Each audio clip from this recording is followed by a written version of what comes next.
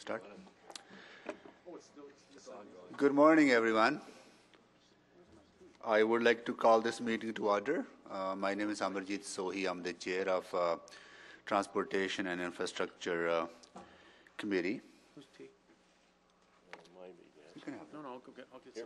No, it's okay, I don't like that. That's mine? And uh, I'll introduce uh, the members present here. Uh, Other committee members are Councillor Bryan Anderson, Ed Gibbons, and uh, Dave Loken and Mayor Mandel. And we're also joined by Councillor Tony Caterina, Ben Henderson, and Councillor Kerry Diotte. Uh, Councillor Anderson, can you please move the adoption of the agenda? Certainly, I'll move the adoption of uh, today's agenda. All in favor? You want us to use the computer or just, Yes. okay, please vote. Display the vote, that is carried. Uh, Adoption of the minutes, Councillor Gibbons? I'll move the adoption of uh, minutes of February 27, 2013, Transportation Committee. Please vote. Display the vote. That is carried. Any protocol items? Seeing none. uh, Select items for debate. Councillor Anderson. I'll move uh, the items with the speakers 6263 and 72. Six two, six three. Councillor Diotte, do you want uh, Seven, two. 71? Yeah, I'd like uh, 7.1. I'll move 7.1, Can you also exempt seven point pardon me, exempt 7.1.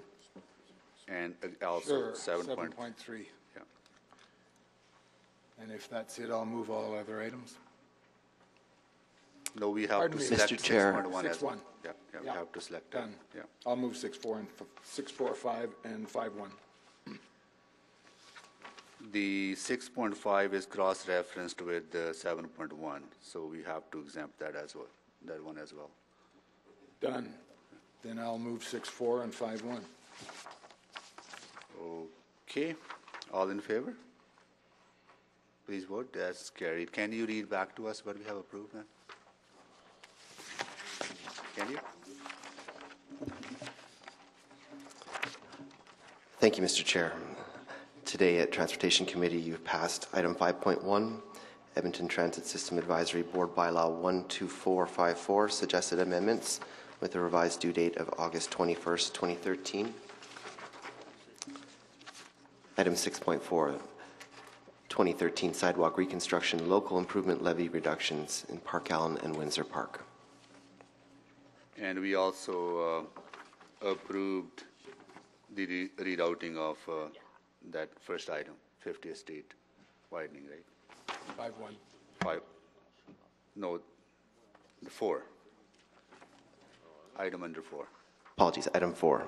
That has been approved as well, right? So, it, it has been? Okay, good, all right. Okay, request to speak. We have a list of speakers, Councilor Anderson. On 6.2, I move that we hear from Gordon Enders, uh, Greg McKenzie, Yvette uh, Ciaran, uh, Susan Petrina Preddy, David Ferretti, Lydia Trevelyan, Naomi Awada. And on six three, Brendan Van Alstine, Fiona Slesser. On seven two, Duncan McKinney, Carrie Boyd, Christopher Chan, Aldo Zanoni, Neil Carey, Carly Coleman, Darren Markland, Neil Dunwald, Peter Seres, um, Alexander Khan, that would be our biggest fan, Alex Khan, Yeah. uh, Barbara Fedun, David Ferretti, M- Mary Kosh, Bruce MacPherson, Dagny Alston, Ross Goodine, Dr. John C. Spence, and David Rust, And we have two additional names. as well as um, Howard Lawrence on 7-2 and Jonathan Lawrence on 7-2, and Dr. Michael Soredis on 7-3. Seven, three, and in panel. And all in a panel, yes. Seven, three, there's one on seven, three, Dr. Michael okay. Uh, okay, all in favor to approve the list of speakers? Please vote. Just a sec, we- just a sec. We have, on the request to speak, we have somebody who said he's been written uh, down under the wrong. Okay. Oh, I see, okay. So the last two speakers on uh, the list for seven, two should be for Six-two. six two. You got that? Yeah. All right, so please vote. Display the vote. That has been. And, uh, oh, it has been moved, that is the third panel. Okay. Any time specific, none whatsoever, councillor inquiries? I do have one. Yeah, yeah. The new Michael Phair. No, that, no. That administration, administration provide a report to Transportation and Infrastructure Committee regarding the reasoning for charging the same cash fare for adults, seniors, and youth taking ETS. That administration also provide a report on the rationale for allowing only one adult on, a, on an ETS family pass. There you go.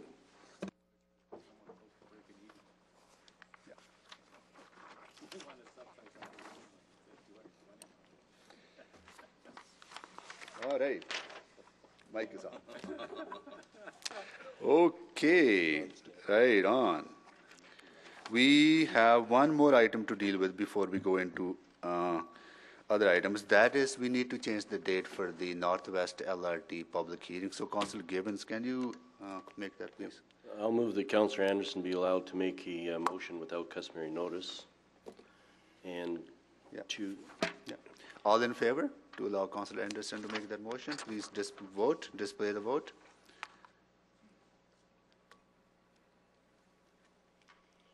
Display the vote.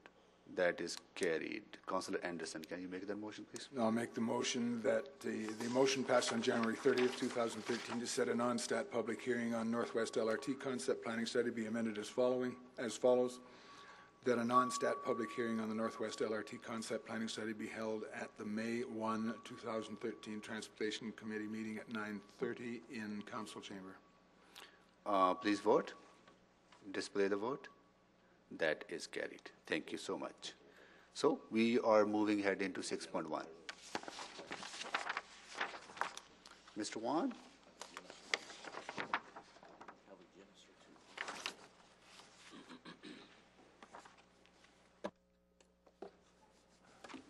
Good morning. Thank you very much for, uh,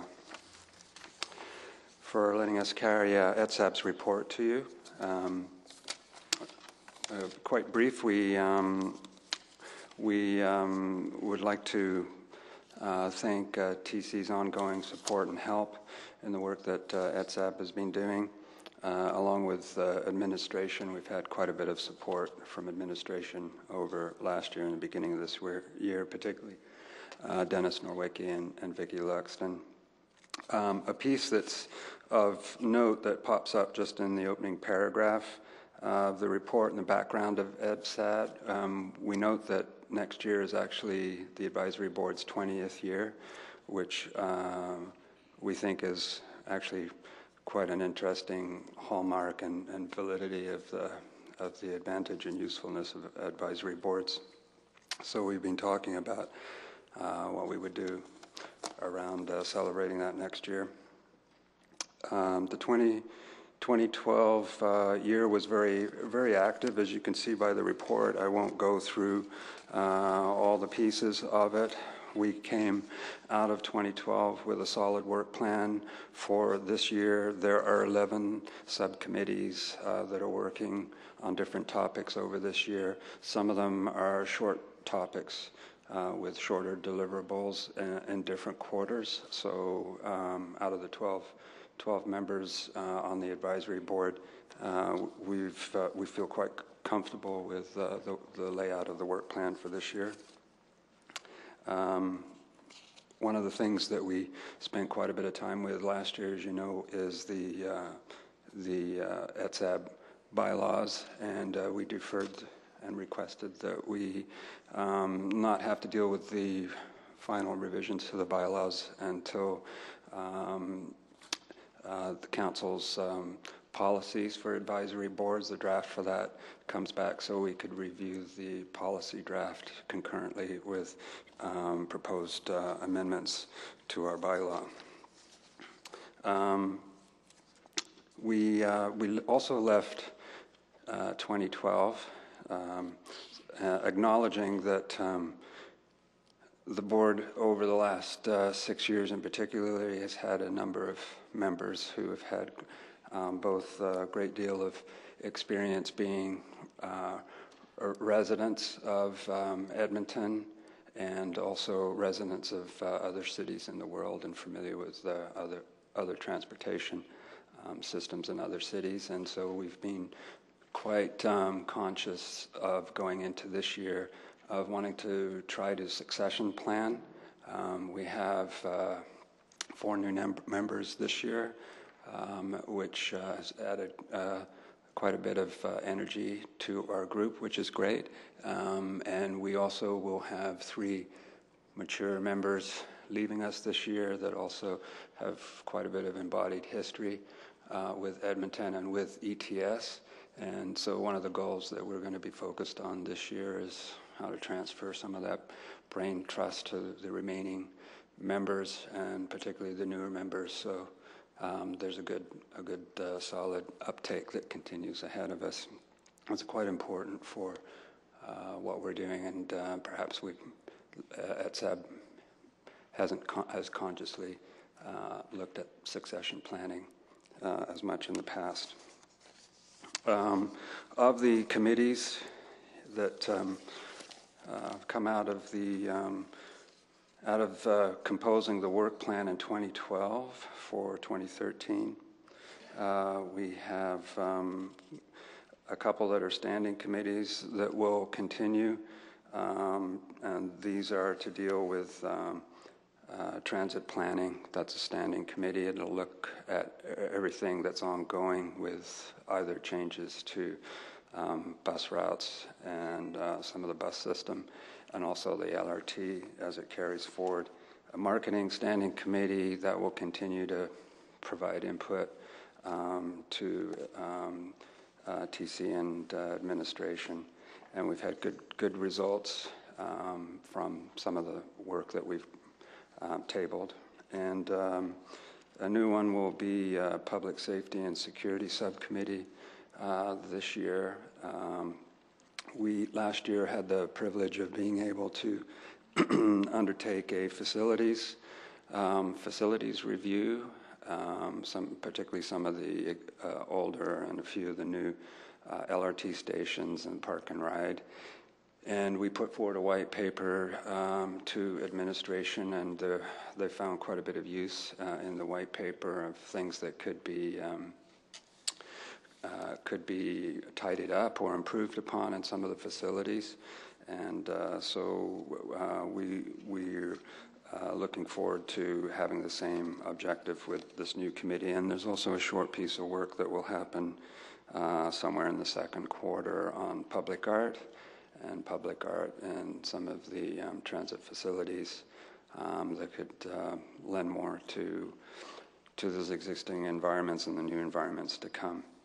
So uh, all in all, we um, we would that's I would have to say that we uh, we appreciate the support that we've had. Uh, we've got great. Uh, great new members that have joined us.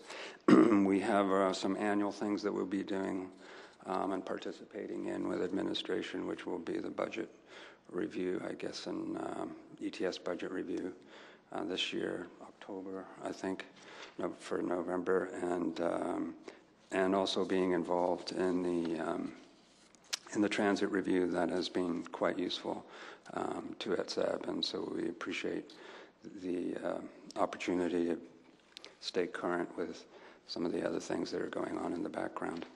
I think that's it for our report. Thank you so much, uh, Mr. Hoy, uh, for being here and uh, for your presentation. Uh, uh, I just want to know from you uh, how many hours your members spend. I think that needs to be recognized. Uh, we've, we, we plan on 10 to 15 hours a month. That includes the subcommittee work Yeah. And uh, monthly board meetings. And uh, we've been quite open with that, um, certainly in the time that I've been on the board with incoming members. Um, it generally evens itself out. We have some periods where there's a lot going on uh, with T- ETS in the city where we um, have to put more time in in a short period of time. Yeah.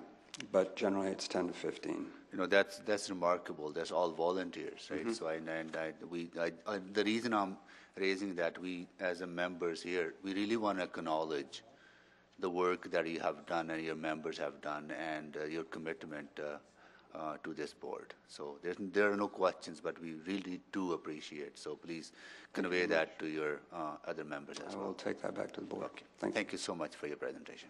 Thank you, Dennis. Yeah. So, that, can you, can someone move that we receive this from, I'll re- move that we receive 6.1 for information. all in favor? Oh, display the vote, please. That is carried. Thank you. So moving on to 6.2. Uh, Administration.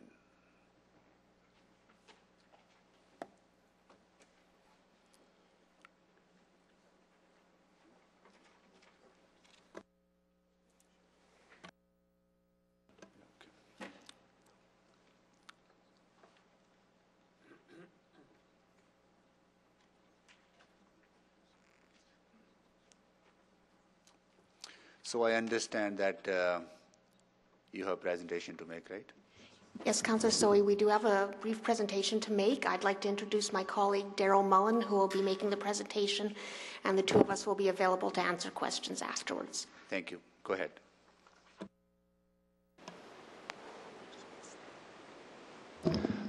Thanks.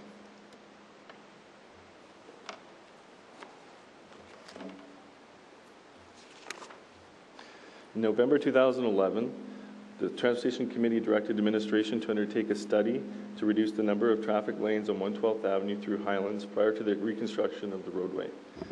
As part of the arterial re- rehabilitation program, the reconstruction of 112th Avenue between 50th Street and 68th Street is planned for 2014. What is this noise?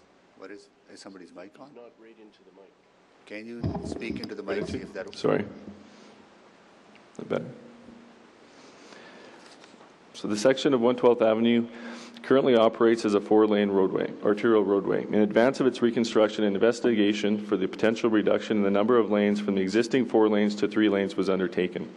The lane reduction option included one lane in each direction in combination with a common two-way left turn lane and wider sidewalks and boulevards. The investigation was based on a combination of a technical assessment and public input. A traffic simulation was undertaken for both the four-lane and three-lane options. The traffic simulation showed 112th Avenue currently operates at an acceptable level of service, providing capacity to accommodate smooth traffic flow and support residential and commercial access. The traffic simulation shows that a reduction of one lane will increase the traffic levels to a congested state in some areas. Under congested traffic levels, multiple cars typically must wait more than one green phase at a traffic signal, and side street access onto the road becomes more difficult due to the reduction in available gaps. As a result, the model showed a 10 to 15 percent shift in traffic away from 112th Avenue during the rush hour periods. Overall, the simulation shows that the travel time along the corridor would not be significantly impacted by the lane reduction.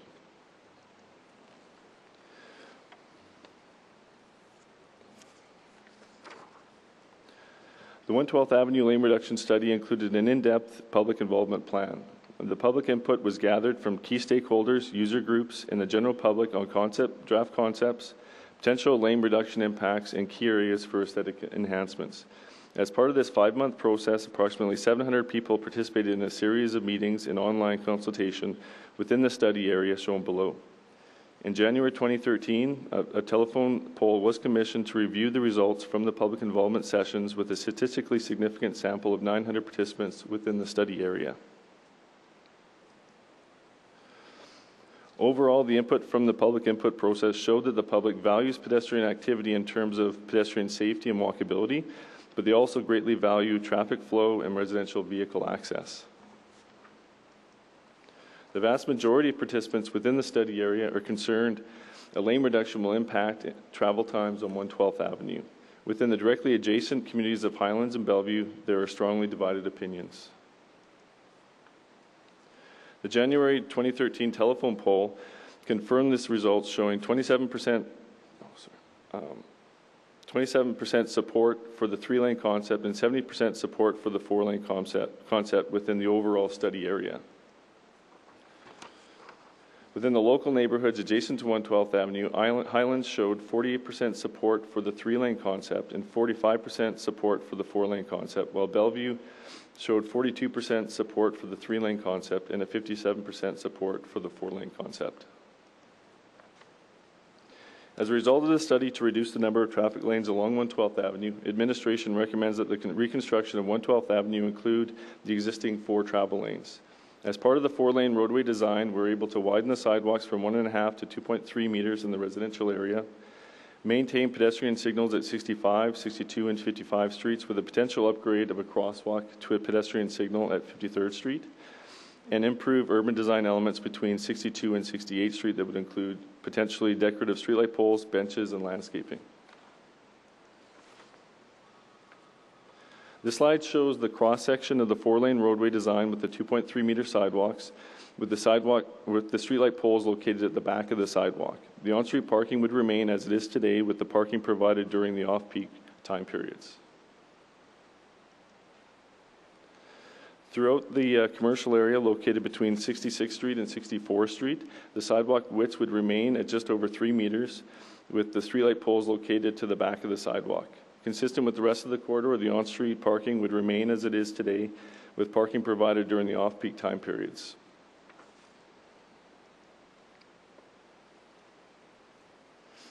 The following rationale was used to support the decision to retain the 112th Avenue as a four-lane roadway.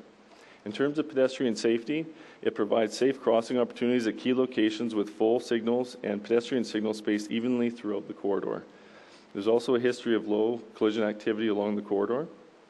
In terms of walkability, we are able to increase the sidewalk widths and provide good access to control pedestrian crossings.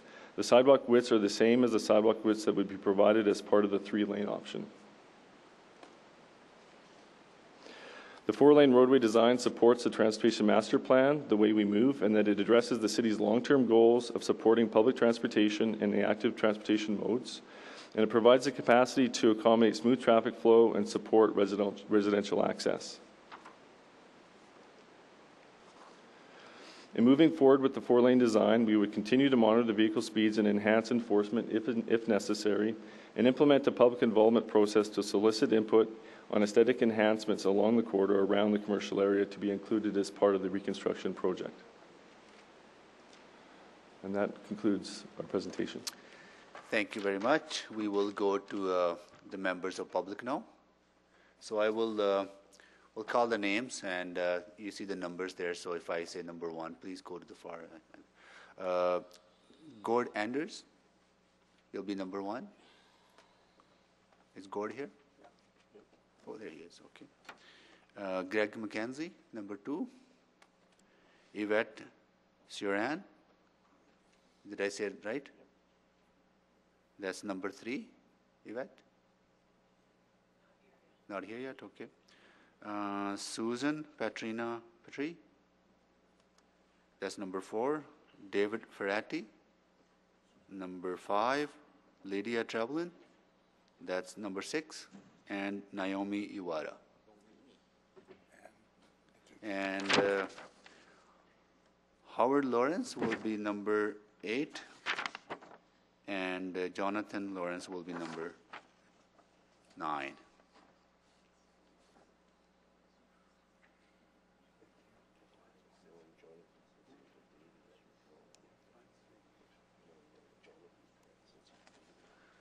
So,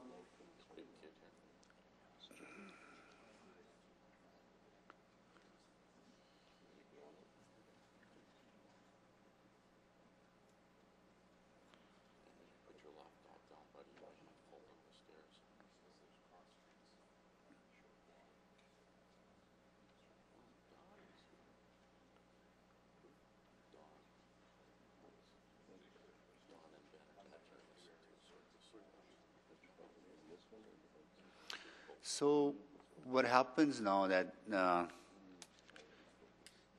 is not here, so we just carry on. If she if she shows up, then we include her into the presentation, or that's how we do it. Okay, all right.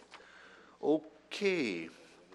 Well, I'll explain to you the process. Each of you will have five minutes to uh, make a presentation, and uh, so when the green light will indicate that your time is starting, and yellow means that you have one minute remaining, and red light means that your time has expired. So if you pay attention to the podium there, please.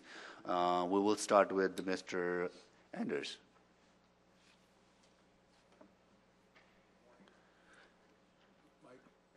Can you turn the mic on, please?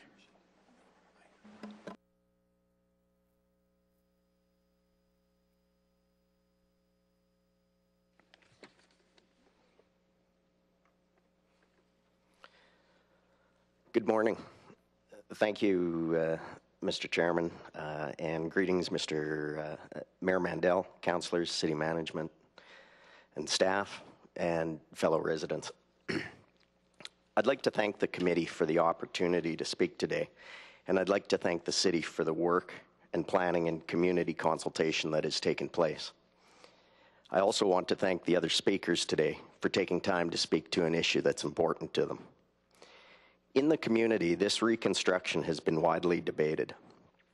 As the owner of Direct Line Insurance in the commercial area along 112th Ave, I appreciate the support of our residential neighbors, providing, who provide support to the businesses along the avenue.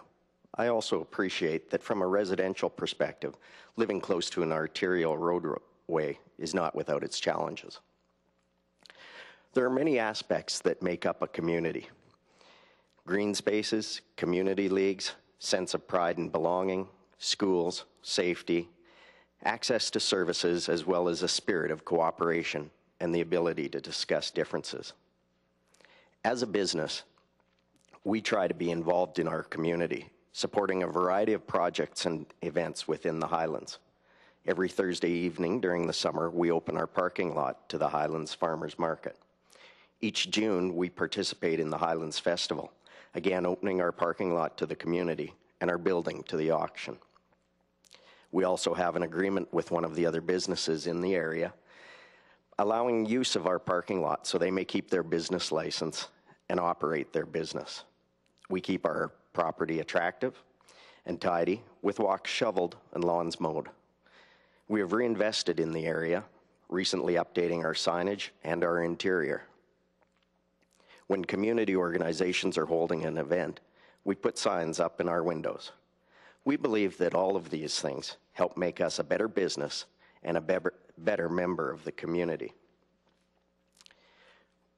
Without the business community in Highlands, the neighborhood would lose one of the vital elements that help make the Highlands the vibrant, healthy, and attractive community that it is. The three lane roadway that was part of the consultation process would be devastating to businesses in the commercial area. The resulting reduction in traffic, coupled with the reduced access and concrete bunk- bunkers, would mean reduced vis- visibility, reduced opportunities, and reduced revenue. For many of the retail businesses, this would likely mean closing the doors, as operating a profitable business would be difficult, if not impossible residential access from the commercial area would be decreased as well as an increase in traffic in residential areas would be very likely due to leakage with commuters trying to find shortcuts. Speed and safety are of utmost concern both for businesses and residents. However, the three lane roadway would not alleviate these risks, rather, increase them. Other means, such as manned radar traps, photo radar, and speed and red light cameras, will do much more to reduce these risks. Signage and education campaigns can help remind drivers they are driving in an area that requires care and caution. 112th Avenue has been an arterial roadway for many years. Both businesses and residents have chosen the area knowing the characteristics of the road. I am speaking in favor of the four lane roadway, which the city is, city is recommending to the committee. It is the viable and responsible solution for the community to ensure a vibrant, safe, and accessible neighborhood for the Highlands and the residents of Edmonton who access it. Thank you. Thank you, Mr. Anders. Uh, Mr. McKenzie, you're next. I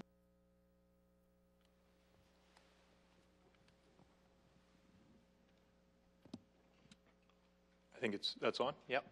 Great. Good morning, members of the committee. Uh, thanks for the opportunity to speak. I'm Greg McKenzie. I'm a resident of Highlands. I live on 66th Street. Um, myself and my family use the avenue on a daily basis to uh, commute to work, go to schools, uh, use the park spaces, etc. I'm here today speaking on behalf of uh, an initiative we call Renew 112. Um, we've been working for several years to build awareness about the opportunity to uh, look at uh, an alternative cross section for the roadway. Uh, the council report before you today talks about traffic volumes uh, on 112th Avenue and indicates that the four-lane option provides a, an effective way of moving traffic. What it doesn't emphasize is that the three-lane option uh, through the modeling also provides an effective uh, method of moving traffic with a you know a minimum a minimal shift in the level of service and uh, a, a very small impact on overall travel times in the corridor. Uh, we also believe that it does support uh, access to residents and businesses, uh, and possibly some minor design changes to the three-lane uh, concept could even better support that. Uh, and most importantly, we feel that it is a more innovative concept that addresses this avenue's context in a residential neighborhood. Uh, typical arterial roadways are around the edges of these types of neighborhoods, and this one runs right down the middle of a, of a vibrant neighborhood. We feel that the three-lane option really does support the transportation master plan's objectives of promoting access and mobility and also integrating land use and transportation. From a safety perspective, uh, the administration has indicated that this area has a low history of vehicle collisions. Uh, what was presented to the public was that there were 117 collisions, including two pedestrian collisions, in the past five years.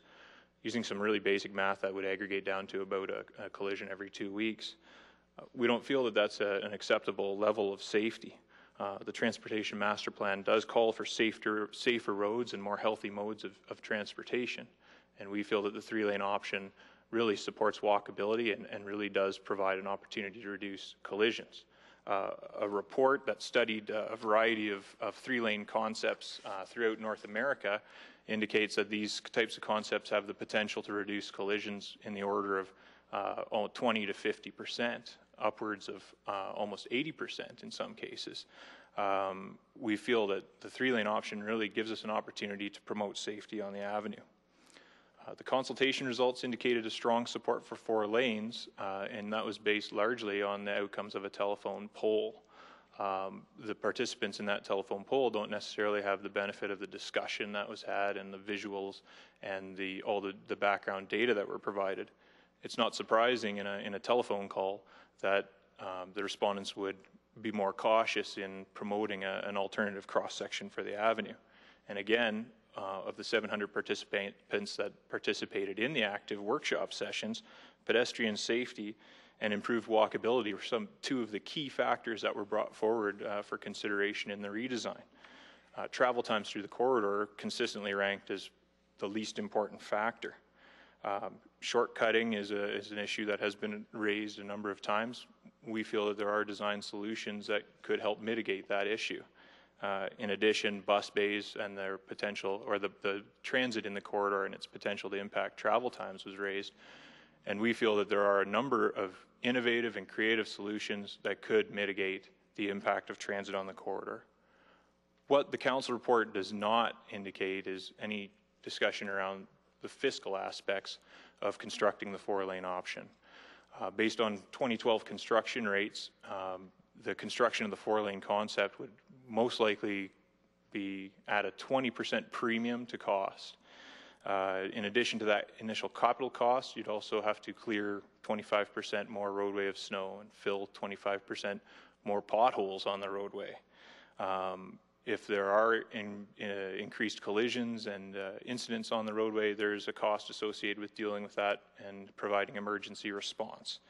Uh, knowing that the avenue can, can safely, uh, the three lane option can safely accommodate all the traffic volumes, why would we pay more to construct and operate an overbuilt roadway?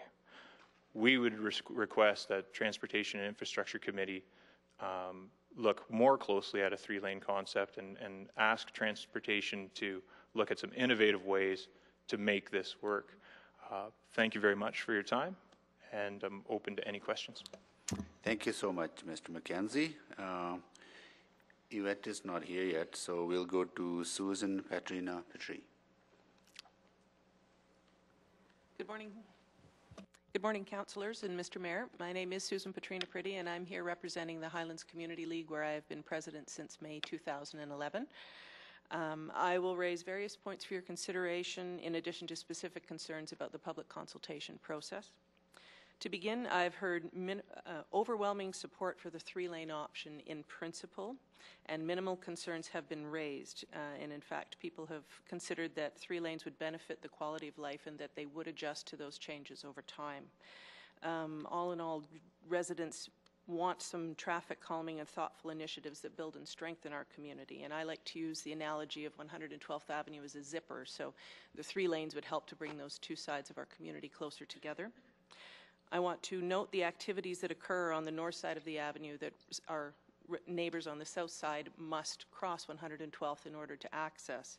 All social, recreational, and educational amenities, including three schools, three parks, our community league building, rink, sports fields, uh, lawn bowling greens, a community garden, and the very important Eastglen Pool are all located on the north and frequented by residents from both inside and outside of our community boundaries.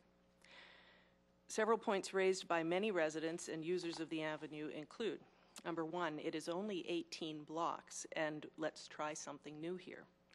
Some parents won't let their children walk two blocks to Mount Royal School because they don't trust drivers will stop. There is a perceived lack of safety, and this does change behavior. Three, people felt the blocks were, the 18 blocks were looked at in isolation of all the surrounding roadways, and there was only a microanalysis done. They wanted to have seen some visuals and discussion of traffic patterns on 118th Avenue as well as 114th Avenue east of 50th Street, even though that is considered a collector roadway. 112th Avenue has been designated an arterial road for many years, but if zoning is expected to change, the question in the coming years is should it even be a major thoroughfare? The road condition is already poor and yet drivers speed. So four new lanes of equal width and light poles set back will give the perception of an even wider space. Couple that with new surfacing and we expect to see increased speeds.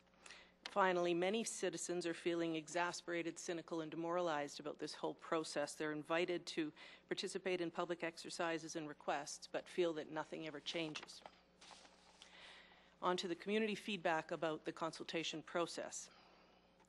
Line drawings comparing the three and four lanes by cross section were difficult to interpret and could have been presented in more creative and intuitive ways. At the first November workshop, overt bias was evident in the framing of the animation for three lanes when it was introduced with, and now you'll see how traffic backs up behind the bus. Many people noted to me that this act alone sufficiently manipulated the audience response. There was no context on bus frequency included. During the peak, there are four buses every 15 hour, or four buses every 15 minutes for a three-hour period. Buses do not regularly stop at every opportunity, which is every two blocks. Otherwise, it is one bus every half an hour. I want to emphasize the uh, findings of the surveys and the workshops, which in all the consultation activities, pedestrian safety was ranked as number one. As Greg had mentioned, the other top five included smooth traffic flow, residential access, and improved walkability, with those reduced travel times being ranked one of the least important factors. Finally, I want to highlight how the three-lane option caused buses to, or the, the presentation of the three-lane option causing the buses to create traffic backlog rather than reframing the conversation to encourage the use of public transportation, is seen as contrary to the city's own framework for the way and complete streets documents. When you consider the addition of mere seconds of a total commute time, we believe the most important issue is the cumulative effect on the people who call Highlands home and the community's vitality. While we appreciate there's a perception of inconvenience to those who commute through this 18 block corridor, we maintain that now is the opportunity to make this community even stronger and more historic through your action of supporting this three-lane option. Thank you. Thank you very much. Uh, We'll go to David Ferretti, number five.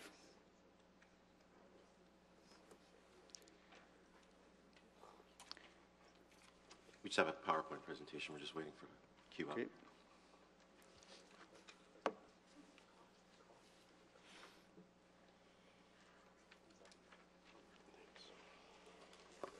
Madam Clerk, can you please assist?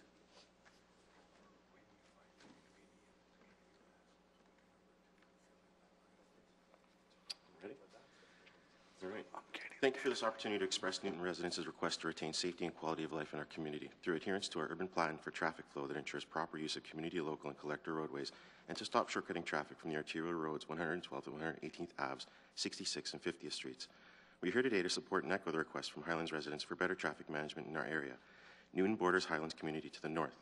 As illustrated in the 2010 neighborhood indicators, there are similarities between our two neighborhoods in terms of population, low crime, and high own- ownership of residents. No doubt, the City of Edmonton's first Director of Urban Planning, designed Newton based on the neighborhood unit. He included Clarence Perry's characteristics to facilitate community life and quality of life. He used an urban design that included a modified grid to encourage walking and discourage outside traffic from shortcutting through the neighborhood. The black lines on the City of Edmonton transportation map outline the boundaries of Newton, the red, the four-lane collector roads. The four-lane collector roads, 54th Street and 123rd Ave, are the bus route and allow local residents access to arterial roads, while discouraging through traffic as there is no east-west collector road across the width of Newton. All east-west local roads on the west side of Newton are offset from the adjacent neighborhood. Mr. Ferretti, if you could just slow down your speed. Yeah. Sure. We'll give you, you know, we'll- we're watching the presentation, but, yeah, please.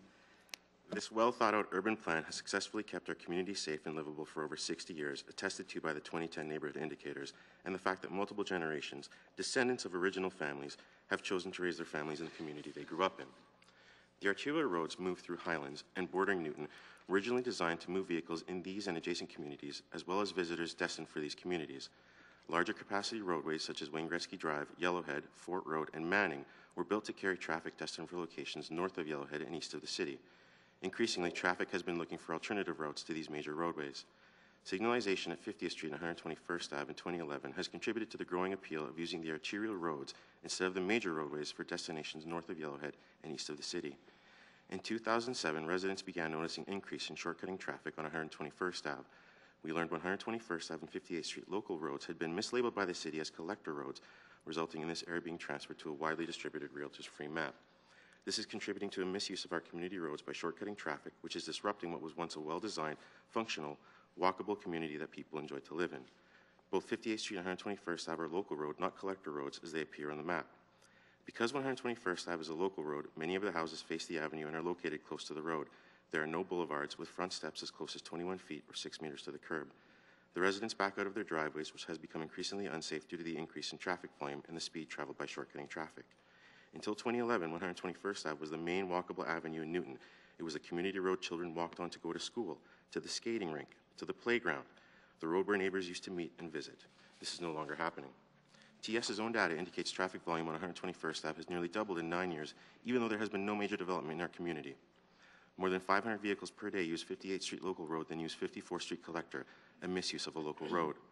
In 2005, TS responded to a request for signalization at 121st Ave and 50th Street, stating, one of the duties performed by community transportation planning is to address shortcutting issues. Shortcutting traffic often creates other problems such as speeding and exceeding the roadway capacity. By installing a traffic signal here, it is felt 121st Ave would become a more attractive alternative to 118th Ave. In 2010, TS responded to a similar request. The department would be very reluctant to implement any measures that would make 121st Ave a more attractive route without assurances from the adjacent communities as a whole that residents are comfortable with the inevitable shortcutting traffic and the issues that may arise from it. A letter from the Newton, Bergman, and Abbottsfield Community Leagues to this effect would be required before the department will proceed with future assessments for this location for full signalization. No request for such a letter was received by Newton Community League before they decided to signalize 121st Ave at 50th Street. When evaluating the signalization at this location, TS's own staff identified there would likely be shortcutting through Newton with signalization, yet no traffic calming strategies were installed. In response to concerns about shortcutting traffic on 121st Ave related to a spike in crime after signalization at 50th Street, EPS ran plates on 51 vehicles at 121st Ave and determined 78% were not registered to people who live in Newton. Likely they were shortcutting. The Realtor's map shows no difference between 118th and 112th Aves, 50th and 66th Streets, and Wayne Gretzky Drive and Fort Road, and labels them all as main thoroughfares. This misrepresentation is likely also contributing to the increase in traffic through both Highlands and Newton. We ask that you direct TS to respond to our request for adherence to the City Urban Plan for traffic flow that ensures proper use of community, local, and collector roads, and to stop shortcutting traffic through both Newton and Highlands communities. Thank you for your consideration. Thank you, Mr. Ferretti. We go to uh, Lydia Trevelyan. Trevelyan. Trevelyan, thank you. Trevelyan. Council, members of the committee, members of the public. My husband James wanted to speak today, but unfortunately he had to attend another meeting at Red Deer College, so I would like to speak on our behalf. Jim and I have been longtime residents of the Highlands for just over tw-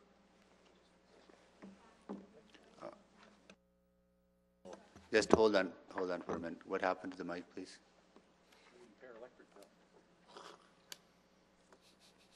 Should we start again? Yeah, go ahead. Oh, We'll, start we'll, we'll- you will start your time again, don't worry. Go ahead. Uh, My husband James wanted to speak today, but unfortunately, he's had to attend another meeting at Red Deer College, so I'd like to speak on our behalf. Jim and I have been longtime residents of the Highlands for just over 23 years. In fact, we live right on 112th Avenue, on the south corner of 64th Street. So the decision to reduce the lanes will have a direct impact on our property. Even though my husband's workplace has been in Red Deer these past 19 years, we still choose to live in the Highlands. What's attracted us to this neighborhood? Well, we have a beautiful Gibbard block building around the corner, historic Ross House across the street. Horses pull carriages and sleighs by our house in the winter and summer. Across the street from our house, we have a street festival, a farmer's market in the summer.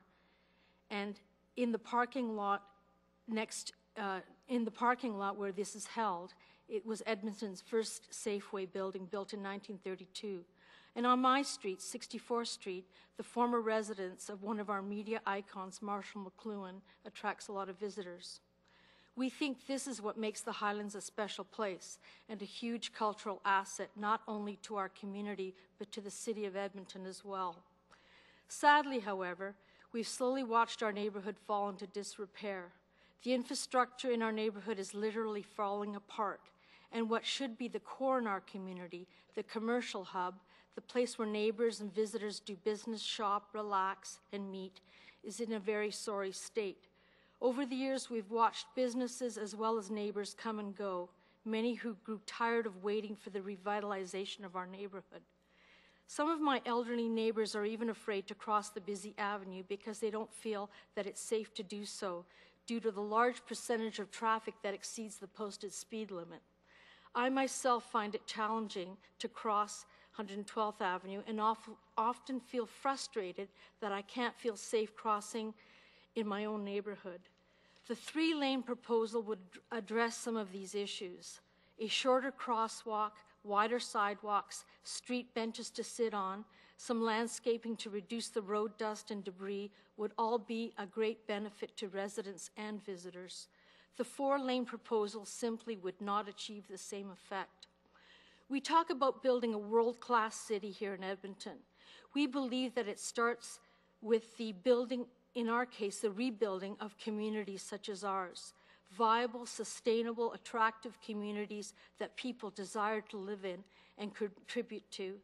These communities are the building blocks in achieving that goal.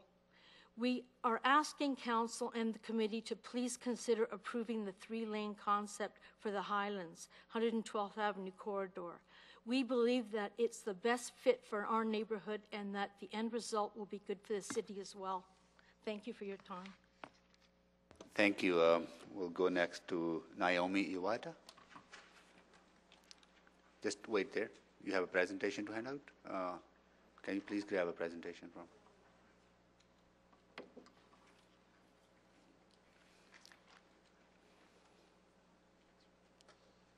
Go ahead. Yeah. Uh, thank you for sharing um, my view here, and I'm glad to be here to share all the impression that I got actually. And first of all, I'm not the driver at all in here, and I'm not familiar with all the signal and rules in here, but uh, I just um, visit actually that area and then I got the impression and finding. So I'm going to talk based on that. So I just gave out the handouts and please look at page number two. I, uh, in daily life, if you were a driver, probably you were on the road that goes to straight, but maybe in your mind, oh, I'm supposed to go make turn right. In that case, you were going to make turn right. So that's the traffic actually, and uh, driver is the one who make a traffic. So I just. Hmm,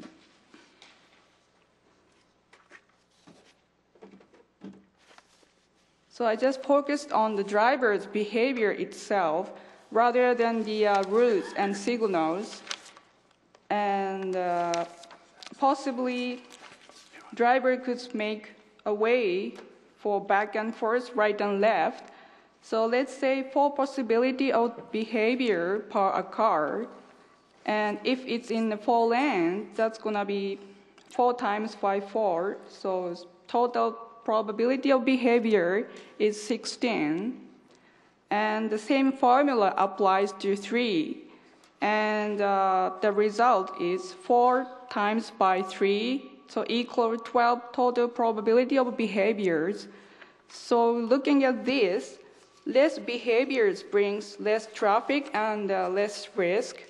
And also the less lane, which is three lane, brings less traffic and more safety. And then now I'm going to talk uh, page one. I just wonder if we could divide the big volume of traffic on 112 Avenue into uh, three roads, 118 Avenue and 112 Avenue and uh, Ada Bluebird because I went there and then Ada Bluebird is very uh, empty and freezing. That means probably nothing was going on there. So I would like to, of course, uh, respect the residents in there so this is this picture is just an example, and the design is the next stage. So I don't know how, but uh, I think Ada Boulevard and 118 Avenue can help to reduce the traffic of 112 Avenue. And this is the last point that I would like to make.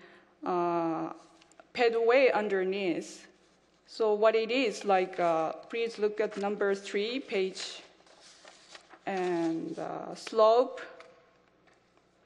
underneath where pedestrian can go or probably road can go. That way, the road on the car, uh, car road is um, free from a signal, so that car can go smooth. Yeah, that's all about my quick summary of three road of three lane with uh, underpaid way. Thank you for listening. Thank you very much for your presentation. Uh, we'll go to Mr. Howard Lawrence. John, Jonathan first? Yeah. Okay, go ahead. Uh, good morning, TIC members, uh, Mayor Mandel, and other attending councilors. My name is Jonathan Lawrence. I live in Highlands and I've lived there all my life. I'm also a planning student at the University of Alberta. Concerning walkability as proposed by the Transportation Master Plan's goals, the four lane option does not support this walkability. The proposed 2.3 meter sidewalk will have many obstructions streetlights along property lines, fire hydrants, parking signs, news boxes, and bus shelters. These shelters will occupy 1.2 meters, leaving a 1.1 meter sidewalk, which is narrower than the standard, which is 1.5 meters. No boulevard is provided, no opportunity for trees or plantings create an unattractive concrete and asphalt area from property line to property line. No buffering from traffic and no storage area for snow, a design which is not in line with the Winter City Design Initiative. All of these factors create a wind tunnel and with no shelter from the elements, particularly in winter. Encouraging walkability and transit use requires creation of safe, attractive, and convenient routes connecting our destinations, i.e., commercial area, Highlands Park, community league, schools, churches, etc. The existing sidewalk and boulevard measures 2.75 meters.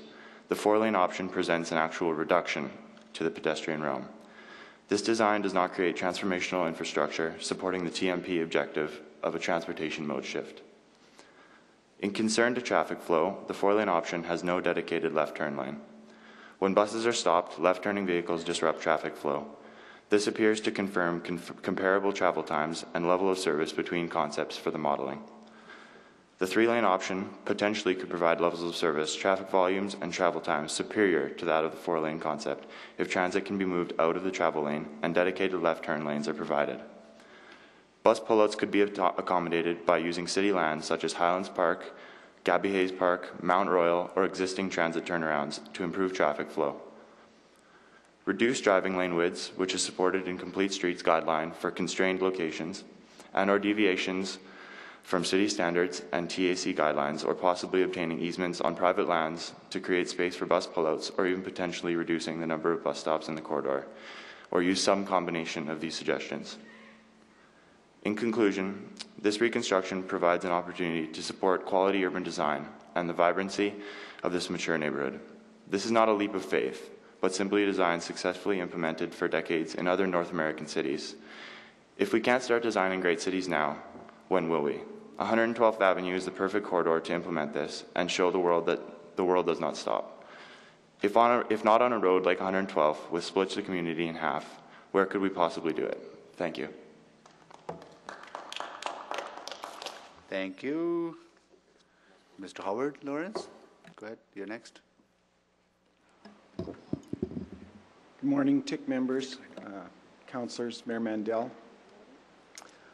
Um, uh, as somebody who has been a part of this process since the city appointed uh, a charrette in our neighborhood in 2007, uh, many of our transportation people. Audra and Daryl were there, Mayor Mandel, many of our councilors.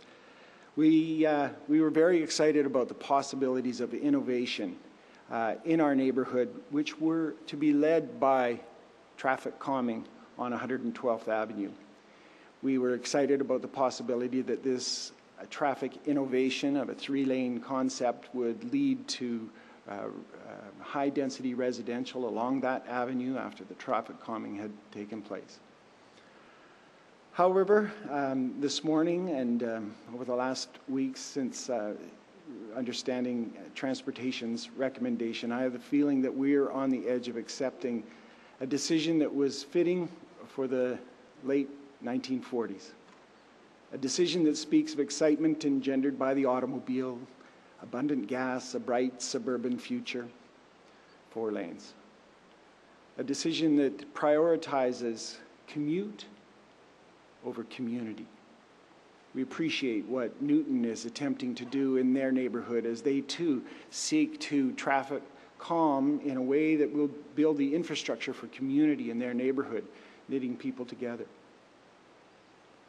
My regret is that this decision will be made and it'll be one that uh, my children and my neighbors' children who live and plan to live and raise children, shop, find friendship, and perhaps start businesses in the Highlands will live with well past 2040s. It will mean that our downtown highlands will likely struggle to provide shops, cafes, restaurants, and retail over the next 50 years.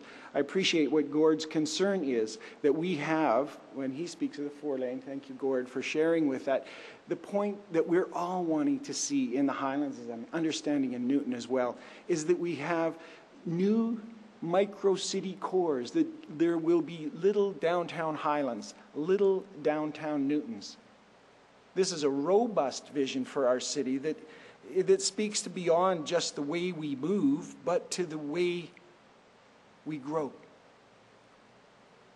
Our quality of life in these places is what we're after, and every place in the city.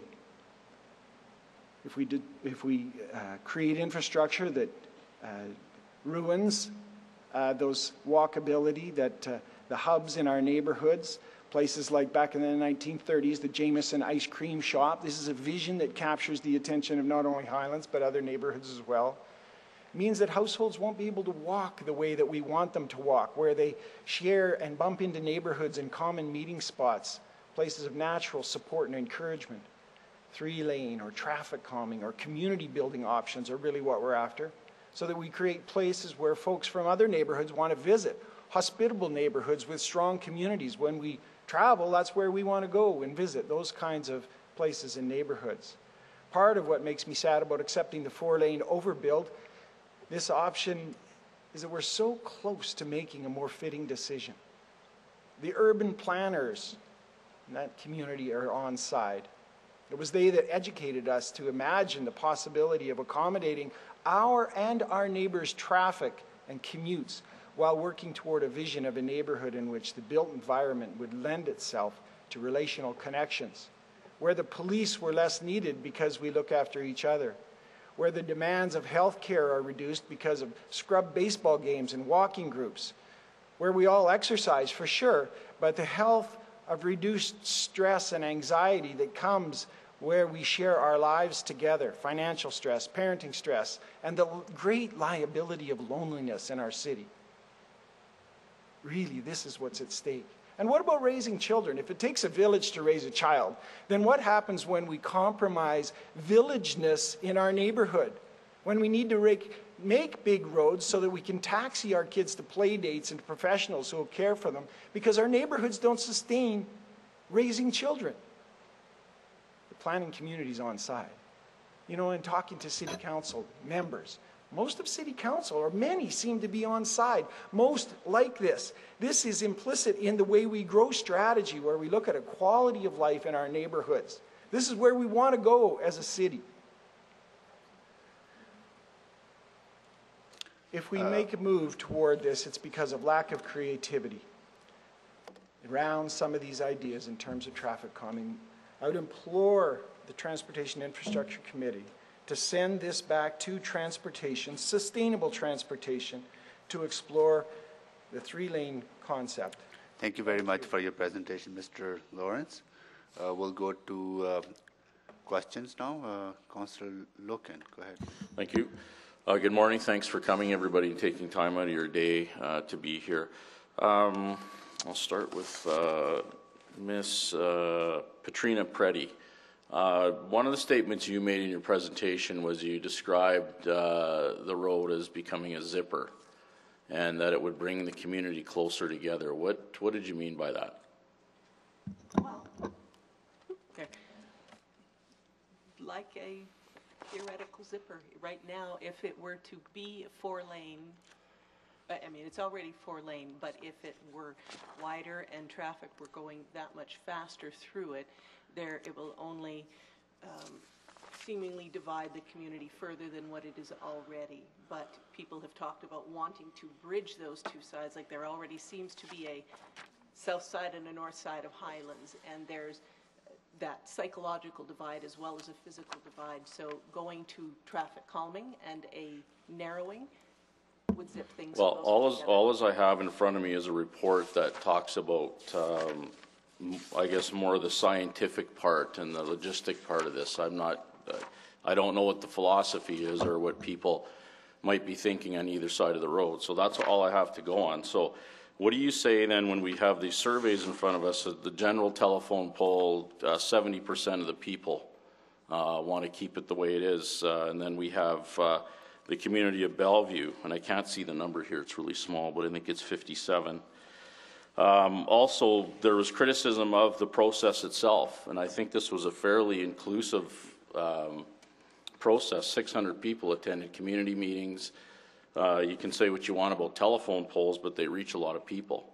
So, what do you say to those people that don't agree with your position, that their opinion doesn't matter in this, or um, what are you what are you saying there? Not at all that their opinion doesn't matter. I'm just saying you have that data collection, and I am, as an individual who for 22 months now has attended multiple community events and had multiple face-to-face conversations, not only in my community league building, but also in people's homes and at our mandolin coffee shop. People are experiencing the space in a different way, and perhaps that comes out more in interpersonal communications than over a telephone poll.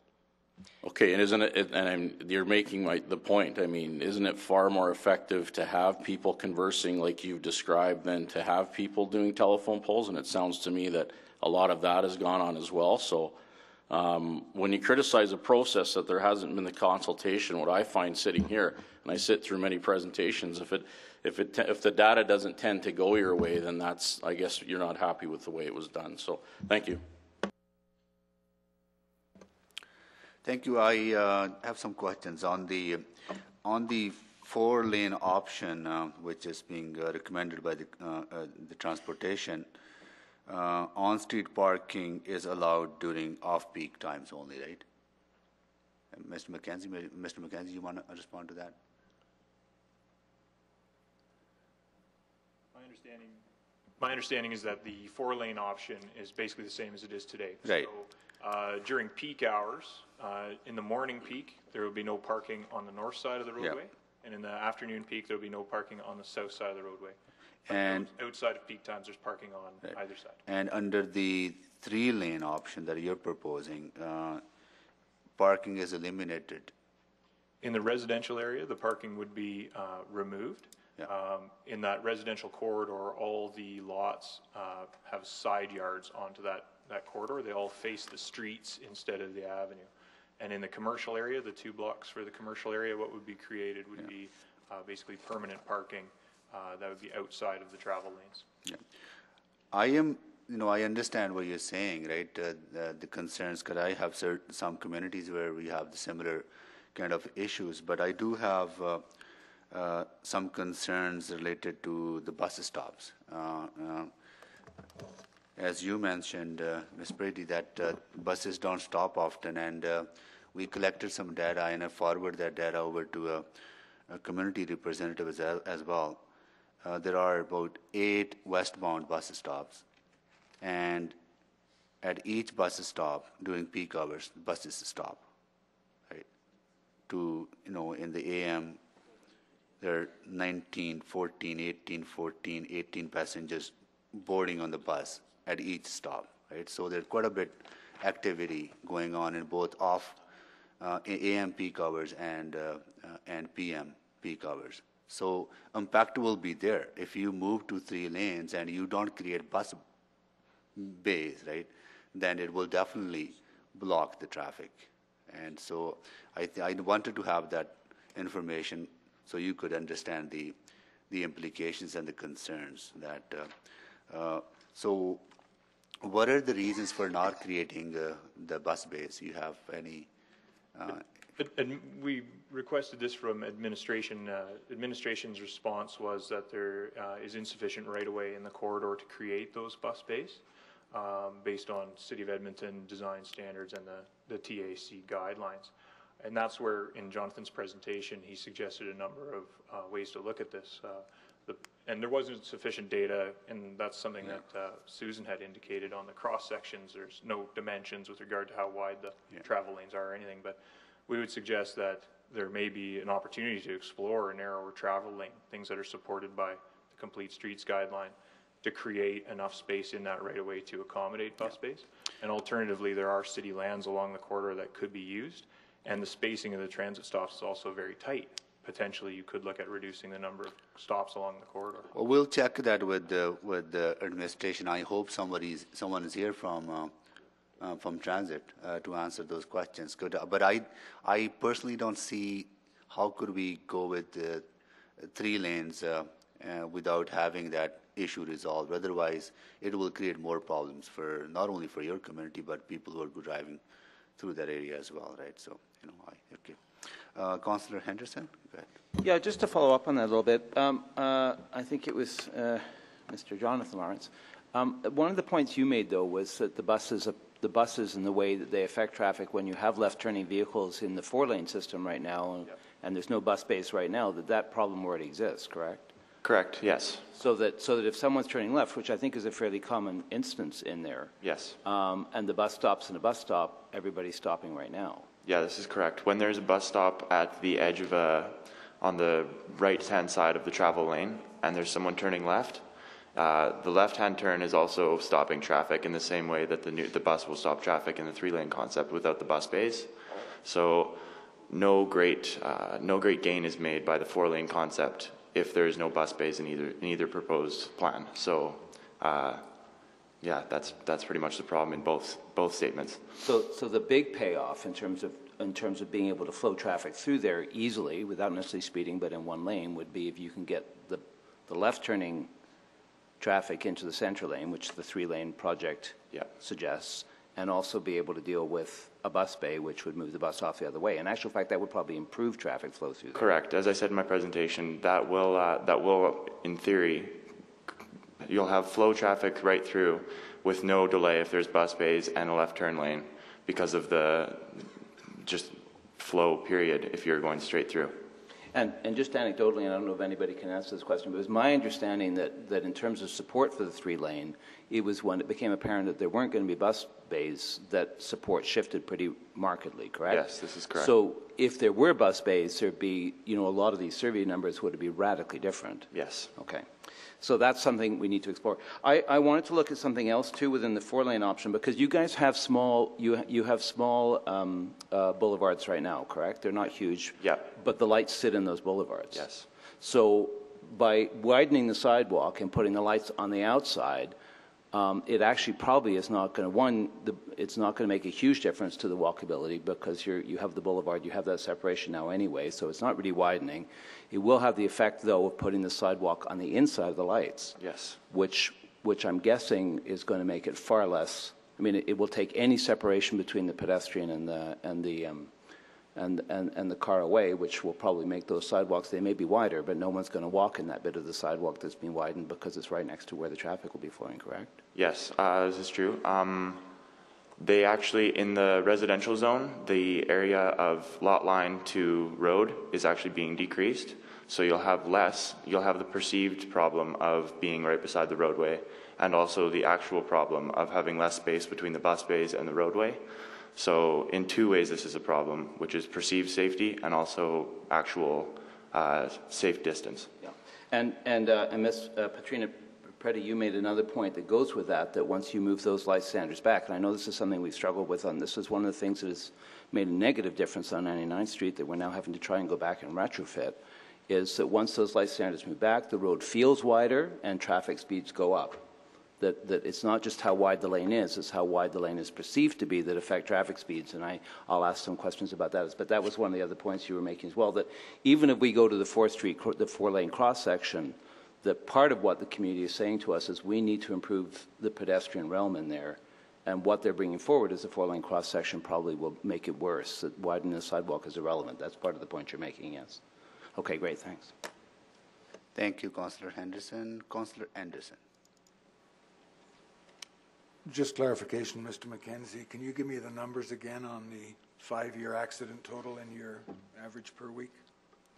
Yes, what, uh, what administration presented uh, in their various presentations was uh, a statistic that said 117 collisions from January 2007 to, I believe, September of 2012, and that included two pedestrian uh, collisions.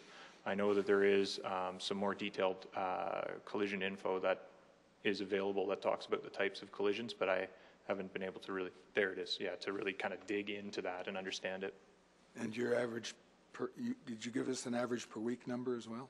Well, it was a very simple mathematical kind of breakdown. I just took 117 uh, collisions, divided that by five years, uh, which is the, the time that it's uh, stated over, and then divided that by the uh, number of months, and it came out to 23.4 uh, collisions per year uh, when you take 117 divided by five.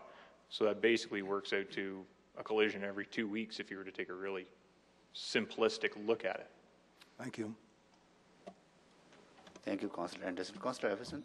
Well, Mr. Enders, um, I, you talked about how the three-lane proposal would uh, have negative impacts for the businesses there.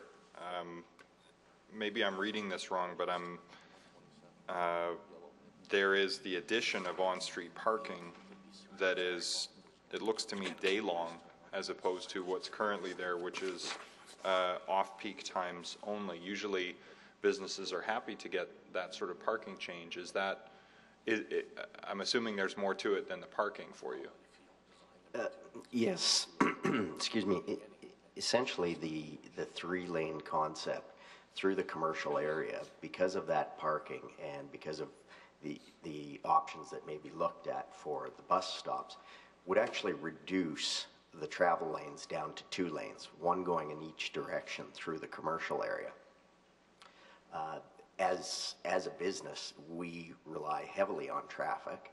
Uh, we have a parking lot that we do uh, that we do utilize, as I mentioned, and our clients and our staff are able to utilize that. So on-street parking for our particular business is, is not of great concern, but the traffic going back and forth between um, between the, the businesses on the roads, certainly the visibility is of great concern. Some of the businesses that, uh, as we've had some discussions, some of the business owners, certainly uh, on the retail side, are very concerned about anything that reduces traffic flow because from a retail perspective, if it's not convenient, it's not going to be, uh, it's not going to be accessed. accessed. So your concern is about the congestion possibility and that that would lead uh, there to be less general traffic moving through the area? Yes, the, the three-lane traffic as well, too, um, the option only provides uh, left turns uh, during off-peak hours. Uh, I believe in the last in the last submission, uh, that in and of itself would make it very difficult for our clients to be accessing our business. The majority of our businesses is, when we have walk-in traffic is quite often in the afternoon after people have finished work and are on their way home. If you're looking at the traffic flows tra- flowing east, uh, it would be very difficult for not only our clients to get into our business, but for residents uh, right around us to get into their uh, residential neighborhood. Now, we've got this in front of us. Can, which corner are you on? Uh, w- we are on the uh, northeast corner of 112th Ave and 65th Street. Okay, so it's the restriction to turn from eastbound to northbound from 112 to 65th. Right. That you feel would, would impede access to your business for homebound commuters? Yes. Okay. The other, the other thing that we did have concerns with, or that has been mentioned, was that through that area, should there be an accident with parking on either side, uh, if there was an accident, trying to clear that area f- for commuters to get back and forth would be almost impossible if there's no way to move those vehicles off the road. The other aspect that was brought up was emergency vehicles, and if you have an accident that's involved in a two-lane roadway where there's no place to move those vehicles, uh, and an ambulance or fire or police need to get through to another type of emergency, there'd be virtually no way for them to move through. Well, except that emergency response can go into the other direction of, of travel when they, uh, uh, when they need to with, uh, with lights and sirens. My question, maybe just to clarify another uh, point further to Councillor Loken's questions, um, uh, was uh, Ms. Patrina Pretty, it's not the whole process that you're objecting to. I, got the sense that you appreciated the workshops and, and the, the discussion-based part of the consultation because you felt there was good understanding and people were reacting to a full set of information, notwithstanding the framing of the, the simulation uh, in that one meeting, but that people had a chance to react to a full set of information. And, and so you're not saying that was bad, you're just saying you would prefer that to the telephone survey, which doesn't provide that context. Is that, is that fair? Yes, indeed. Interpretation of your position? Yes, and in fact, it fostered community engagement and people talking to e- each other, so that part was really good. It Okay. just seemed that it changed dramatically after. I just wanted to make sure that, that that part of the process wasn't seen as a negative, that, that, not that at all. was, that was a positive at least. Okay, thanks, uh, thank you, Councillor. Councillor Gibbons.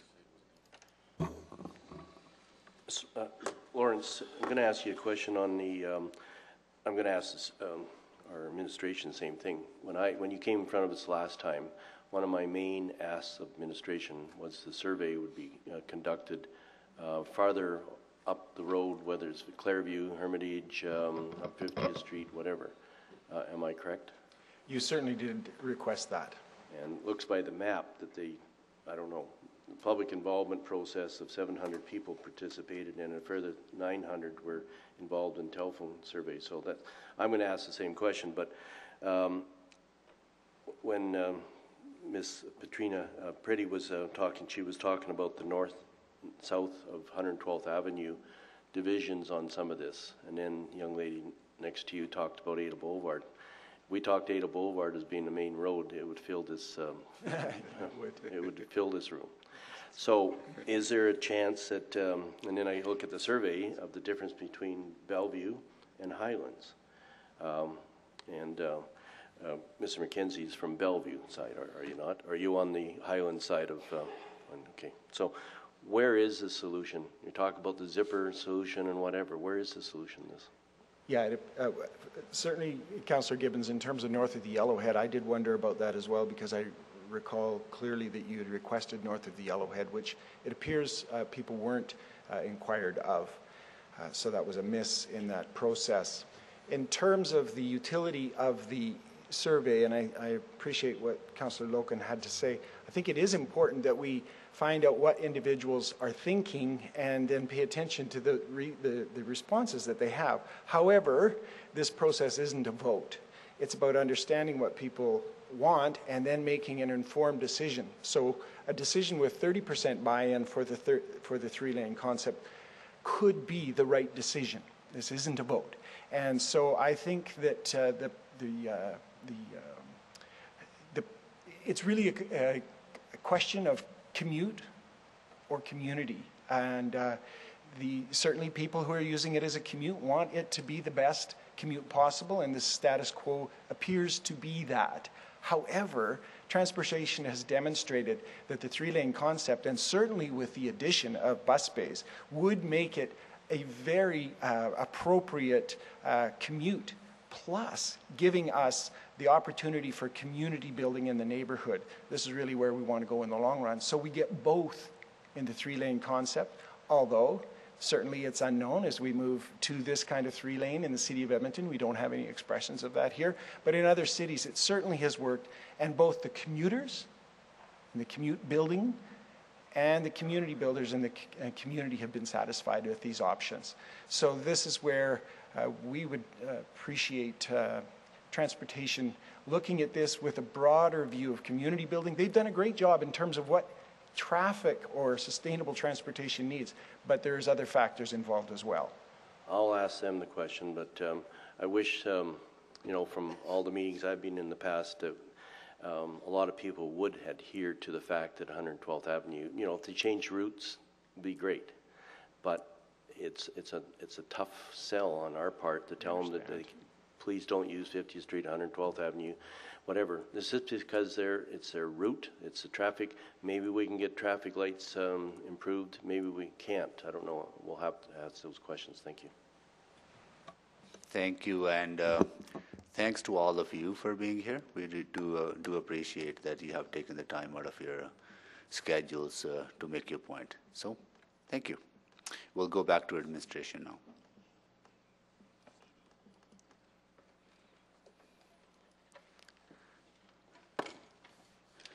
Hi, Susan Rattan. How are you? Nice to see you. With yeah, you're not you're not covering City Hall. You're just here as a citizen, right? You're not replacing. Uh, uh, oh, you're. oh, she's part of your team. Oh, Okay.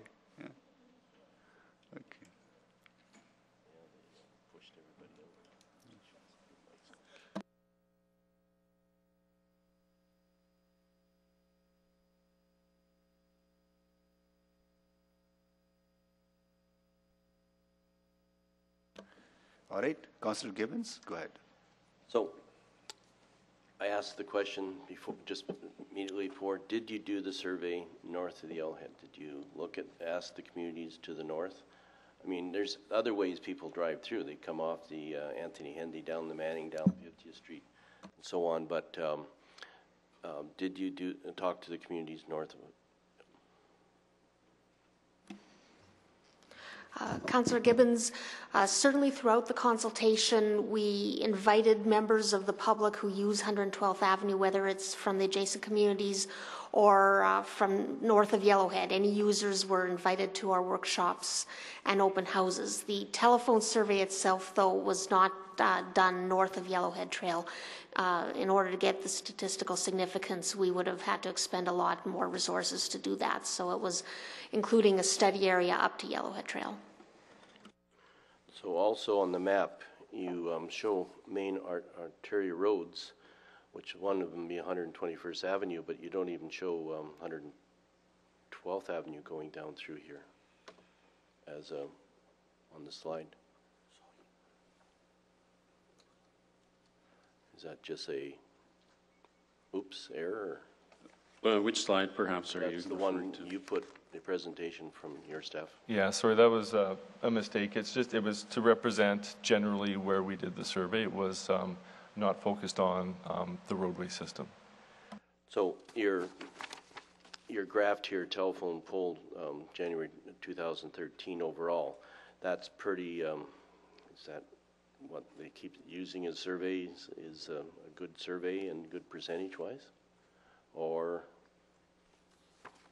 Councillor, as uh, Ms. Jones said, we uh, made sure we contacted, or Banister contacted enough households to make it statistically significant. So the answer is yes, it's a statistically significant result um, in terms of the numbers and the results we got.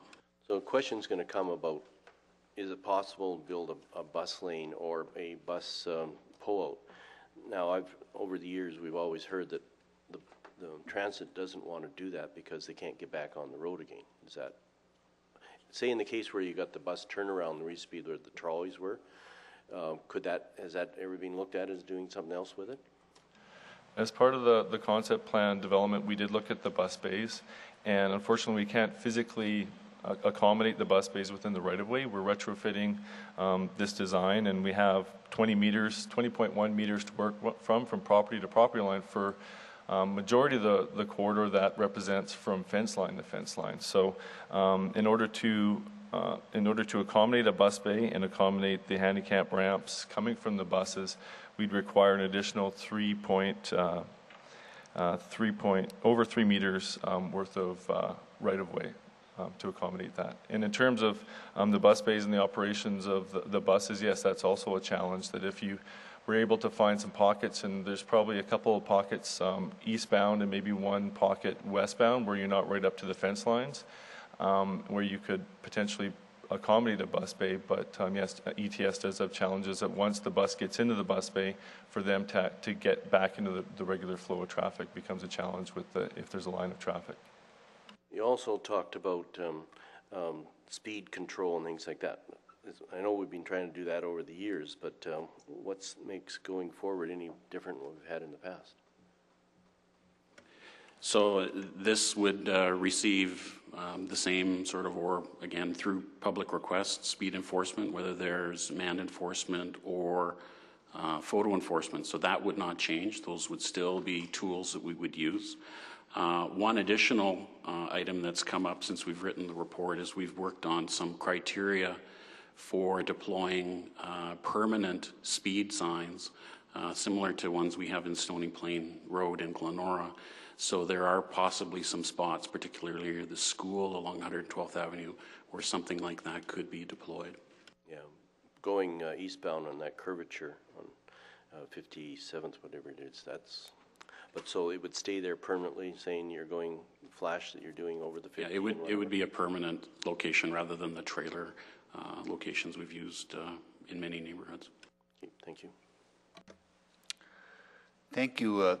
So the information that we received from uh, ETS on the number of passengers boarding uh, both AM peak and PM peak is it's significant. It's not that uh, buses don't have to stop at every stop. Uh, Based on this information, they would be stopping at every stop and stopping for at least, you know, it takes time for 19 passengers to board the bus.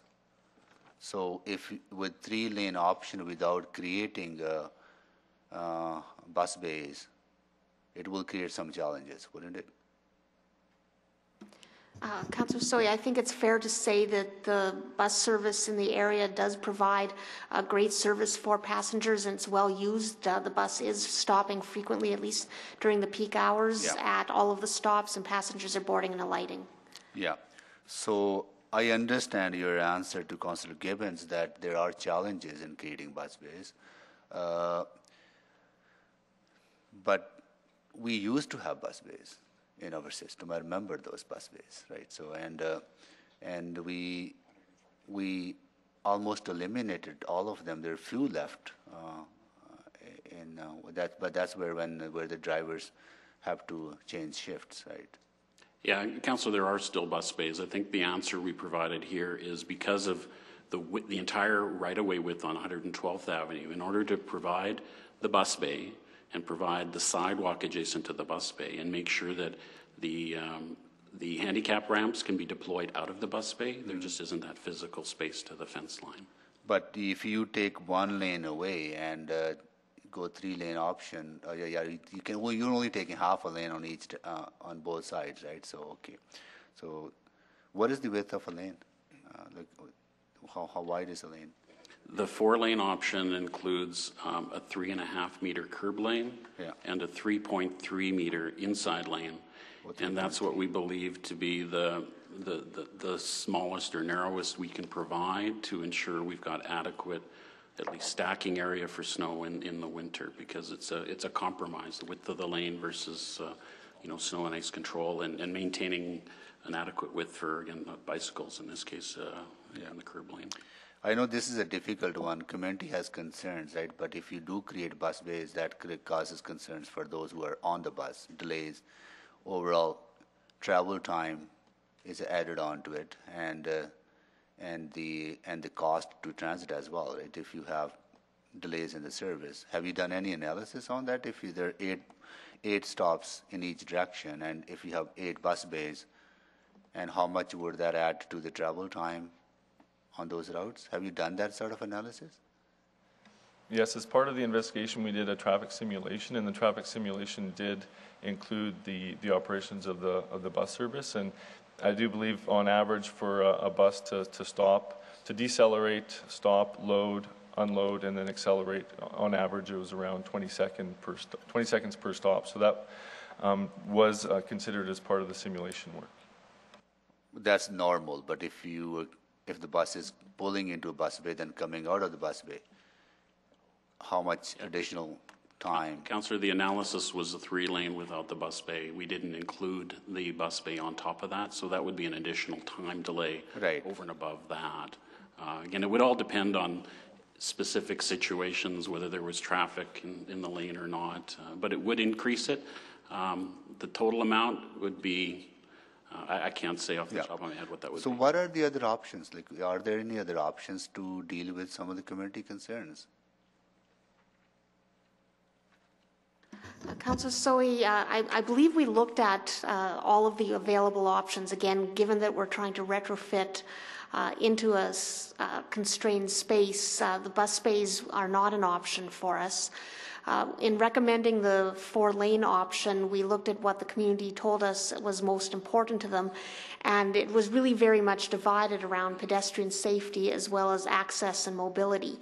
So we believe the four-lane option gives us both in that we're not compromising pedestrian safety. In fact, we're adding to walkability by widening the sidewalks, but we're maintaining travel times and access to transit, access to the commercial area, and access to the adjacent communities. I know, I understand. It's one of those situations. I know the people need to travel definitely, but people who live outside, they are traveling through a community. There's an impact on the community, right? So when we see that with 99, uh, other other communities as well, right? So you know, yeah, Connor, there's another one. There are many other communities that are impacted by arterial roadways going through their neighborhoods, right? So it's tough one, yeah, tough one for all of them. Uh, Councillor Henderson.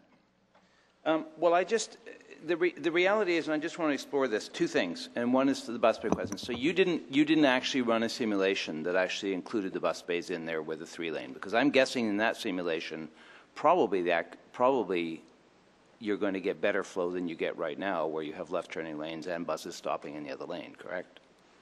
I think it's fair to say you'd get better flow for uh, traffic in the through lane. You would probably get uh, worse level of service for the actual buses. Well, and I, but we do have an instance where we have this, where we have put in bus lanes. Councillor Anderson was the one that reminded me of that, and that's along 114th Street. We put in bus lanes there on both sides uh, on on a road that's probably even even heavier use in in peak hours than this, and the buses.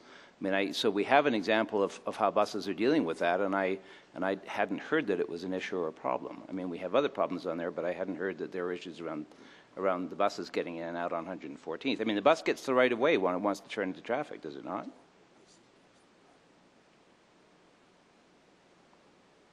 I'm going to see Mr. Korpeski can perhaps add on that.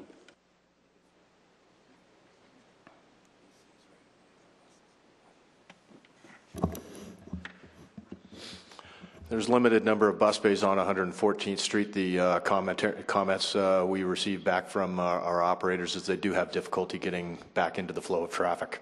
Do we do we have a sense though about what the timing? Because that was, I think, Councillor Sohi's question is what kind of timing change it makes.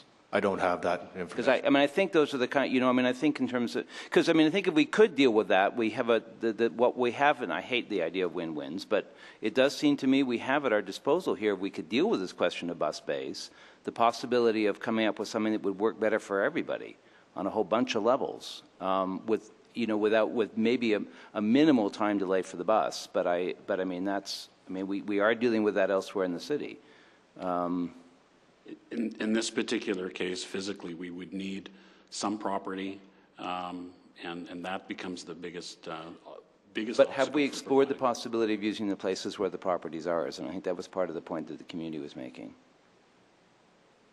yeah, I think the issues are for the majority, 99% of the corridor, the prop, on the property line are the people's fence line. So you're going into the adjacent properties' yards. There are a couple opportunities, I do believe, eastbound and maybe one opportunity um, westbound where there are some parks areas and some right of way that we could uh, explore a bus bay. But then you look at it and you have eight eight bus stops in the eastbound direction and seven or seven in the eastbound direction, eight in the, the westbound direction. So out of 15 stops, you'd have potentially two or three bus bay opportunities. So um, I, I, think it would have a, a, limited impact on, on the service levels. Um, and on the, in my memory is on 99th Street, we did, you know, even on 99th Street where we went with the four-lane option and a, and a, slightly widened sidewalk, although albeit without a boulevard and right up against the edge, which is the other set of questions I wanted to ask. But in that case, we had to take some we had to take some space from private properties for the buses as well for the bus for the bus pads. I think that's my memory. Does anybody remember that?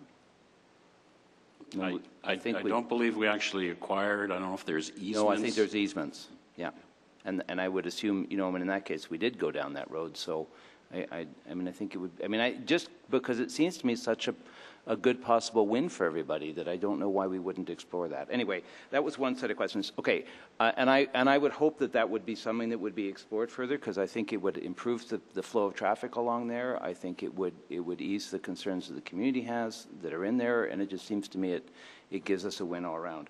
My other question, though, is if we do go with a four lane, I'm quite concerned, and this is after my experiences on 99th Street, that we may well be widening the sidewalk, but we're taking out what tiny little boulevard is there.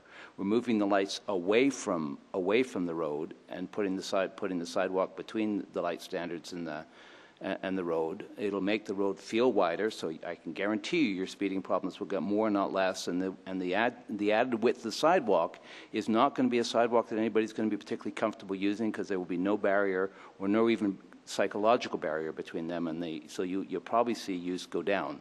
So I'm just wondering, in terms of we really say we want to be improving the walkability along there, what what we in the four in the four lane configuration what other things we might consider, because I don't think this is going to get you there. I think, in actual fact, you'll create a big wide sidewalk that nobody will want to use. Thoughts? Uh, so, Councillor, other than the, uh, we, we, certainly acknowledge there's some uh, opportunities for street furniture, uh, particularly in the business area. We actually have a wider space in the business area.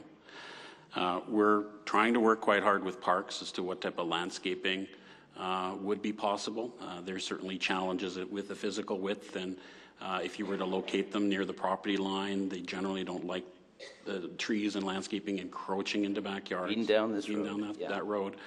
Um, and then in terms of uh, the streetlights, I'm, you know, again, we went down this road along 99th Street, and it's a, uh, it, it's a, it's a double-edged sword. On one hand, it, providing the side, the streetlights back a walk does create a much wider area um, than you would get if it was behind walk, or sorry, back a curb, and it also puts the streetlights away from, uh, you know, a collision zone.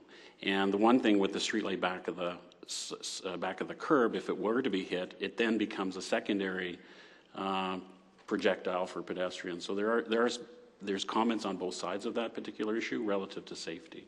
I'm out of time. Thank you, Councillor Caterina.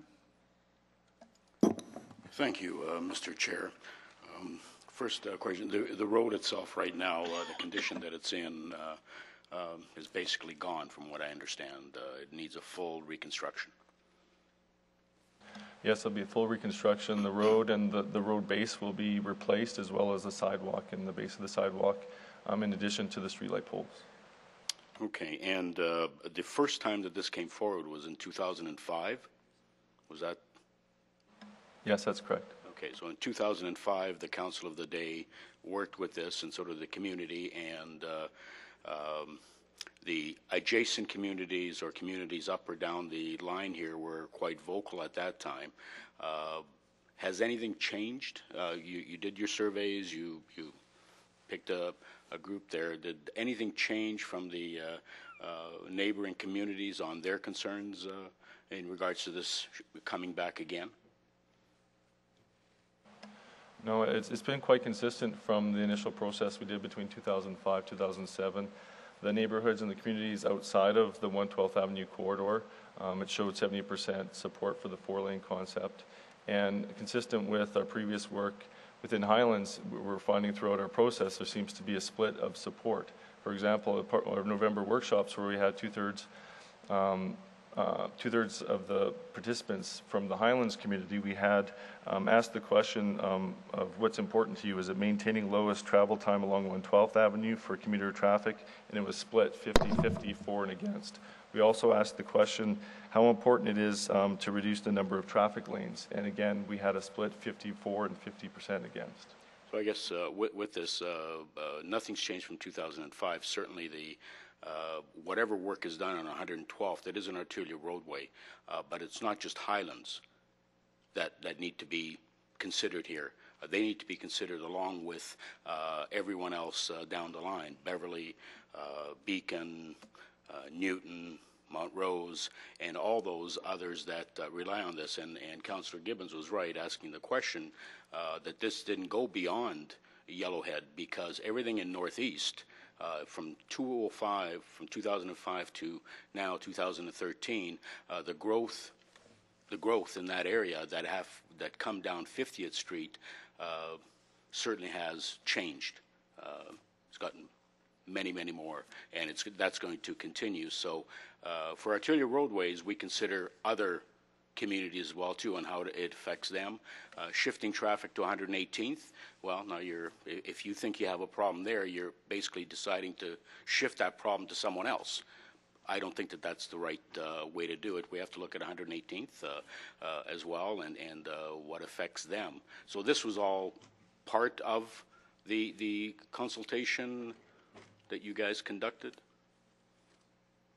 Uh, yes, Councillor Caterina, that was all part of the consultation. We wanted to determine the level of support in the Highlands and Bellevue communities, but we also expanded our consultation to look at the feelings of the other people that use 112th Avenue, whether they're from adjacent communities or from someplace else in the city and regularly travel the route and uh, you heard from the business community here. It's not a large business community, but certain, uh, certainly very, very valuable in the area, that two-block area, and that, and they uh, certainly uh, uh, want to maintain the four-lane uh, for the traffic, and the majority of them have been very good corporate citizens in the community, certainly supporting things that go on there. Um, the um, safety aspect of this, 100 and some odd collisions in five years. Uh, do you have any information on what kind of collisions these were? Major, minor? Uh,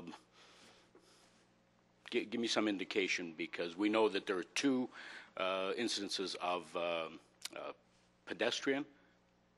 Was that what the were, if pedestrians, okay. So none of these numbers seem to be significant enough to uh, have a real concern, and I know that the mitigating uh, aspects of this, you can actually accommodate virtually everything uh, that would help calm, whether it's speeding, whether it's crossing the street, and, and so forth. So, Councillor, um, you know, certainly when you hear a number like 117, it seems like a big number. This is a number that's over five years, over 18 blocks, and you know we've uh, had discussions with Office of Traffic Safety, and relatively, it's just that wouldn't be considered an accident or collision problem. We're certainly worried about any pedestrian collision that, that takes place. Um, you know, unfortunately, one of the pedestrian collisions actually occurred at one of the pedestrian signals. So again, pedestrian signals don't in themselves, you know, um, guarantee that there there aren't those. So with trying to control speeds through enforcement, looking at another traffic signal, as Mr. Mullen had said in his presentation, that's how we're trying to address the, the, the safety aspect. Uh, thank you. Councillor? He answered it. Oh, he did, okay. Uh, so, just want to be clear, the, uh, can you tell me where the poles are going, light poles? The streetlight poles? Yeah. They would be just behind the sidewalk. There would be the curb, Yeah. a 2.3 meter walk, or slightly wider if there's available space. So and then some- the streetlight would be just between that and the, and the fence line. Okay, all right. Uh, And uh, you also mentioned that there's only two potential opportunities to create bus bays out of uh, eight on each one side and seven on the other side. Yeah, I believe uh, going on the eastbound direction, there may be potentially two locations um, where there's a park space to um, provide or accommodate a bus bay in, and one park space in the westbound direction for a bus bay. But that, that wouldn't solve the problem. No, um, again, there's uh, eight uh, bus stops in the eastbound direct, in the westbound direction and seven in the, in the eastbound direction, so um, that certainly wouldn't solve the issue with the, uh, the bus service. Okay. All right, so I don't have any further questions, uh, so any, I don't know what the will, yeah. I'll move receipt for information. And and in speaking uh, to it, I'm assuming that receipt for information accepts the administrative recommendation, is that correct?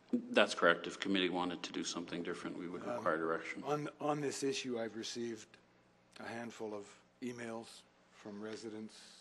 Uh, The report, today's presentation by professional transportation engineers that have done their job and included all the information they have gathered and a set of surveys, both in person and, and telephone. I also talked to several counselors who represented this area over two terms who are in receipt of a, a much larger amount of information and uh, conversations than I am, and I think it would be presumptuous of me to um, go against uh, the feelings of the past two and uh, current single counselor of the ward. Thanks, so I'll support the motion.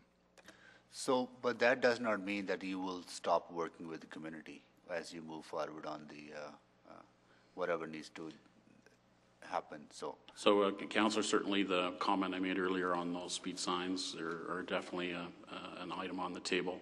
And through the design process, we're going to be working with them about landscaping, street Yeah. furniture, and how to how to deal with that space between the curb So and the you'll, fence. you'll, you'll try to make the best out of the situation that exists now, right? Okay, all right, thanks. So, uh, please vote. Oh, Don? Okay, uh, just hold on. Can, can you recall the vote, please? All right, Councillor Iveson? Well, I, I understand why this is working out the way it is. Um, all the momentum is to keep doing what we're doing um, on all of these busy roads. I just, I'm concerned that uh, uh, when the road is rehabilitated, when the, when the configuration is shifted, when the sidewalk is opened up and the, the street lights are moved back and the road surface is, surface is smooth, that if the primary objective is to keep traffic moving, it's really going to work well because I think it's going to move even faster down that road. And, and I think that's going to impact quality of life in, in these neighborhoods, and that's what they're trying to tell us. Now, we don't have a good solution for how to fix that, and, and I want to commend administration for trying to find that and for, for doing as much engagement as you did. Um, and I, as again, I accept and understand why we are where we're at with this, but um, uh, I wish we could have found a way to be more creative, uh, uh, to um, do something more than just enforcement and and uh, and a flashing sign telling people that they're speeding, because I think that thing is going to wear out uh, by the time we uh, rework this road in the way that it looks like it's going to be reworked. So. Um, Councillor Henderson? Yeah, I, I mean, one of the things that I think we're, we need to deal with, and we still haven't entirely understood here, or, and I, and I, and I do appreciate um, the complexity of this, but these are the neighborhoods that we're trying to encourage people to move into. And we're trying to encourage people to move into them on the idea that they can live a more urban existence, which is about walking, which is about doing, living in a neighborhood in a different kind of way. I understand the tension between that and the people that are still trying to get to the sort of more further flung parts of the city, but somehow or other, I think we're going to have to find a way to step up in a different kind of way if we really mean it that we want to increase density in these neighborhoods, we want more people living in them precisely because they can live a different kind of way, then we can't keep on doing it the way we've always, done it. And I think there was an opportunity here to try something that actually probably would have worked with both um, but I'm concerned that once again, and I, and I say this having the scars of dealing with this question along 99th Street, which we have still not worked out, um, that we need to find a way to answer these questions in a different way. And I have big concerns if we go ahead with this four lane thing. And I think Mr. I was going to ask a question, Mr. Stevenson, but I don't want to take people's time further. That we know from this work that we have done on speeding in this city that the only way you're really going to deal with speeding is to deal with the engineering that putting up signs, that putting up speed limit signs do not change behavior because we all drive as fast as we feel safe driving. And if you make a road feel wider, people are going to drive faster. If you make a road feel narrower, people are going to drive slower. And, and I think if we really mean that we want to make the pedestrian feel like they're going to be safe along here, we're going to have to make them feel more protected than, than the four lane configuration looks like it's going to do. And if we really want to slow traffic down along there, the last thing we should be doing is making that road feel wider, which essentially is what we do by moving these light poles back away from where they are right now. And I would really hope that, I mean, it sounds like there's going to be the support to go ahead with the four lane option, but I think if you have a look of how you design that cross section in the four lane option, in terms of the number one thing you heard from everybody that they want the pedestrian to feel safer, we are not achieving this, and our own stats and our own policy on that which tells us that it's about the engineering and how you engineer a road to make people drive safer and to make people feel safer, um, are not being served by continuing to use the cross section that we've used elsewhere. And I would really, really hope that we go back and have a look at that cross section if we really mean that we want to be stepping up for those pedestrians. Well,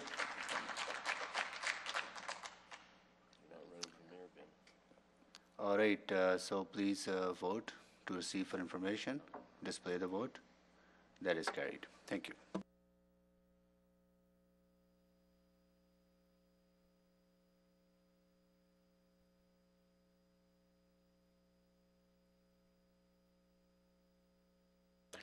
Six point three, Mr. Korpaski. We, we don't have a presentation, so uh, we'll respond to questions after the speakers. Okay. So we have speakers on this item. Uh, Mr. Van Elstein, I see him. He's there. And uh, Fiona Slasser. Is Fiona here? Oh, there you are. Please come down.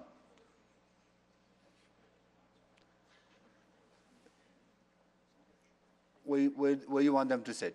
Here? Okay, good. I'll, uh, I'll explain you the process. Uh, each of you will have five minutes to speak. Um, Green light means your time is starting. Yellow means you have one minute remaining. A red light means that your time has expired. Uh, so, who wants to start first? I guess I'll go first. Um, I so rarely get to say this about propor- proposals that come before council, so I hope you'll savor it when I say that uh, I think this one really hits the nail on the head. uh, the Transit Riders Union has made no secret of our support for 24 hour transit, and I feel like this is a huge step in the right direction. I think the phased implementation is very good in the sense that it'll allow not only for effective evaluation of the need for the service, but also for the service to be fine tuned and tweaked as it uh, is implemented so that we can make sure we're delivering a service that uh, best meets the needs of transit riders in this city. I think the need is long overdue, not just for bar crowds in the hospitality industry, but also for thousands of shift workers in this city who's, who either start work or end work when there are no transit services available. Uh, I think the move is also a step in the right direction when it comes to shifting Edmontonians' trans- transportation modes and in helping to make transit a preferred mode of transportation. It also helps to give Edmonton a real metropolitan feel. Almost all the major cities in Canada run, run transit service later than Edmonton. And I know a lot of young people, though you may not like to believe this, do look at transit service when they consider where they want to live. And I personally know at least one person who has said he won't move back to Edmonton simply because the transit does not meet his needs. Um, I won't go on too much longer because I've come and spoke to this issue again and again. So uh, you do have the numbers from the night right now, so you do have a better idea of uh, what the, the ridership will be like. And as well, I'll remind you that uh, Responsible Hospitality Edmonton had commissioned a survey in which 82.3% of respondents said they were either very likely or somewhat likely to use late night transit service if it was offered. So I, I think this service is long overdue, and I certainly hope that you will uh, push forward with this pilot project. Thank you. Thank you, Cesar. Go ahead. Good morning. Um, my name is Fiona Slesser, and I'm here on behalf of the uh, Central Area Council of Community Leagues. Uh, we did send in a letter uh, supporting the pilot project, but we thought we'd be here in case there are any questions from a community perspective. Our CACL communities discussed the Strathcona pilot a number of times um, because our boundaries do cover Strathcona University and Southgate. Um, so it was discussed at, the pilot was discussed at a number of our meetings. Um, in our opinion, it was a successful pilot. Uh, we welcome the expansion of it to include downtown and other areas of the city. We believe that the pilot showed that transit can be an effective way of clearing out hospitality areas in a safe and efficient manner, and also provide a service for um, hospitality industry workers. Um, we all know cabs can be quite hard to come by late at night, and um, we think that there's also a large expense associated with relying on those types of transportation modes. Uh, we believe that the current proposed pilot could provide those benefits to Strathcona and also to downtown. We feel that the expanded the expanded service would also be of a benefit to those in our community who don't work nine to five and help re- reduce their reliance on personal vehicles, which is a major expense and something that if we can offset for people living in mature neighborhoods is a, is a big help. On a personal note, um, by taking advantage of transit, my family of four relies on one vehicle. We often take transit on those rare nights when I get to go out. and although my evenings often end before transit does, um, we have taken advantage of the late night service on New Year's Eve for the past two years. Uh, we found it to be efficient and a stress free transportation mode, and we think we would likely make use of that um, service in future if I ever get to go out and stay late again. Um, but I'm sure many others like us will as well. So, in conclusion, the CACL communities, uh, Hope Council will fund this service package, and we look forward to the start of late night transit in September 2013. Well, thank you very much for both of you for being here and, uh, and making your point. So we'll go back to administration for questions. Thank you.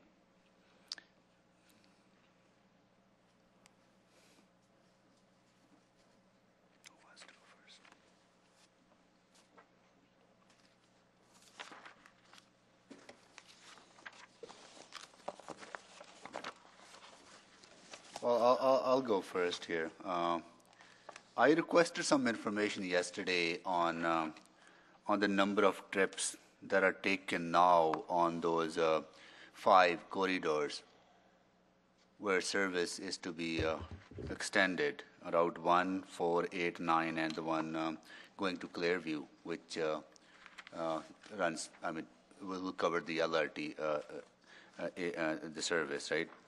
And the numbers were given to me were about 159 passengers from 10 to 11 p.m. and about 130 from 11 to 12 a.m. and from 66 after midnight, right? So Uh, can you give me a projection? Councillor Sohi. service, is extended to 3 p.m. What are your, what are your projections? Councillor Sohi, the uh, numbers that you were provided with were uh, uh, the boardings per hour on Yeah. those routes, so it's actually, there will be far more passengers Yes. because we have more buses operating on those routes in in that time period. Right. In terms of uh, projections, uh, at this point, it's very difficult to, uh, to judge. We just do not have uh, experience with a citywide network that would uh, uh, serve not only the, ent- at the entertainment area like we did with the night ride pilot, but also uh, some of the employment areas and particularly the hospitals. What we have uh, built projections, or at least in terms of uh, revenue projections on, were that these would average uh, between 15 and 20 boardings per hour of, of service that's out there. That's 15 to 20 boardings per hour, but overall, like, uh, how many passengers per night? You, I think you said. Uh, The, the quick estimate that uh, we put together is somewhere between uh, 600 and 8 to 900 passengers per night. And what we would see is we'd be at the lower end uh, when the, when the service started. Yeah. And it would grow as the pilot continued. And uh, the, the idea behind is not just for hospitality uh, industry, bars and pubs, but also there are many people who work in the hospitals, uh, you know, janitorial work, security work, and, uh, and many of them uh, rely on public transit, so they take the bus one way, right? But coming back, they don't have any options other than uh, taking, uh, they can't afford a cab, right? So uh, uh, a majority of them, and so they have to rely on other, other ways of getting, e- either somebody picking them up or have you, uh, those are the kind of situations we're trying to deal with here. That's, that's correct, yes. Okay. So if we were to move forward on it, and I did some calculations, I know that uh, the, what is our overall, what is our average per trip cost? Our average per trip cost is in the range of about three dollars per trip, uh, and then there's uh, revenues that we would get uh, Yeah. for each revenue ride. It's about a dollar thirty. Right, but here, if you do all the, if you project based on 600 passengers per night or 800 passengers, your, your trip cost is, ranges from $4.30 to $4.50, no, $5 and. Approximately five dollars. 50. I would Yes, it is more expensive than uh, the, the service that we provide now, but it's also a service that, uh, uh, you know, meets the needs of those that don't have any other means to get around. That's correct. So as far as the funding is concerned, uh, we have 477,000 available in this budget that has been not, has not been allocated. That's one-time funding, right? That's my understanding. Yes. And the rest of the money could potentially come from one-time funding of, uh, uh, one-time funding that becomes available. So, in the Counselor, I don't know the balance of the total that's left from the one-time funding, but when you go through the mill rate, Lorna certainly will have that there. But this makes uh, sense for a funding option because it's one-time and the, the, that amount is also related to one-time funding.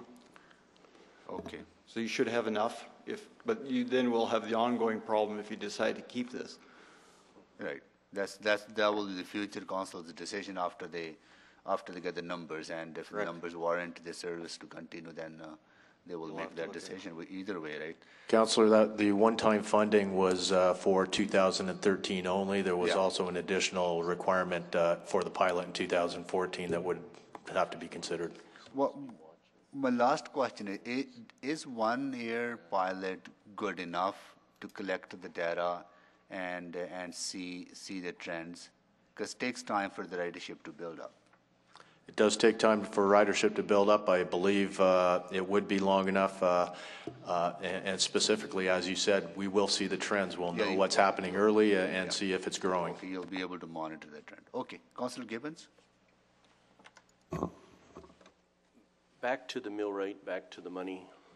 Um, If we move this one for information today, you proceed into April and we find out where the money's coming from, or it automatically puts us into a position that we have to find that 1.2 to 1.6. And the question is, the biggest question afterwards is, do we continue?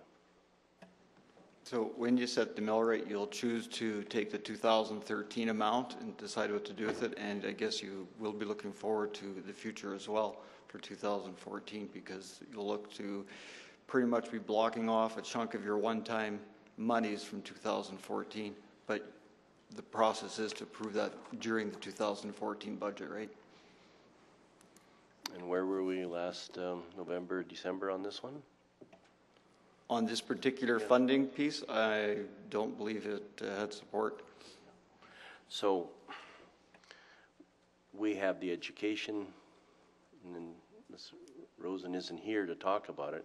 So I guess if we do move it forward, it's going to be a, a major debate in April on the mill rate. So that's what I got to keep thinking about. Thank you. Councillor Anderson? Just some, just some clarification here. The pilot, you call the pilot under report summary, funding options for a one-year pilot for the first phase of a staged implementation of late-night transit service. And then the report, pardon me, the, the cost of that pilot over 16 months is six, a million six five, six fifty. That's correct. But in the total cost to operate Phase One bus routes in the report, you say the cost would be three million annually. Pha- Phase one, uh, when we discussed it at, uh, at committee, I believe it was in April of 2012, Phase one was broken into uh, two sections. Uh, We would put the roots, the routes in. The first phase would only run till 3 AM, and the entire $3 million would be to run it all night. So the description here of Phase One of a one-year pilot is only the first half of Phase One. That's correct, yes. So we're going to gauge, if you run the pilot, you gauge the users that have an option of catching it until 3 AM. That's correct. So we'll still have a two and a half hour time period where there isn't transit service. Yes. And that's the difference between 1,650 and 3 million. Yes. Thank you.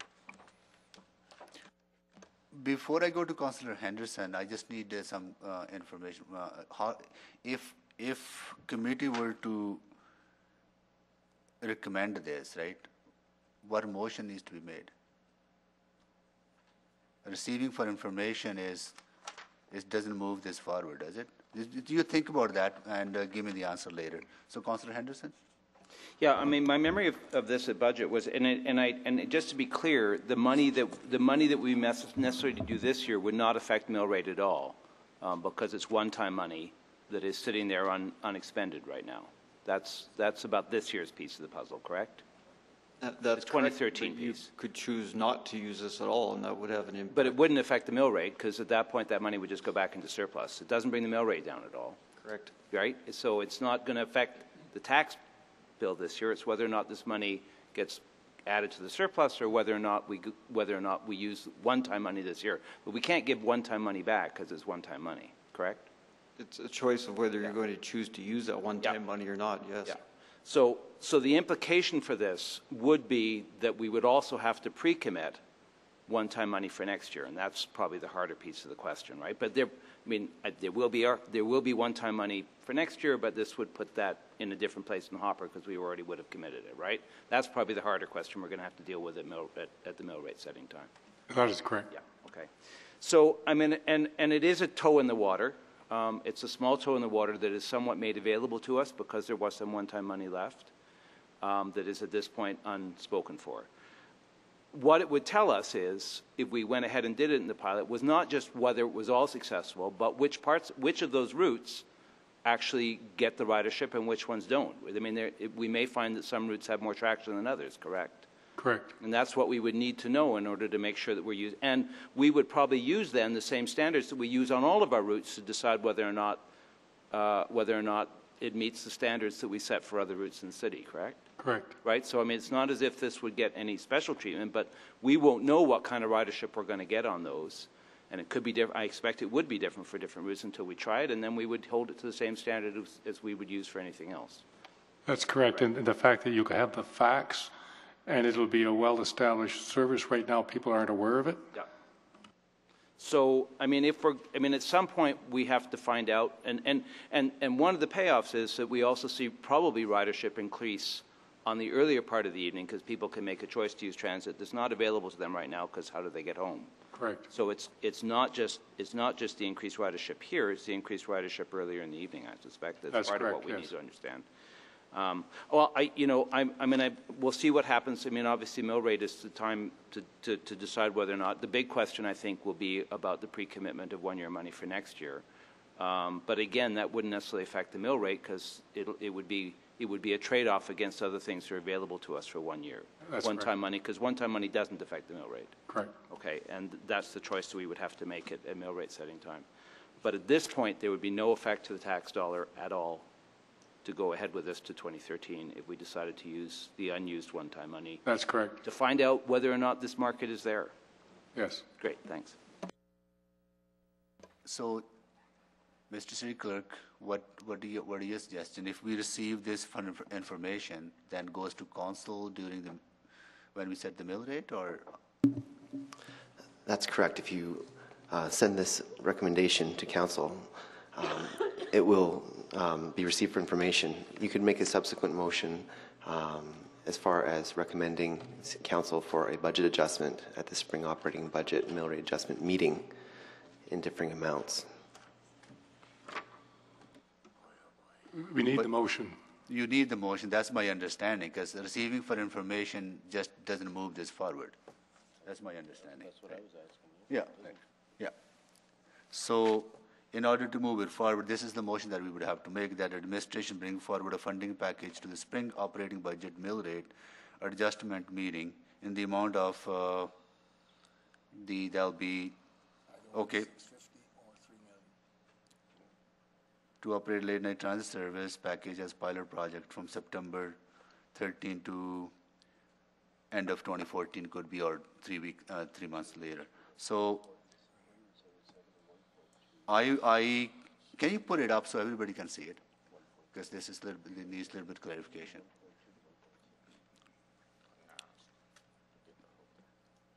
And then we can debate that as mill rate, right? Council can decide whether to move ahead at that time or not move ahead. That's correct. Right. So the, what the motion does is gives us three options that either run a pilot from uh, September 2013 to December 2013, right? Which doesn't make any sense in my mind, at least. Or run a pilot from uh, September 2013 to August 2014 for 1.28 million, or run from September 2013 to December 2014 for 1.6 million, right? Correct. Okay, so I will move, oh, we have people on the, on the board for now. You want me to put this, we want to move this first, or? I want to speak to it. Mayor Mandel? I have questions. Mayor Mandel, go ahead. Um, Just, I'm, I'm a bit confused, and first of all, it's a great uh, system we have here that never works. Um, Mr. Boutilier, this um, particular project, Late Night Transit Service Package, one-year pilot source of funding, this is to install that pilot project at some point in time, correct? Yes. Where, where did you get the direction to do this? Because at budget, one counselor, Counselor Henderson, was going to put forward um, funding for late night transit, and he withdrew it. And as I read through this, I was trying to find out what was the direction you received from council, and where was that direction? And I'm, you know, it could have been from committee, I wasn't there, it could have been from council, and I might have missed it, but I'm trying to find out where this started from, because I don't rem- remember. At the uh, budget meeting uh, in December, Uh, The, there was a motion passed that administration bring a report to council through Transportation Committee prior to setting the mill rate, outlining one-time funding sources for a one-year pilot for So late this- night transit This service. was when, after Councillor Henderson, and just so I get the, uh, maybe Councillor Henderson could, after after you withdrew your motion. I made this one instead. Instead of that, and, and so council, okay, because I don't remember how this came here, because I'm not going to support it. I think there's too many other issues with, with transit that seem to be raised. Councillor Sohi's raised with, um, uh, with um, other kinds of transit, and we're, passing by people. We need to put this in the mix of all of them rather than just jump the queue. So I, I won't support this. I would like a much broader base report, which I, uh, which you're in the process of, uh, I'm in the process of reviewing. I, I'm not sure, this was not something I would have supported budget, and I'm not going to support it now. I think there's too many other issues in transit we need to deal with um, that are much greater priority for, uh, for our citizens, and that's not passing by passengers. So uh, thank you very much. Councillor Loken? Uh, This is a very tough one for me as well. Um, You know, I think back to last budget when we voted down uh, increases in transit to provide service to new neighborhoods. That very much affects me. I represent new neighborhoods. I have neighborhoods that don't have transit. So if I support this, um, I get questions from those neighborhoods, well, you support late night transit, how come we haven't got service in our areas? We're paying taxes for that. I think al- also what the mayor says is there's so many things that we could throw into the mill rate here that I could certainly think of in my ward as well. And I'm not sure that this is the way to do things. And I've heard other people on this council criticize other initiatives that were slid in this way, if you want to put it that way. Maybe that's the wrong choice of words. I'm just a little frustrated. Um, so I, I think, I don't think I'm going to be able to support this either. I just see there's too many other needs out there. Uh, I have new neighborhoods that need transit. I have new neighborhoods that need lots of things. And those aren't going to happen for about two or three years, maybe four years down the road. And I have to keep telling these people that. And they continue to pay their taxes and be good citizens. So for those reasons, uh, I'm not going to be able to support this at this time. Thanks. Councillor Anderson? I- Yeah, I have some clarification from the clerk required. Um, Any recommendation that we make will not be discussed at the mill rate setting time. It should come to council meeting in two weeks to see if council wants to have a discussion at mill rate setting time, correct? That's correct. So we've got four people here voting. Uh, I'm sorry, thank you, five. Uh, I'd be prepared to move that Transportation Committee recommend to City Council that the report be received for information. That would then go to council in two weeks, correct? Yes. Where 13 people, if everybody's back from traveling, that could discuss a possible motion, discuss the 12-month, the 16-month, the Phase 1 first half, the Phase 1 second half, and make some kind of a committee of the whole decision on whether or not we want to uh, deal with this during mill rate setting. So I am going to move, did you move that? No, I I haven't am moved, but before you do, can I ask some questions to administration? I, I did, okay. It's, it's on the floor, yeah. Uh, You didn't say that, but. I thought it, okay. Uh, you're? So I mean, I still have part of my five minutes. If this motion's on the, on the floor, it has a distinct possibility of being turned down four to one or three to two and never being discussed at council. I think that we can have discussion and a vote by 13 people.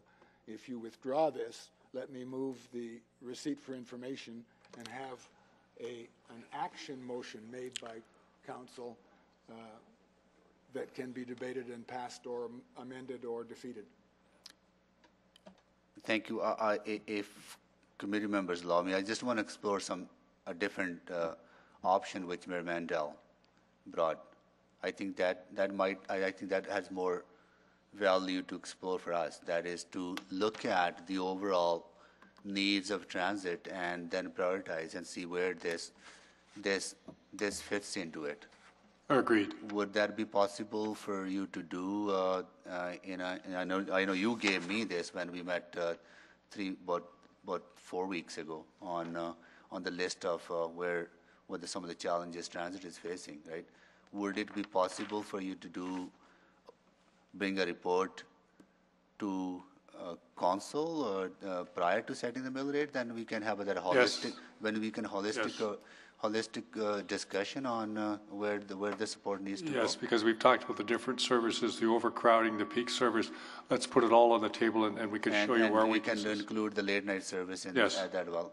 Would would committee be open to that kind of uh, discussion, Mayor Mandel, or other members that we have that holistic? v- Uh, I, I, would be much more comfortable with looking at a different thing, because I, think there's other priorities much more important than late night service. Even late night service, if council, that's what they decide, that's what we'll all support. But I don't, I won't support it personally. So I, I will uh, I will I can withdraw this, right? Yes, you can. And we withdraw this. Uh, so and move the other other motion that uh, uh, that transportation brings a report to uh, to council uh, before setting the mill uh, mill rate uh, on uh, on prior- prioritizing uh, uh, the uh, the service needs of uh, Edmonton Transit, and then we can have uh, uh, then we can have some discussion. He said, Mr. Butler said he can bring it forward before the mill rate. Yes. Would that need to come to, would that directly go to council if this committee make, uh, passes this, or would that has to come to committee? Would pass directly to council. We can, okay. So I'll move that, uh, uh, can you take that off, uh, this one, right? So, and I'll move that, uh, the other one. That, that includes Councilor Henderson's, uh, Anderson's, uh, and Henderson's as well, right? Because at that time, we can debate, because night, nighttime service will be part of the overall, you know, assessment of uh, where the, where, what the needs are for transit. Because it's not going here at this committee level. You know, I, I, I support night service, right? But I don't think there's enough support at the committee to move forward. Yeah, sure, that's what you Yeah. Councilor Henderson? Yeah, I'm, I'm fine with that. The one, the one question I have, and the reason I, you know, I would not necessarily put this forward if it was on-time, ongoing money compared to some of those other things, because I think we know what those needs are, and we know none of those are going to be solved with one-time money, I guess is part of my question. So I think what we need to understand with this piece, because there was an opportunity to use some one-time money to try a pilot, to find out if the need is actually there, that can't be used for other things. Um, and I think that's what that's why this felt a little bit different as an opportunity to say there was some uncommitted one-time money. Is there a way to actually find out if this is if the demand is there for this or not? Um, I absolutely support all the other things that Mayor Mandel is talking about and the Councillor Sohi is referring to, but we're not going to be able to fix those with one-time money. Those are going to be about ongoing funding. So I think as we get the report back, we probably need to know what other kind of pilot opportunities there are for us um, that that can and and probably that's I, that probably is across the whole city. Unfortunately, we're actually comparing this to other kind of opportunities for one-time money as opposed to operating, and that's part of what we're going to need to understand. So as long as we remember that at the time, I think that's what made this a possibility. It was a pilot. It wasn't suggested as an ongoing piece. Good. Mayor Mandel? Just a quick comment. Um, transit is not a pilot project. You put late night service on and you think you're going to take it away? That's ridiculous. People are going to become dependent on it. They're going to see what it, what it's a part of their life. So anything in transit, either you got to be prepared to put it on long term, or don't put it on. And I, that's why I didn't think this is a, this is not the priority that I heard at uh, at the budget discussions about the transit challenge we had, and um, and Councillor Loken raised challenge in his neighborhood about not having service. So I um, this to me is um, using the word pilot project is I think is misrepresentative because it's not what will happen. I've found it very difficult to hear that we've uh, we've had pilot project in transit and then we don't continue with it. There's always the need that we create. So I, um, I'm not going to support the use of a pilot, but either we have ongoing funding or we don't do it at all. Thank you. Okay, so that's not what I'm looking for. That's not the motion I'm looking for. Motion is that they come back with a report prioritizing the needs of public, uh, uh, of ETS, and would give us a list of, uh, you know. Take And, Take the yeah, first sentence yeah. away and ask that the rest of it be brought to council. that prioritizing transit service needs before setting the mill rate.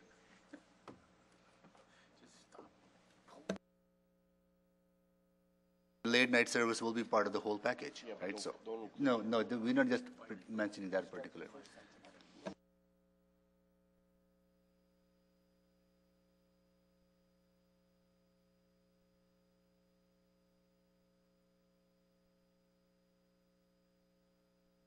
That administration provide a report prioritizing transit service needs prior to setting the mill rate. There you go. Okay, you got it, Mr. Butler and uh, Mr. Karpaski? Uh, we think we can do it for the beginning of April. Beginning of April? Yeah, yeah. Yeah, okay. All right, we have a motion on the floor. All in favor? Oh, please vote, display the vote. That is carried. Thank you. Thank you. Yeah, we'll be back 1:30. Oh, the fellow's gone, right?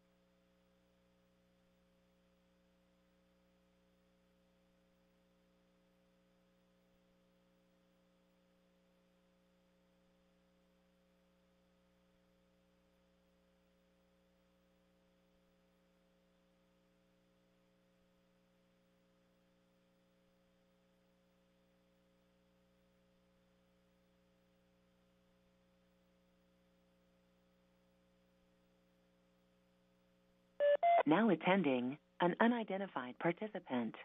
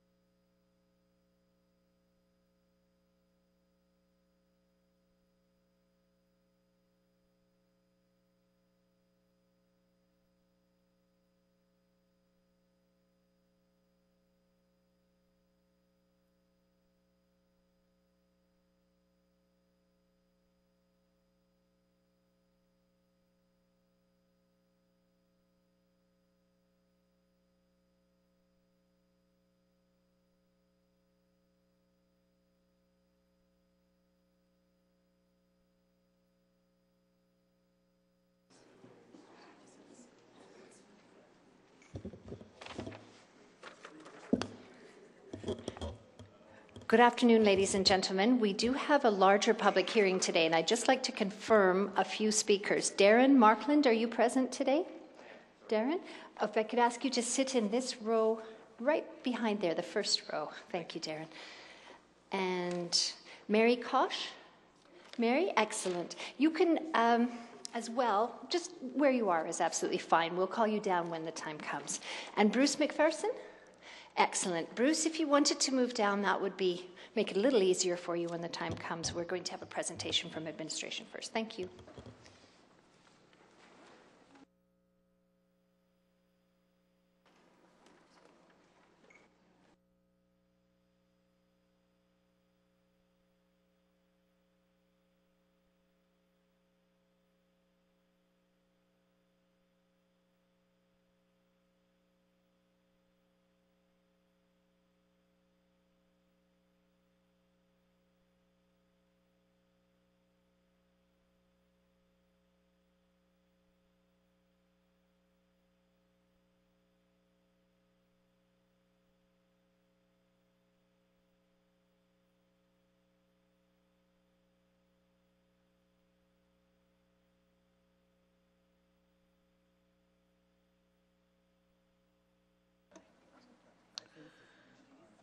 Good afternoon. Good afternoon. Thank you.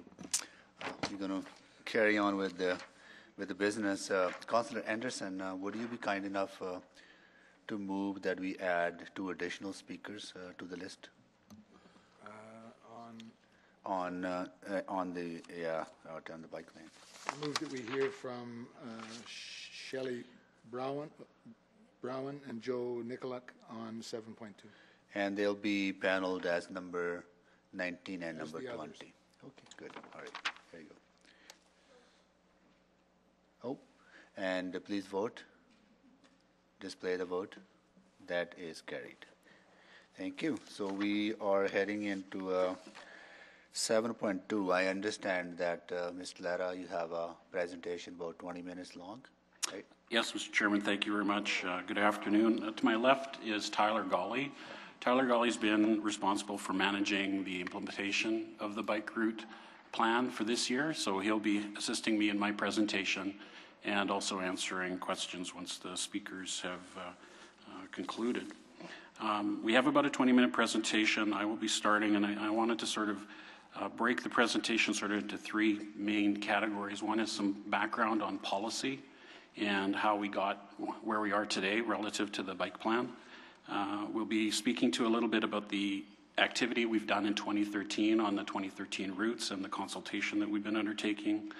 And then finally, we're going to provide committee some statistics relative to our findings as we uh, learn more about bicycle transportation in Edmonton and some of the uh, needs and, and values of uh, citizens and, and how we're uh, moving the bike plan forward.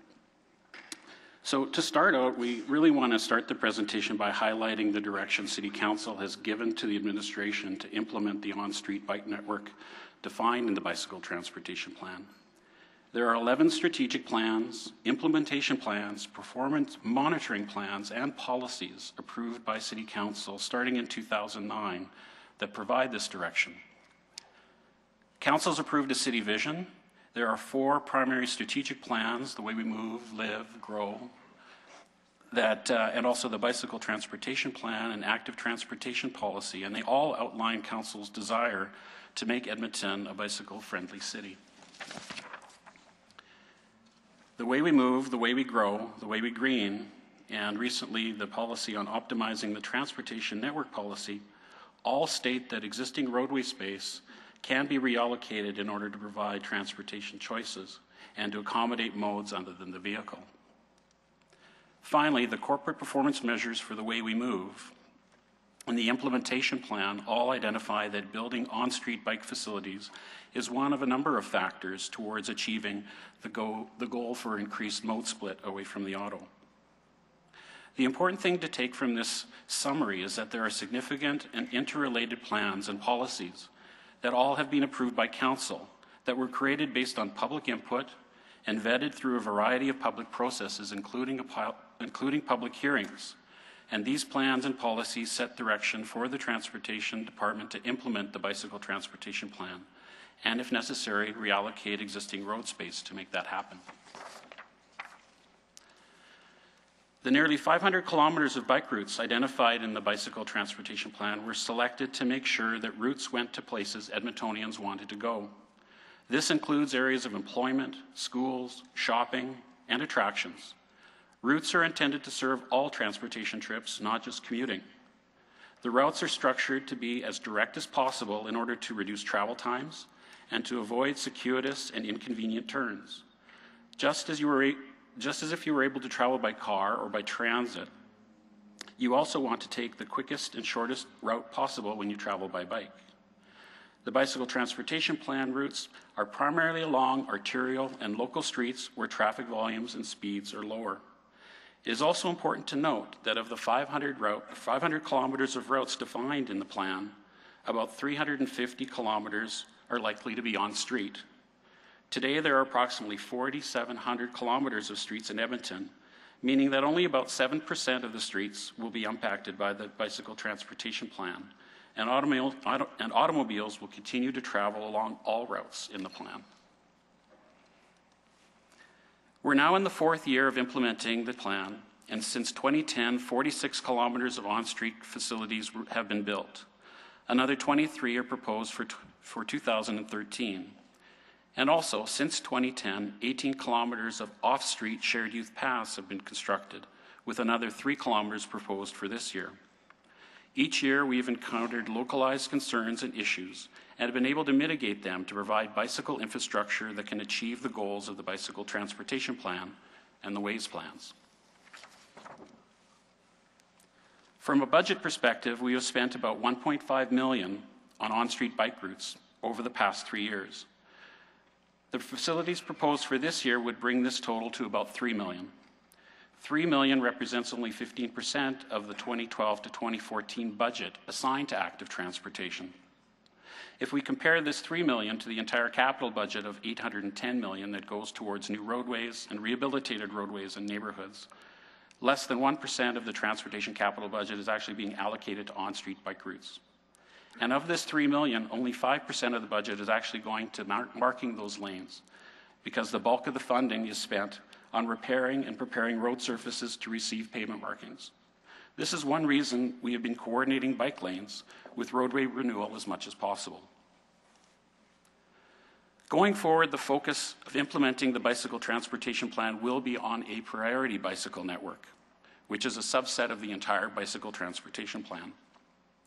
The priority bike network is made up of routes from the plan that focus on spoke and crosstown routes that provide long, continuous bikeways across the city and connect numerous neighborhoods to important destinations.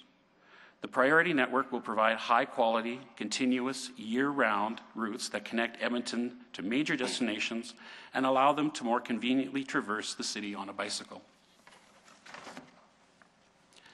The priority network is also made up of, central, of the central area. These high use routes are mainly in the central areas in Old Strathcona and through the Oliver and downtown and serve numerous destinations. And they currently have high levels of bike use and also have significant potential for increased cycling. An example of this would be the 83rd Avenue route through Old Strathcona and the 102 Avenue route through Glenora, Oliver, and downtown, which are now starting into the design phase.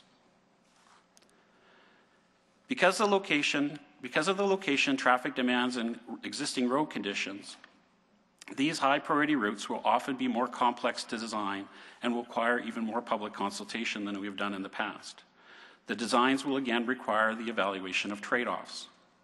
And due to the type of bicycle facility being suggested in these areas, the cost of these high priority routes will be higher than the routes we have built to date. Due to funding constraints, timing issues, and the neighborhood and roadway renewal projects, some priority routes will not be considered for construction this year or within the 2012 to 14 capital budget and will be brought forward to council for consideration about uh, and for consideration as part of the next capital budget cycle. Nearly 500 kilometers of the routes identified in the plan were established through public consultation in 2007 and 2008, prior to Council's approval of the Bike Transportation Plan in 2009. The consultation included seven workshops and two open houses. Over 400 Ed- Edmontonians attended these events and were also received input via mail, phone, fax, and also the travel data we received from the Household Travel Survey and the 2006 Bike User Survey were helpful to help inform the route selections. You've seen this picture before, and it really talks about what we generally look at in terms of the entire design and consultation process. The consultation for the bike transportation plan established the bike corridors that we are now in the process of implementing. This is a similar process to what we use when planning and designing LRT and roads. A planning study is undertaken with consultation to determine the routes, and this is followed by a design process that further consults to refine the design of the route specifically. The consultation process for detailed route design has been refined over the past few years to ensure that public consultation Karen. to ensure public consultation continued to be effective and efficient from the city and the community resourcing perspective. I'll now turn the presentation over to Mr. Golly, who provides some context behind the work undertaken this year. Um, since 2010, we've been uh, improving and learning through through the process about how to uh, to improve our processes, particularly around design, but also the public consultation process. This year was the first year where we held stakeholder meetings with larger organizational and institutional type stakeholders. That was identified as a, as a need because of the, the transportation demands of these types of stakeholders. And so we're talking about schools, businesses, uh, recreation facilities, churches, and community leagues. So this year we held, held stakeholder meetings for each of the routes in January and February. And this was followed by two open houses uh, in February where we further refined the designs. Um, so the stakeholder meetings allowed us to do an initial review of the designs with these larger organizations. We refined the designs and took those revised plans out to the public and consulted on those in, in February. Our facilitation consultant has, has summarized some very general uh, themes from, from the input that we've received. And as you can see, you know, people in general had uh, various views and, and, and, diverse views about the bicycle program. People were in favor of it, and some people were, were concerned about it or, or uh, were opposed to it. Um, and when you start looking at the specifics, we heard a lot of really great input from, from the public and businesses and other stakeholders about how we could uh, refine and revise the designs to make them better and to uh, try to mitigate some of the issues that they, that they brought up. So when we're looking at designing bicycle facilities, we use two primary design guidelines that are used uh, in Canada and uh, ones used throughout North America. And like every major city throughout North America, we are, um, we are trying to accommodate bicycle facilities within an, an existing roadway network. Um, all, all, these cities throughout North America, all the major ones are, are building more and more bicycle facilities, and they need to retrofit their roads to fit them in to accommodate the, the transportation needs of bicycles. So in Edmonton here, we have uh, different design techniques that we look at to try to accommodate bicycles. The first one that we look at is, is whether or not we can simply narrow traffic lanes. And Edmonton has a history of having fairly wide travel lanes, so in many cases we can simply reduce the width of the travel lanes while maintaining sufficient width for buses and trucks to, to operate on the roadways, but also provide dedicated bicycle facilities.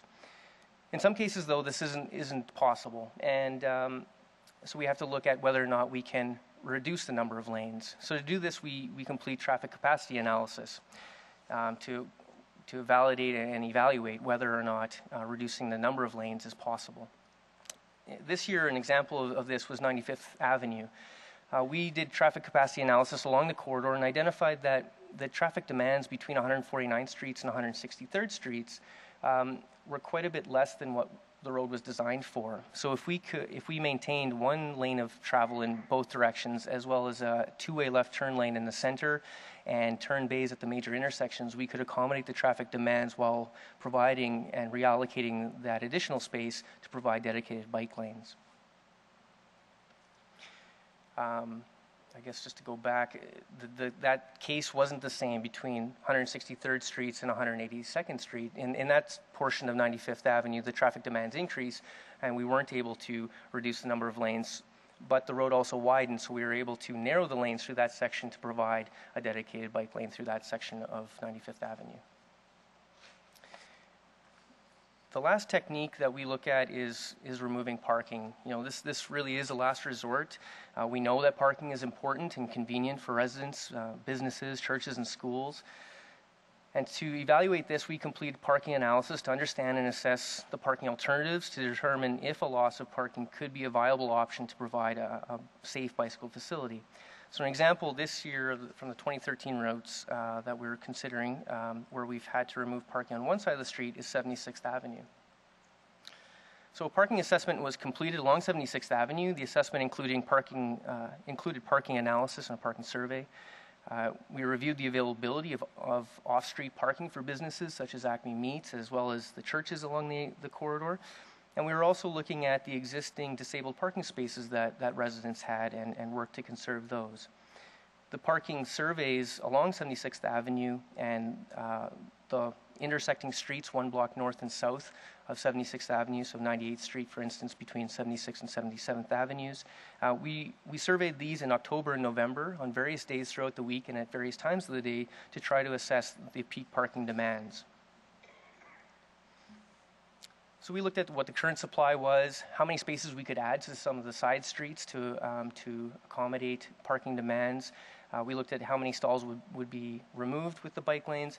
and, and looked at the peak parking demands of the corridor.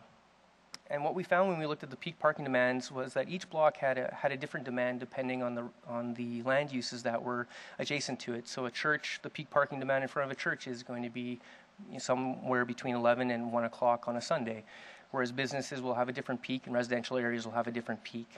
When we summed up the peak demands for each block, we took those peak demands regardless of the time period. So one, one block might have a peak demand of a Sunday at noon, another block might have a, a peak demand at, um, at midnight on a, on a Thursday because it's a residential area.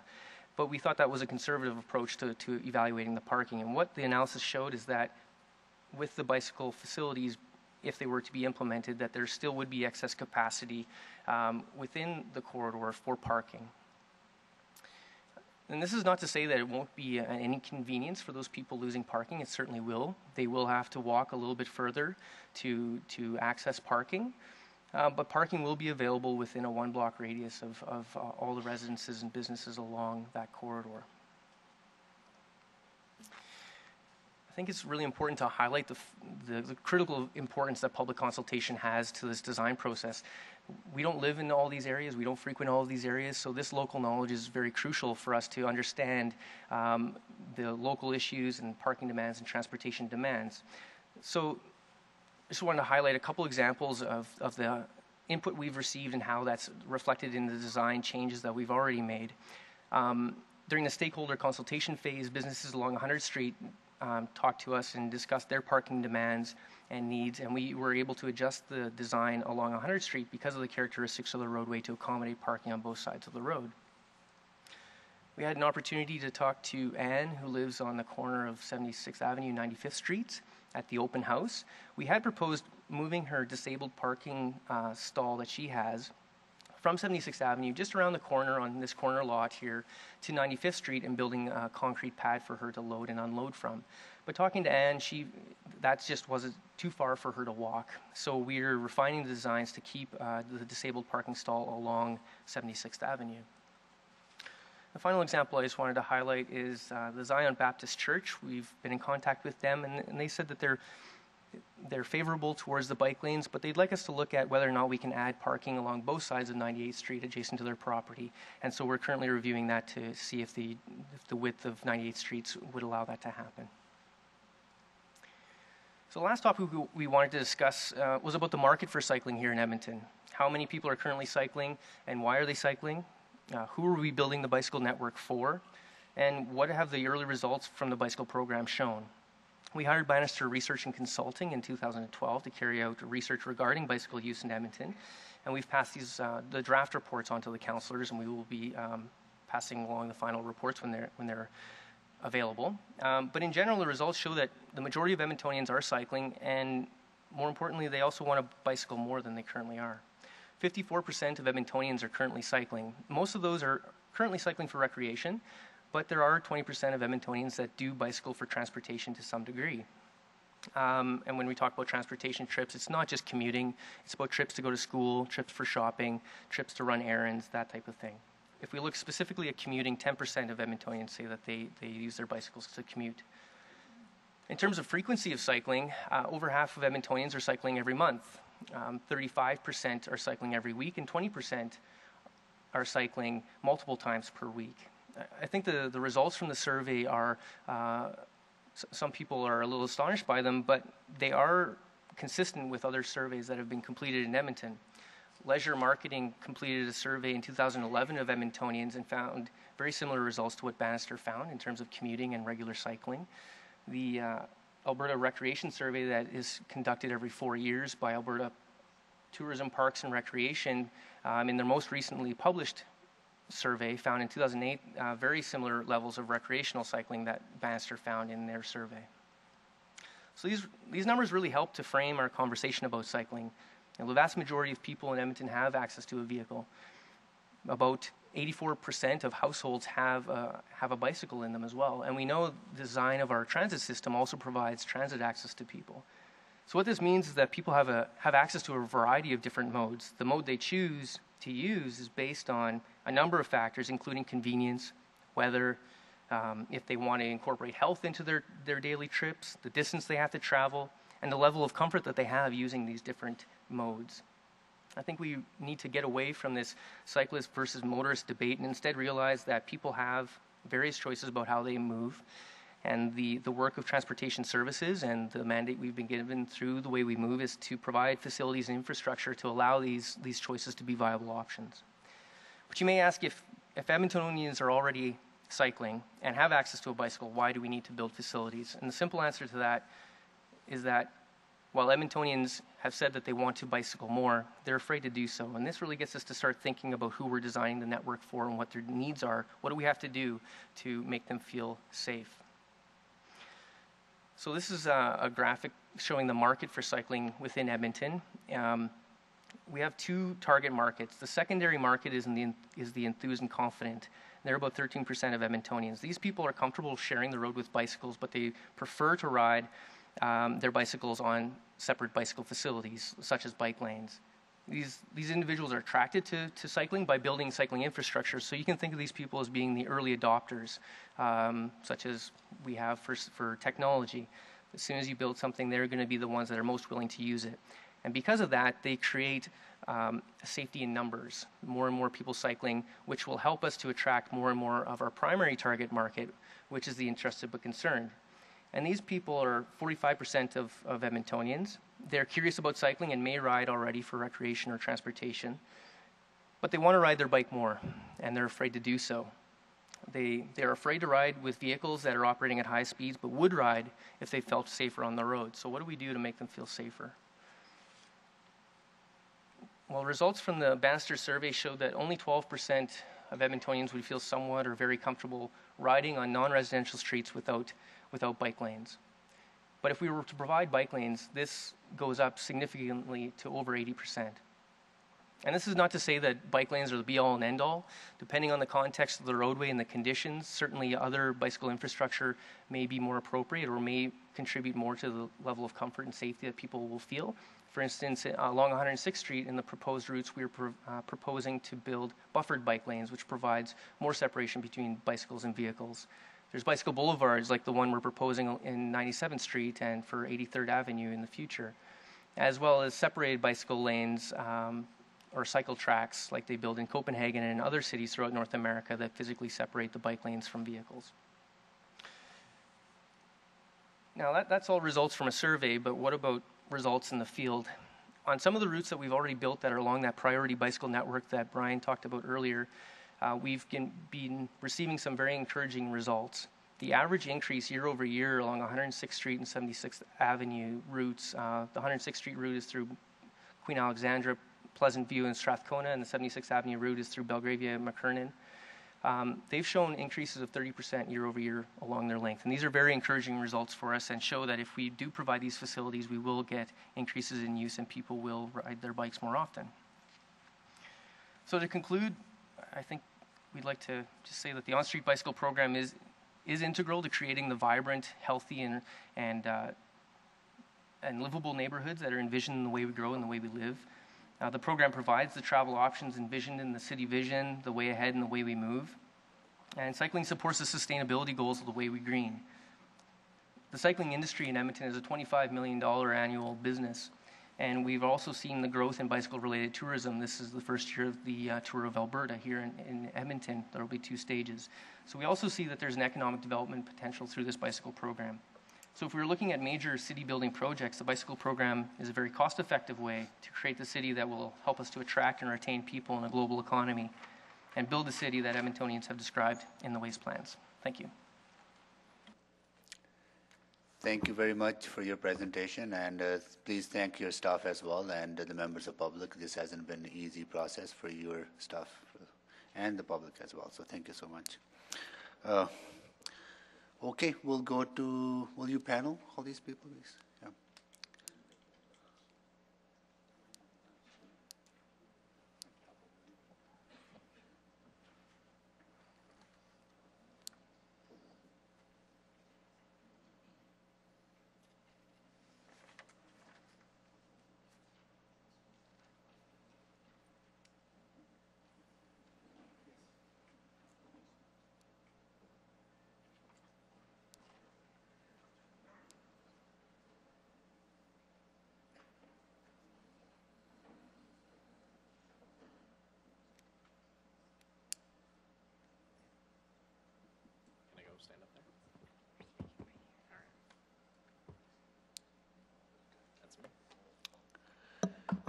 Would it be possible for the, for the cameras to, if you could move to the side so we can see the, the folks who are making presentations? Oh, those are my. Don't see my mouse yet.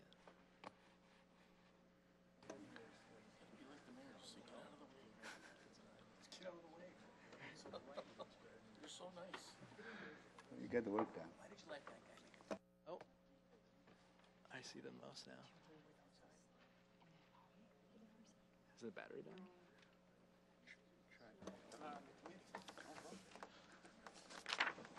Oh, the trend. Yeah, yeah, it might be.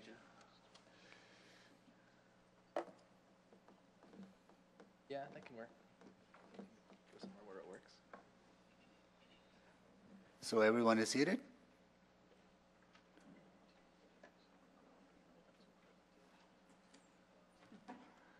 Okay, I will uh, explain the process. Uh, each of you have, will, will have five minutes to speak. Uh, green light will indicate that your time is starting, and yellow means that you have one minute remaining, and red light means that your time has uh, expired. So we will start with, uh, uh, with number one, which is Mr. Duncan Kinney. Hello? Yeah. All right. Hello, um, City Council. My name is Duncan Kinney. I am the uh, president of the Edmonton Bicycle Commuters Society. We run the oldest continuously operated community bike shop uh, in North America. Uh, we have two locations. We have over 750 paid up members, and our volunteers actually put in about 23,000 hours worth of volunteer time last year. Um, we also serve tens of thousands of people every year with a friendly, welcoming place to fix your bike. We also uh, do advocacy as well. So, uh, on the image that you have in front of you is the, uh, the phase one of the bike transportation plan that you voted for in 2009. Um, this is phase one. It's worth pointing out that there are two more phases, um, but there's still a lot of work uh, to do on phase one. Um, we are actually uh, behind schedule in regards to phase one. Um, that's because it's the funding for this project received about one tenth of what it needs to actually meet its goals, um, and that is also a. Uh, uh, and just for comparison, too, so far bike infrastructure in Edmonton has received about a million dollars uh, over the past three years.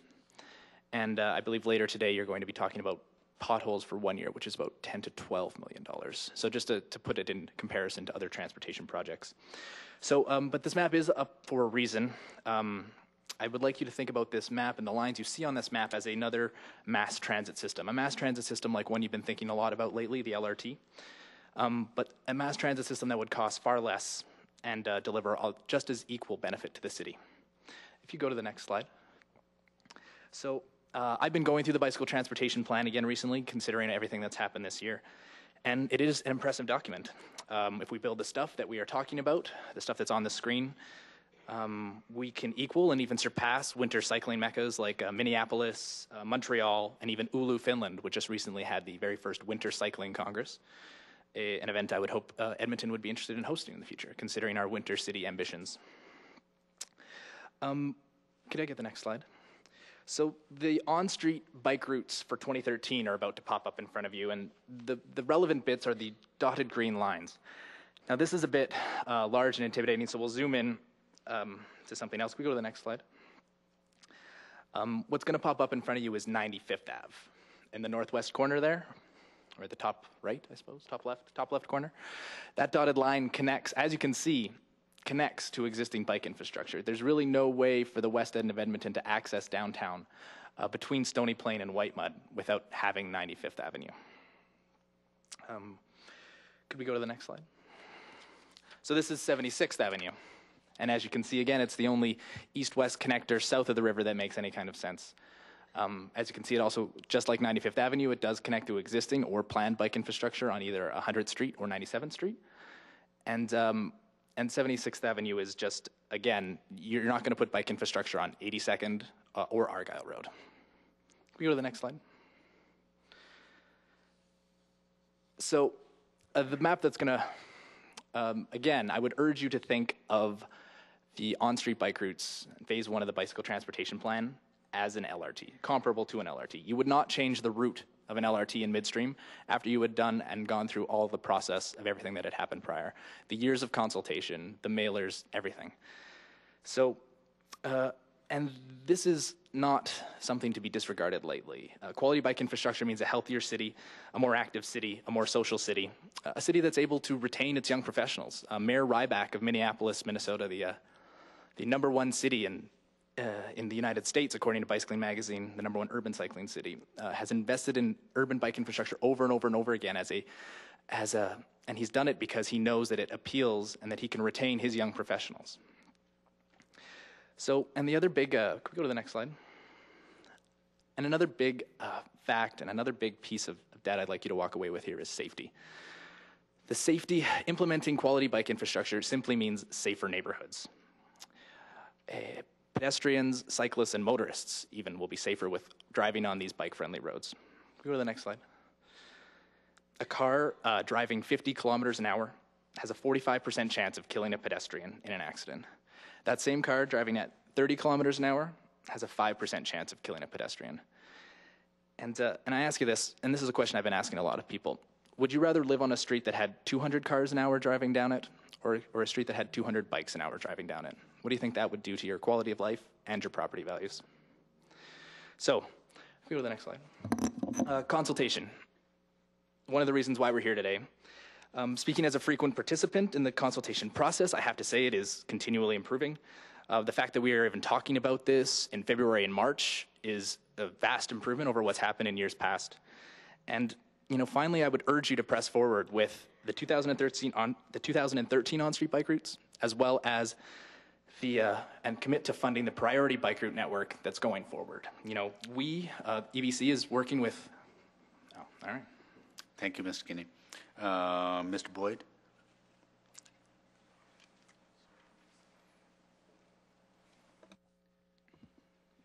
My name is Kerry Boyd, and uh, I am, as of May last year, I am a year-round cyclist commuting from Riverbend neighborhood to downtown. And I think I'm here, I won't speak for long today, but I'm here as one of those people that's proof that if you build the bike infrastructure, they will use it. Um, last May, I decided, last April, I decided I wanted to commute to downtown. I remember spending many evenings poring over the, uh, the City of Edmonton bike map, looking for a safe route to get to downtown from the Riverbend area. And if it weren't for, and I guess at the time I was in, I would fall, if you look, there was the charts up from the administration about the different types of cyclists. I was one of those that was interested but nervous or anxious. Um, and as a result, um, as, uh, largely due to the bike lane, the, which I understand is relatively new along 76th Avenue from the river to uh, Keillor Road and the river over to 109th Street, as well as the contraflow bike lanes along 110th Street, both through the university area and uh, just south of Jasper Avenue. I'm able to cycle from Brookside and Riverbend all the way to Jasper Avenue without having to, with either being on multi-use trails or on bike lanes, uh, which allowed me to gain confidence uh, and feel secure to the point where I'm quite comfortable taking the lane, riding through downtown or anywhere in the city. But at the beginning, it was it was building that infrastructure, building the bike lanes uh, that enabled me to go from the category of interested but nervous to confident and, and secure on the bike lanes. And I'm not, I know I'm not alone in this. I work with Department of Justice and the EPCOR Tower. Uh, businesses are supportive of bike lanes uh, and, and, supportive of bike infrastructure. Even the EPCOR Tower, we have underground secure parking for our bikes a separate bike door to encourage people to bike, uh, showers, facilities. Um, the problem is getting to EPCOR Tower, not necessarily parking your bike once you're there.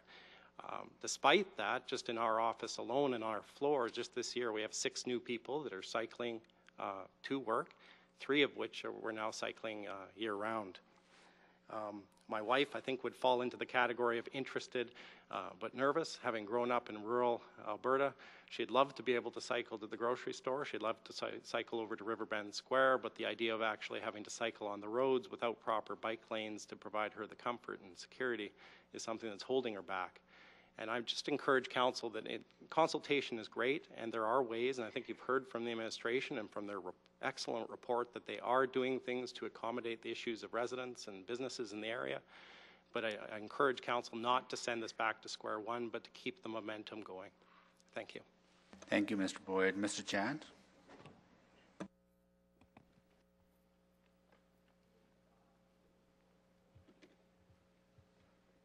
Thanks. Um, would I be able to get the mouse?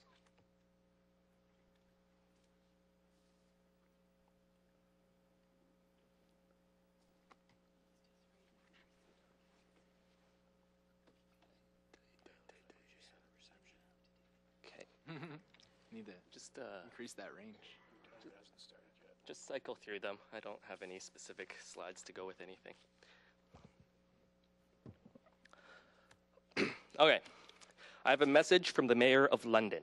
Imagine if we could invent something that cut road and rail crowding, cut noise, cut pollution and ill health, something that improved life for everyone quite quickly without the cost and disruption of new roads and railways. Well, we invented it 200 years ago the bicycle. In this document, I set out my plans for substantial, eventually transformative change. Cycling will be treated not as a niche, marginal, or an afterthought, but what it is an integral part of the transport network with the capital spending, road space, and traffic planners' attention befitting that role. I want cycling to be normal, part of everyday life. I want it to be something you feel comfortable doing in your ordinary clothes. Something I want more women cycling, more older people cycling, more cyclists of all social backgrounds. There will be greatly improved fast routes on busy roads for cyclists in a hurry. And there will be direct, continuous, quieter routes on side streets for new cyclists, cautious cyclists, and all sorts of other people who would rather take it more slowly.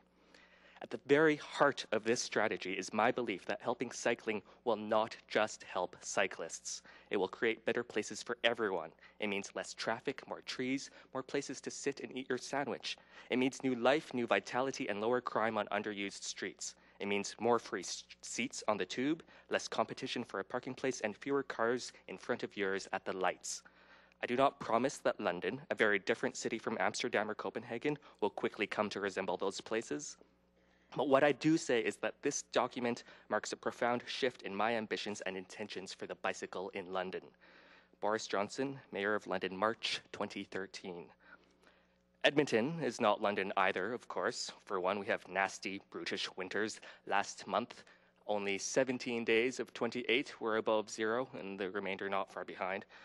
But that was unseasonable. Normally, Edmonton in February, the average highs are a frigid minus 3.6 degrees Celsius.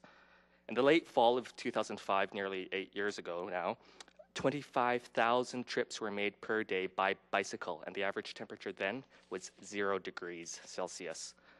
Yes, we have seasons, but that doesn't mean that we should never build outdoor ice rinks, pools, soccer pitches, or sidewalks. Is Mayor Johnson's plan the peak of audacity? No more so than the way we live, the way we green, the transportation master plan, the active transportation policy, the bicycle transportation plan, the municipal development plan, the optimization of the transportation system network policy, all approved by Edmonton Council within the last four years, the last as recently as October. And why? Because it's healthy because bike lanes on roads without parking and bike routes on residential streets both reduce cyclist injury by half.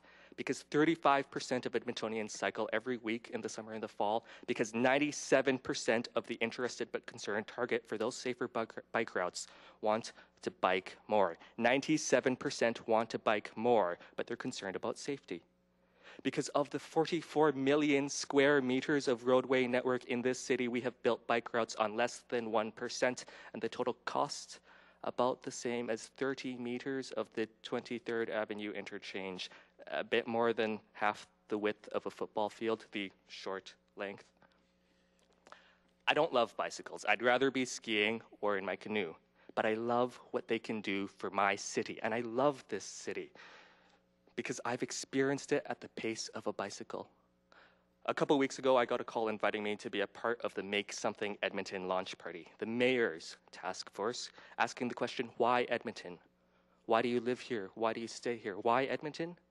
Because in Edmonton, you aren't just another cog in the machine. Anybody can be the machine driving change and progress.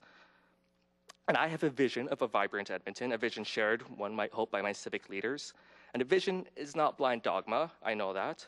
But if these documents are so anemic, so inconsequential, that the machine grinds into reverse at the very sight of a pothole, if even the captains of this city jump ship, well, I might too, and make for some other city, one with a future.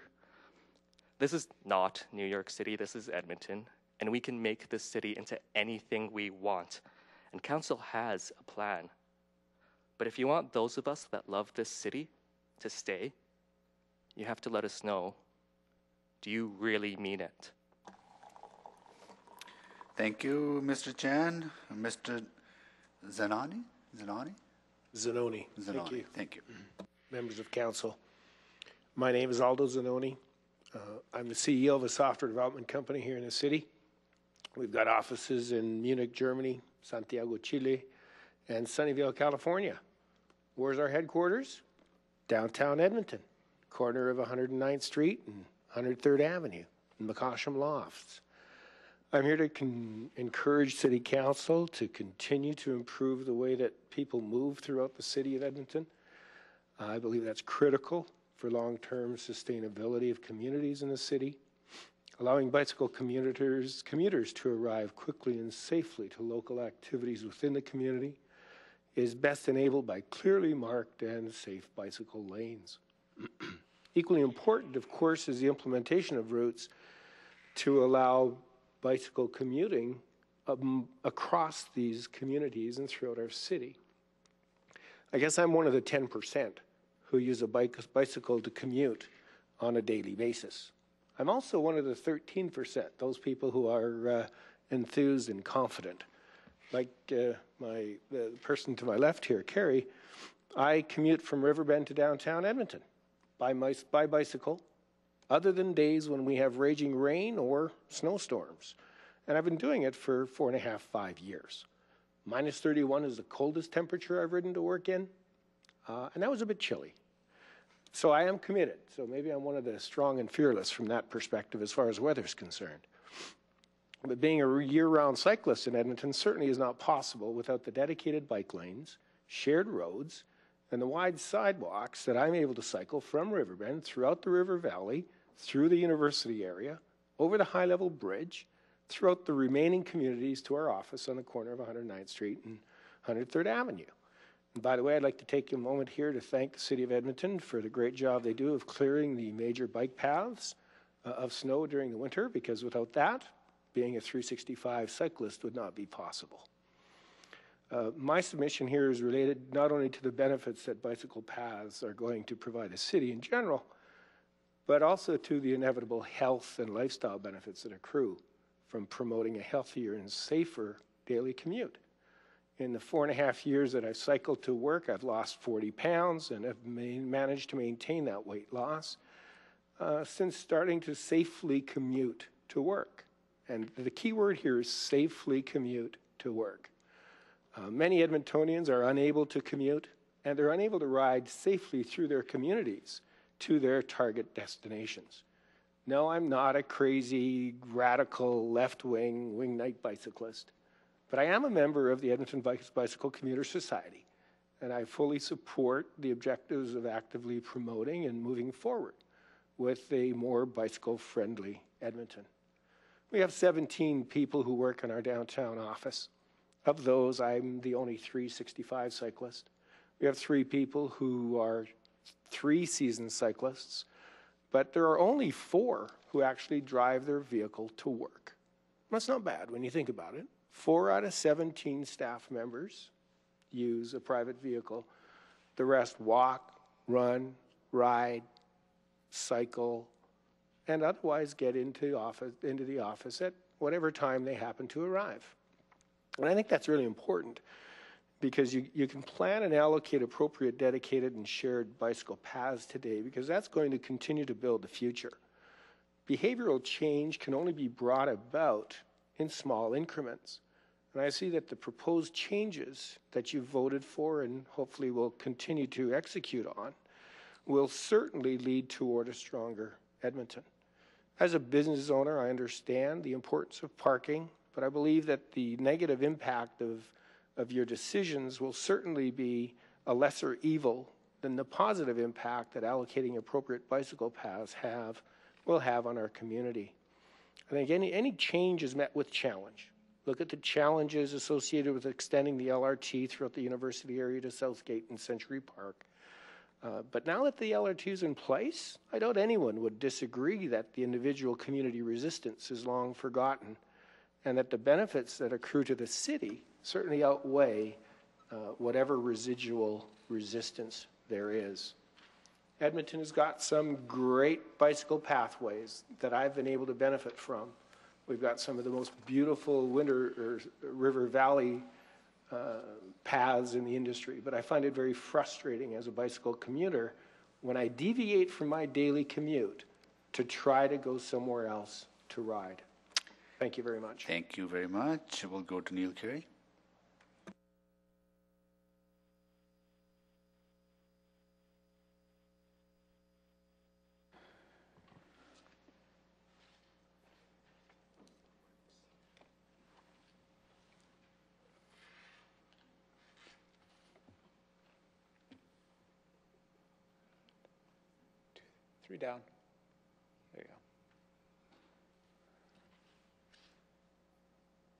Just jump straight to slide two. Uh, a lot of what I wanted to uh, talk about today um, uh, has actually already been discussed in the report you've received. Uh, you know, this year's bicycle ins installations are part of a larger plan that's been ongoing since 2009, one that's involved consultation going back to 2007. Uh, there's been a huge amount of discussion in how to do this. Um, the fact is, this uh, plan is in place to support the majority of Edmontonians who'd like to bike more. And um, the plan is actually working. I mean, we saw in the recent survey that 14% of Edmontonians uh, are cycling more because of the new uh, infrastructure, and uh, 30, uh, there's been 30% traffic increases on two of the major routes that have been installed. Um, if you go to the next slide. We're getting these results uh, despite significant uh, lacks in our current network, that uh, we have not completed it. There is not a route to the west end. Uh, there's not a route crossing Mill Creek, and it basically disappears when you get to downtown or into the, uh, the heart of Strathcona. Um, and so these are actually places that you can't get if you're not comfortable rubbing elbows with motor traffic. Um, and that's not something uh, most people, uh, the majority of Edmontonians who are interested in cycling but um, concerned about the safety, uh, a lot of them are not comfortable doing that. Uh, next slide.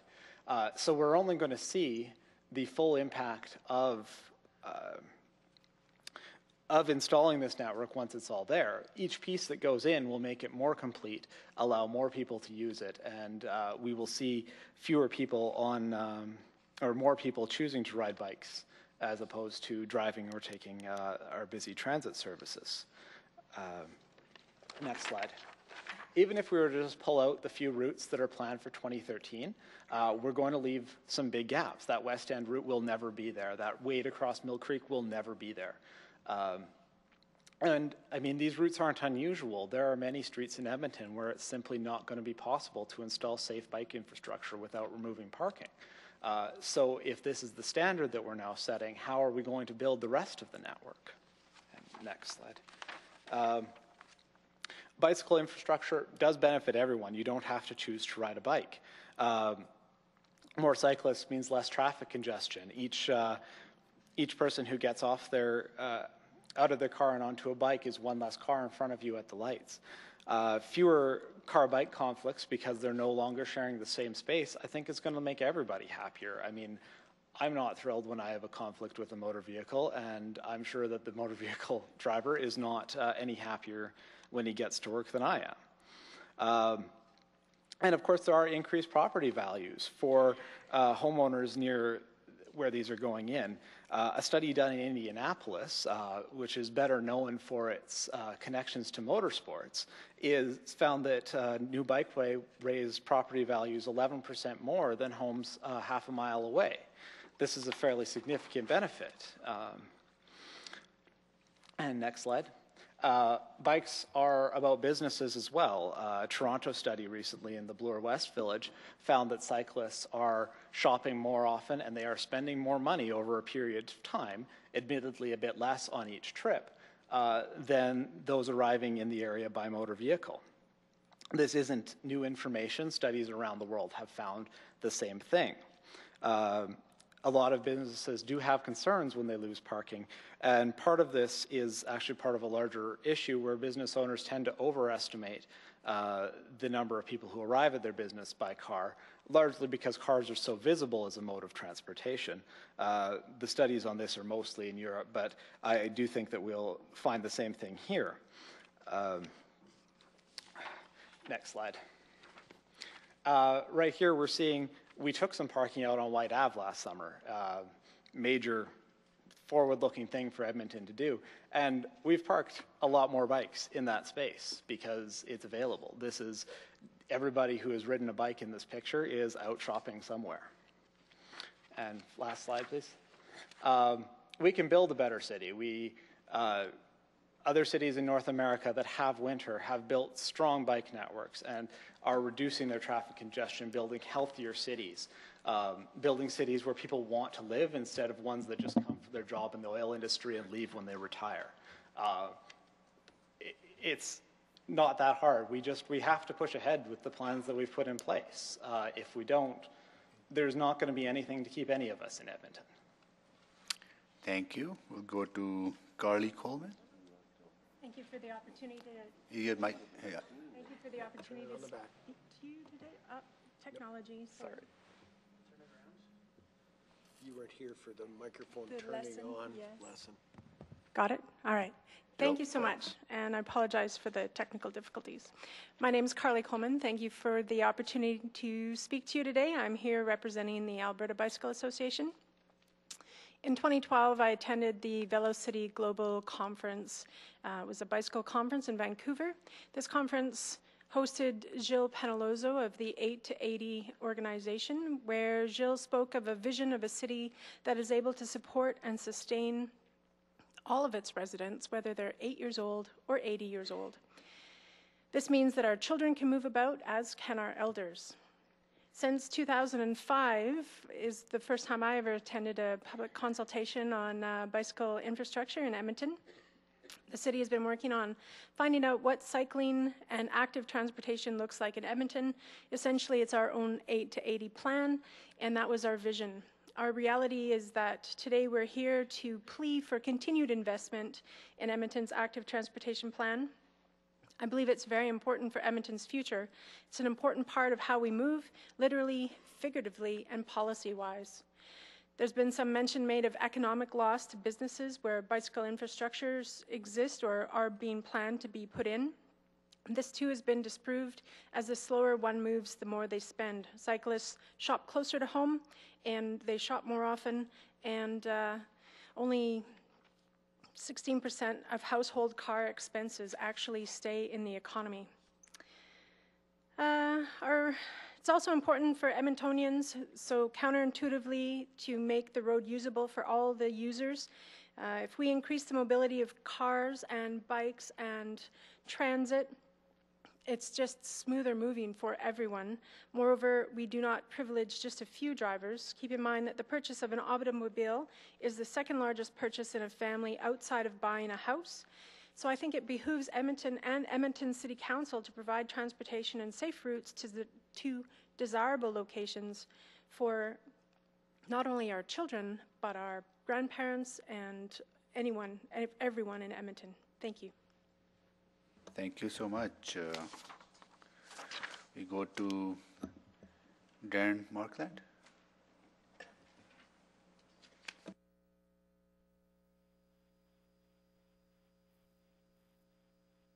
Just turn your mic on. Um, There you go. Thank you.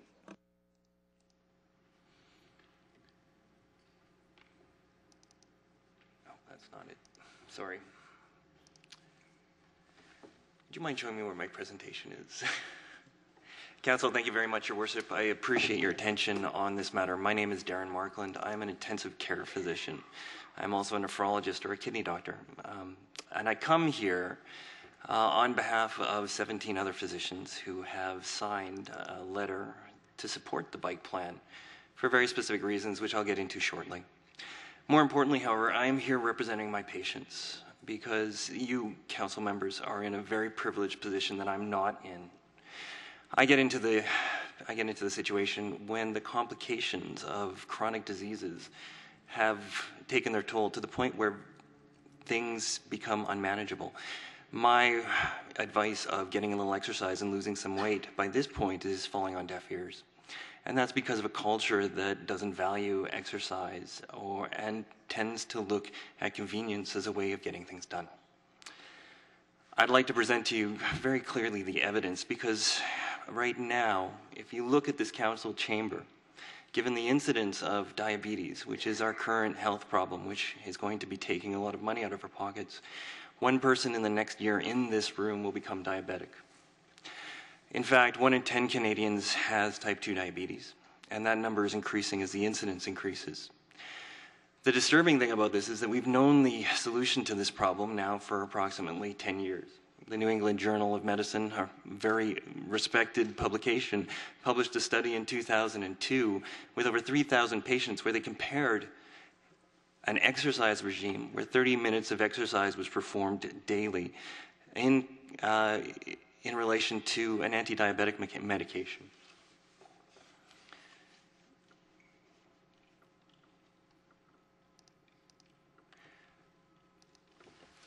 The graph doesn't lie, and what that graph is showing you is the the bottom axis is time over which the study was performed. The side axis is the incidence of new diabetes. People who did nothing became diabetic at an increased rate. People who exercised 30 minutes a day lost 7% of their body mass, reduced the incidence of diabetes substantially. In fact, we have a number called a number needed to treat. It took seven people. Seven people who do this no longer become diabetic heart attacks take 13 people to treat to save a life. This is powerful medicine. More recently, the British Medical Journal published a study on cycling transportation and looked at over 18,000 people who, who actually rode a bike. The question was, is riding detrimental to people's health or is it helpful? And again, we have a, a statistical measure called a, a, a uh, risk benefit ratio. 77 was the number. That's huge. In medical literature, people look at these things when you have results this big. But for every adverse event, 77 people benefit, benefited. In fact, 12 people in this study were not dead at the end of who were expected to be based on physical activity, reduced, reduced diabetes, and more importantly, better general health.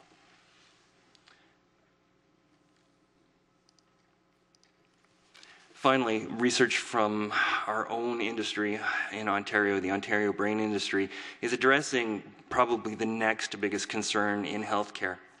Um, when I talk about diabetes as a burden, if you look at the economic cost directly, according to healthcare, three quarters of a billion dollars is spent on hospitals to look after diabetics.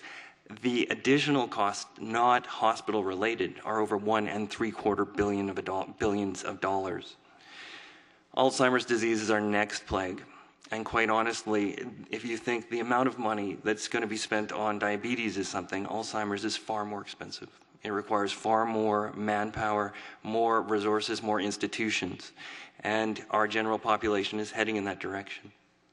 Again, physical activity has been proven to reduce this by 40%. If you look at this study, a meta analysis of over 14 different studies, just by introducing regular activity, we can save between 80 uh, to a billion dollars. And if you factor in diabetics and divide that number by 34, which is Canada's population, that's $26 million.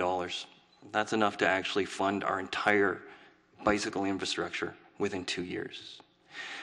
I implore you, as a council, as council, that this is a good idea and that we should actually be doing more to benefit both my patients and my colleagues' patients. I look forward to seeing you on the bicycle paths and hopefully not in my office. Thank you very much for your time and attention. Thank you. We'll go to Mr. Neil Dunwald.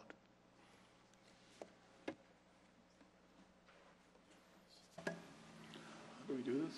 We got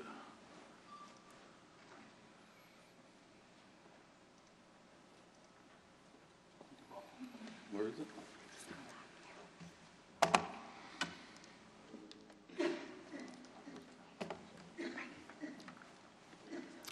Oh, thank you. Um, my understanding uh, is not this was about the health benefits of cycling, uh, that this was about the nature of the public consultation.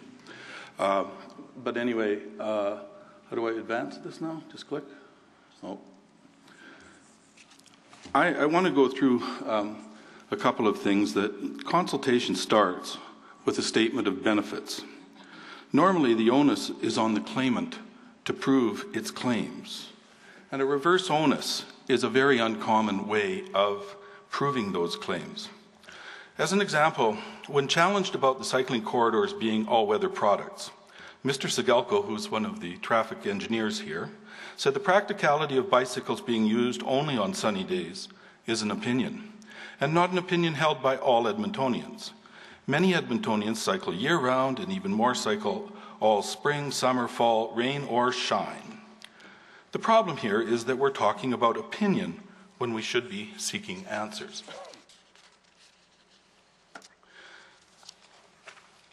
Edmonton is launching in a new and untested brand of infrastructure.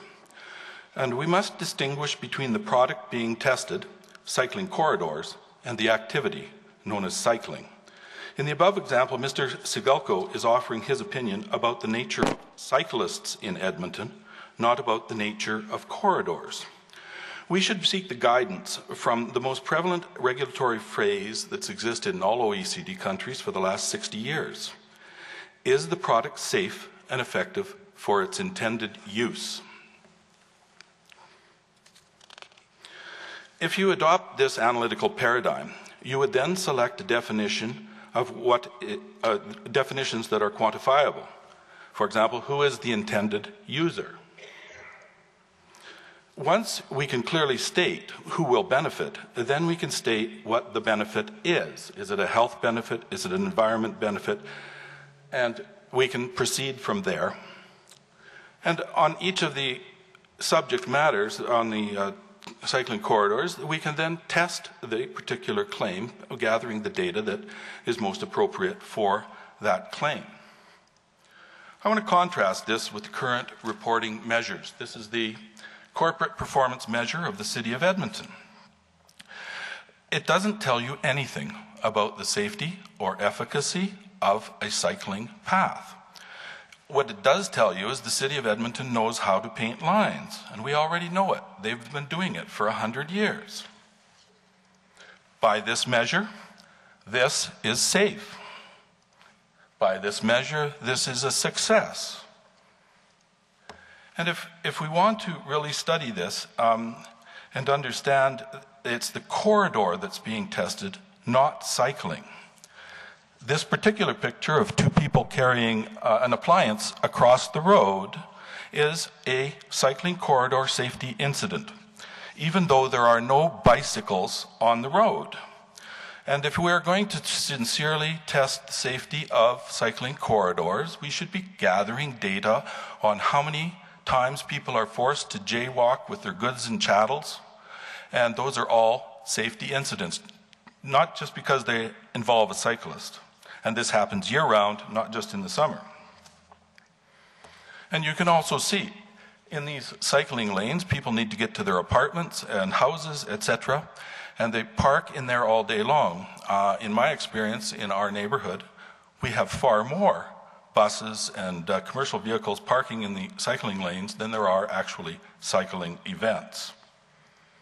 So even, even the city vehicles, to do their business, must stop in the lanes we have some data here that what, uh, it's an example of the types of measurements that are being used. And if I may comment, counting cyclists is like measuring the safety and efficacy of a condom by measuring the number of sexual events. They're actually unrelated. Having said that, our paradigm would always have a point where one fishes or cuts bait. This is a normal question in a field trial. What is the predefined period of analysis? Why do you choose June rather than January? When does the experiment end? When do we achieve a significant sample size? Because if you choose all of those factors ex post facto, your statistics can mean almost anything that you want. So none of these things are available to the public as per se a clinical trial would have those uh, details available to the public before the trial is conducted. But nevertheless, We see controversial claims in the newspaper. It says here that there is a payoff. Ms. Dunwald. Yes? Your time is, Uh, finished? your time is uh, over. Okay. Yeah, thank you so much for your presentation. Uh, We'll go to Mr. Mr. Peter Seres or is Seres? Peter Seres. Uh, Thank you, uh, members of the committee, uh, Mayor, for uh, the opportunity to speak today. Um, uh, Not representing any uh, particular organization, I'm uh, just a resident. I do use my bicycle and uh, when I can, and uh, I applaud the city for the the intentions of uh, increasing the uh, the bicycles in the streets, or rather increasing the uh, opportunities for bicycles. Um, what I have somewhat of an issue is is the uh, uh, public uh, consultation process, which I understand is why we're here today. Um, one of the uh, one of my um, comments was that uh, when we're talking about we've pub, we did, we did uh, numerous rounds of uh, public consultation with uh, various stakeholders. Um, I uh, would subject that pretty much everybody in the city is a stakeholder. Everybody is depending on the road network, whether it's uh, for their commute, whether it's getting their services. Um, so it's not just a particular school or um, a particular uh, organization. Everybody is a stakeholder, so everybody should be uh, involved in this process. Um, the um, other problem that I have is that at the end of the day, uh, there is this wonderful plan, and the execution has been uh, uh, sent down to a single department, and there is absolutely no appeal to the process. so whatever the um, the department decides, it's going to happen. So um, my suggestion would be to uh, actually create a official appeal board where uh, residents or businesses can go and and challenge the uh, decisions about uh, particular bike routes. Um, we've heard a lot about how cheap these bicycle lanes are, and I would be actually interested in the true cost of the, the bicycle lane per kilometer or per user. Um, it's not just the paint. Uh, we're talking about uh, thousands, probably thousands of hours of the, um, the work in administration. It's, it's a valuable work, and it's, uh, it should be uh, accounted for. Um, there is a, I'm pretty sure there's pretty hefty consultation fees with uh, Stantec Engineering. Um, now, the installation itself, maintenance. Um, how does this um, cost, the true cost, compare to, let's say, a cost of uh, building a multi-use trail? Do we know these numbers? I don't. Maybe you do. Maybe the administration does. I would be really uh, curious about that. Um, as uh, Neil actually mentioned, uh, we would would be really awesome to see the uh, the true uh, usage numbers, and not only the actual numbers, but understanding the the methodology how these numbers are being collected. So, if we say that one particular road has a 30% increase, what does it really mean? How does the, how were the measurements taken? It's really difficult to get this uh, sort of uh, information, and I, I would imagine that this is a public uh, consultation process as well. Uh, so um, I would like to suggest one more thing. Um, we are we're talking about, um, or we've seen at the the, uh, the administration presentation that uh, there has been a long-term public uh, consultation process going back to 2005, 2007, sorry. And I totally appreciate it. I can I can only imagine how much time uh, the gentlemen here to my left uh, and members of administration spent on this, and how extensive this consultation must seem to them. We also seen a number that was about 400 people visiting open houses regarding the actual transportation plan, which is just about the same number of people visiting open houses just for the few kilometers of uh, uh, trails for this year alone. So um, I would um, in, my, in my opinion, it means that general public really was not part of the consultation. And um, as much as it pains me, because I would like, like to use my bicycle more, I think we should be uh, able to revisit the actual consultation process for the plan and see if there are other options that, um, uh, that may work just as well or even better. Um, like, for example, using sidewalks. I've seen that in Düsseldorf, where I lived. It worked just fine. Um, so, and I, um, I, we've heard a lot about um, that people would rather move away than live in a city where there's no bicycle infrastructure. Um, in my opinion, I'd rather live in a city where I can uh, uh, where I can feel that the administration is actually res- respecting its citizens. Thank you. Thank you, Mr. Khan. Your Worship, Chair Sohi, and honorable councilors, uh, thank you for listening to us. You, you have an amazing amount of patience and endurance. You, you put in huge hours that um, I, I, respect and um, I'm very grateful for. Um, this presentation is about primarily about safety on two wheels. I, I'm a 365 commuter and I, I truly enjoy it. Uh, it uh, it's tantamount to a religious experience if it's in the right environment. Can I go to the next slide? Okay, thank you.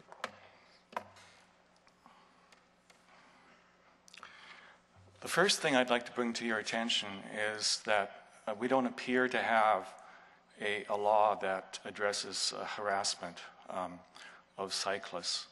And if you are interested in this topic, I've provided some links. Um, I know that as road rage increases, that I personally am subjected to more horn blasts every year, and they are not warranted, I assure you.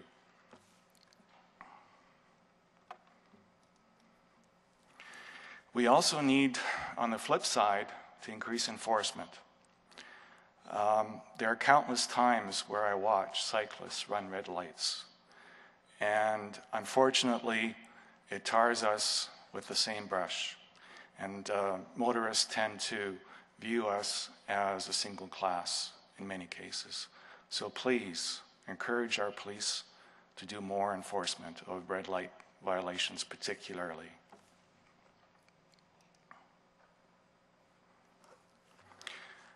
Um, there are circumstances where sidewalks can be safer, and this is a movie. I hope it starts playing here.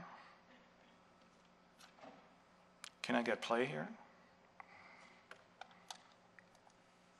Can someone help me out? Why is it not uh, playing? But in any event, I'll start talking on it. Um, the, in the wintertime, there are sections of road. We're starting off here at the um, overpass at Belgravia, um, and we're heading. Oh, that's too bad. We're heading south, and um, I wish you could experience this video. Maybe we'll get it going later on.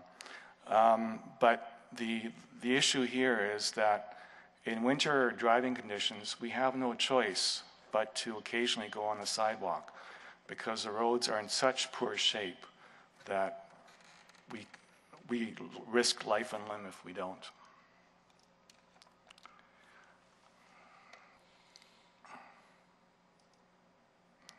I'm going too fast. How do I go back here?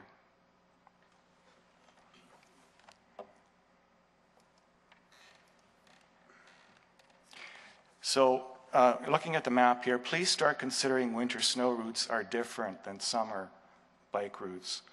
And um, the reason for that is that the multi use trails are cleared of snow very quickly, but the bike routes necessarily aren't. So, in this particular case on this map, accessing the multi-use trail next to 114th Street is the favored route for cyclists, not going through Belgravia as the bike route instructs us to do. Safety and engineering. Uh, when you look at this picture, um, this is the high level. You know, what is the worst thing that we might expect to see happen in this situation? I know that when I ride on the high level, my center of gravity is very close, if not above, that top rail, and I don't feel safe. It's just a matter of time before someone gets in an accident and gets pushed over the edge. It's rather slow. Where's my next slide? Okay. Um, start considering the cyclist point of view. We have in, in the city, we have many different departments all handling different aspects of cycling. So, for example, I'm at the Rainbow Valley site here, where the trail system intersects with the multi use trail. There's no bike rack there, and I can't bike on the trail. Where's the bike rack? I've pointed this out in the past, but it's not getting any traction. We need more safety education. This is part of our public and private school systems and the Catholic Public School Board. Here is a prime example. This is the uh, summer catalog of Mountain Equipment Co op of 2010. And it shows a helmet that's not properly adjusted. We need more education. Thank you. Thank you, Mr. Khan. Uh, we go next to Barbara Fedun.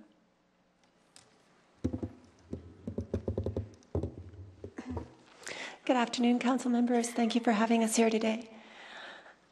My name is Barbara Fedun. I grew up on 76th Avenue and 98th Street. Um, my parents, Margaret and George, still reside there, and they have for 62 years. Um, my mother, Margaret, is a former cyclist. Um, although I must admit uh, she only cycled during the summer months to and from work at St. Joseph's Hospital at 107th Street and Whyte Avenue and she always used these side streets, which we did also when we were children and, and teenagers. Um, unfortunately, my parents do not fall into the category of um, mobile people now. They're um, immobile. And I'm advocating on behalf of the senior citizens, the handicapped, and the worshipers on 76th Avenue and 98th Street specifically. Um, and the reason I'm specifying them is because there are 500 worshipers on the corner of 98th Street and 76th Avenue between the Catholic, Roman Catholic Church, which my parents attend, and the German Zion Church. Um, most all of whom have signed the petition that I have personally circulated. Um, I arrived in Edmonton to help my parents navigate through the healthcare system. And very quickly, I learned um, that there was a proposed bike lane by the city of Edmonton um, to remove the parking, which my parents depend upon now um, because of their disabilities. They're both handicapped. Um, and I decided to start my own sort of campaign of gathering information and statistical analysis um, because these statistics that I've heard and read about are so mind boggling that even me, who graduated from one of the finest universities in the United States, couldn't sort of um, wade through all of the information and make sense of it. Um,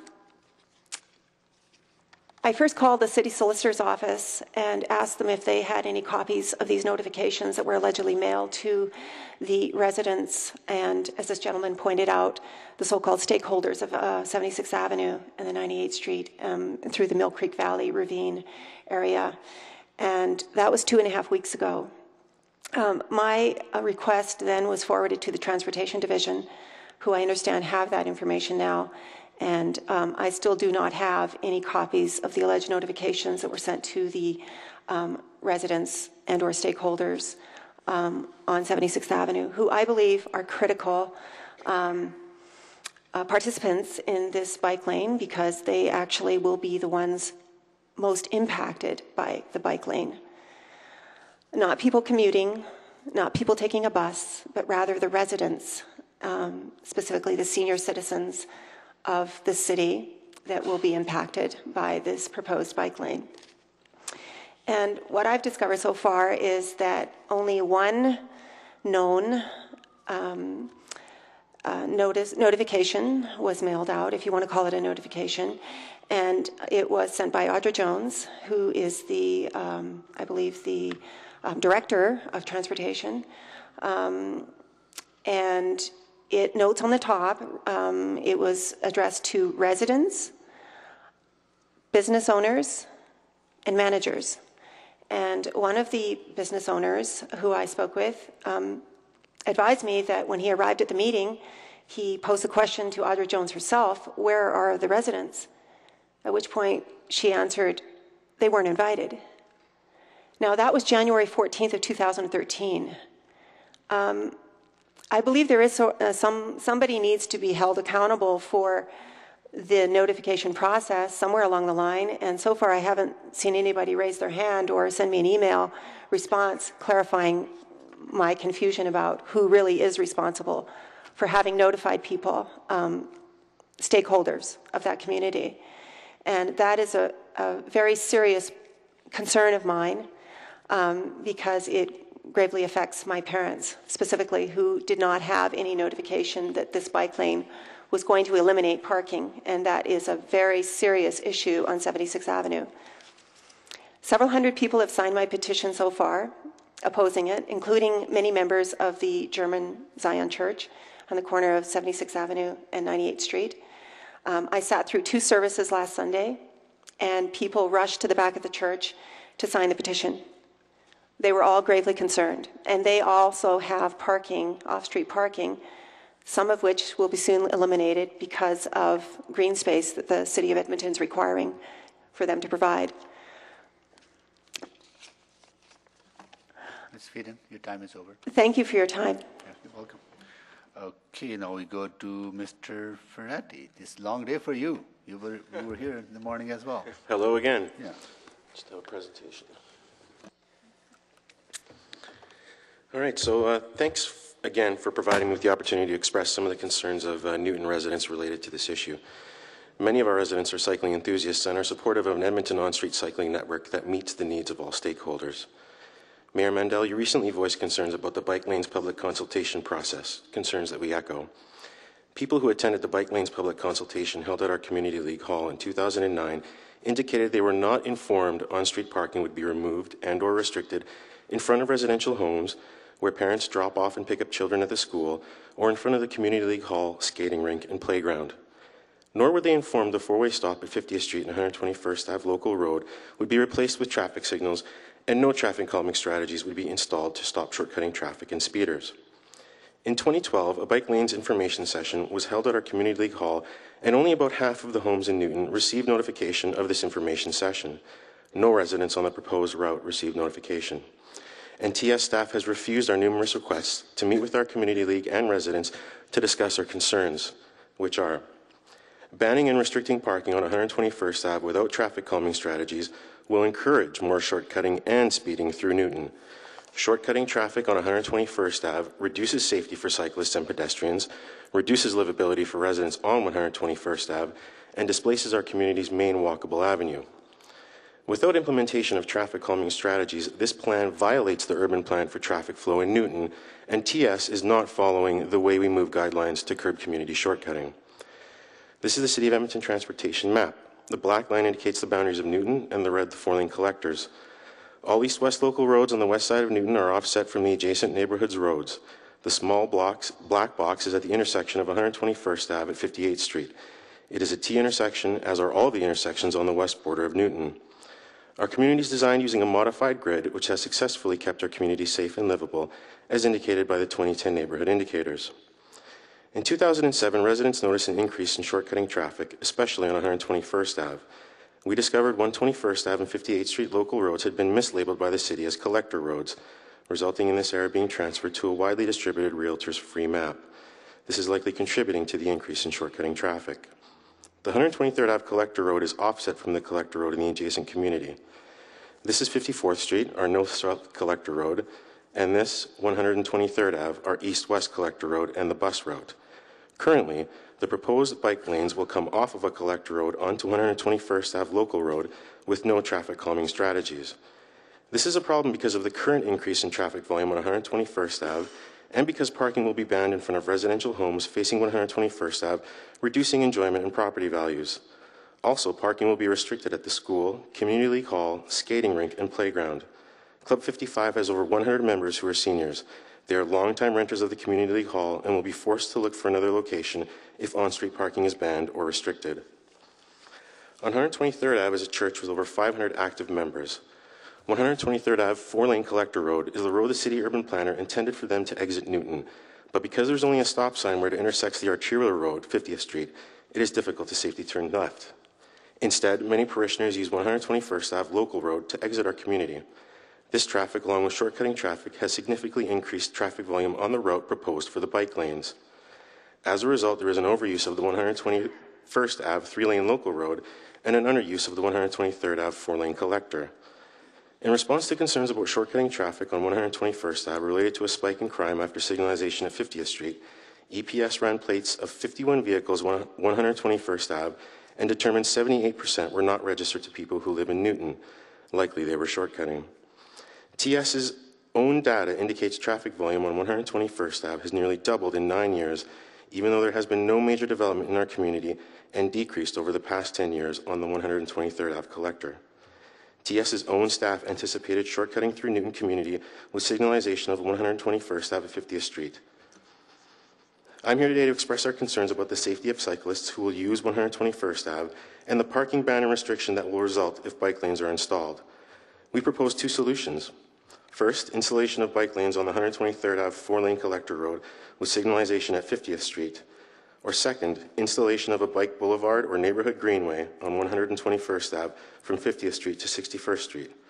A bike boulevard will retain on-street parking, include traffic calming strategies, discourage shortcutting traffic and speeding, be pedestrian friendly, and enhance livability for residents on the route.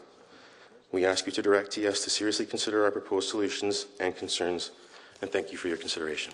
Thank you for your time. I know Mayor Mandel has to leave for about 15, 20 minutes, so he'll be back. He'll be back later on. Thank you, Mayor. Uh, we'll go next to Mary Kosh. Thank you for letting me speak. I'm speaking on behalf of myself and my handicapped husband. We live in the middle of 98th Street and 76th Avenue, and I'm concerned about the parking.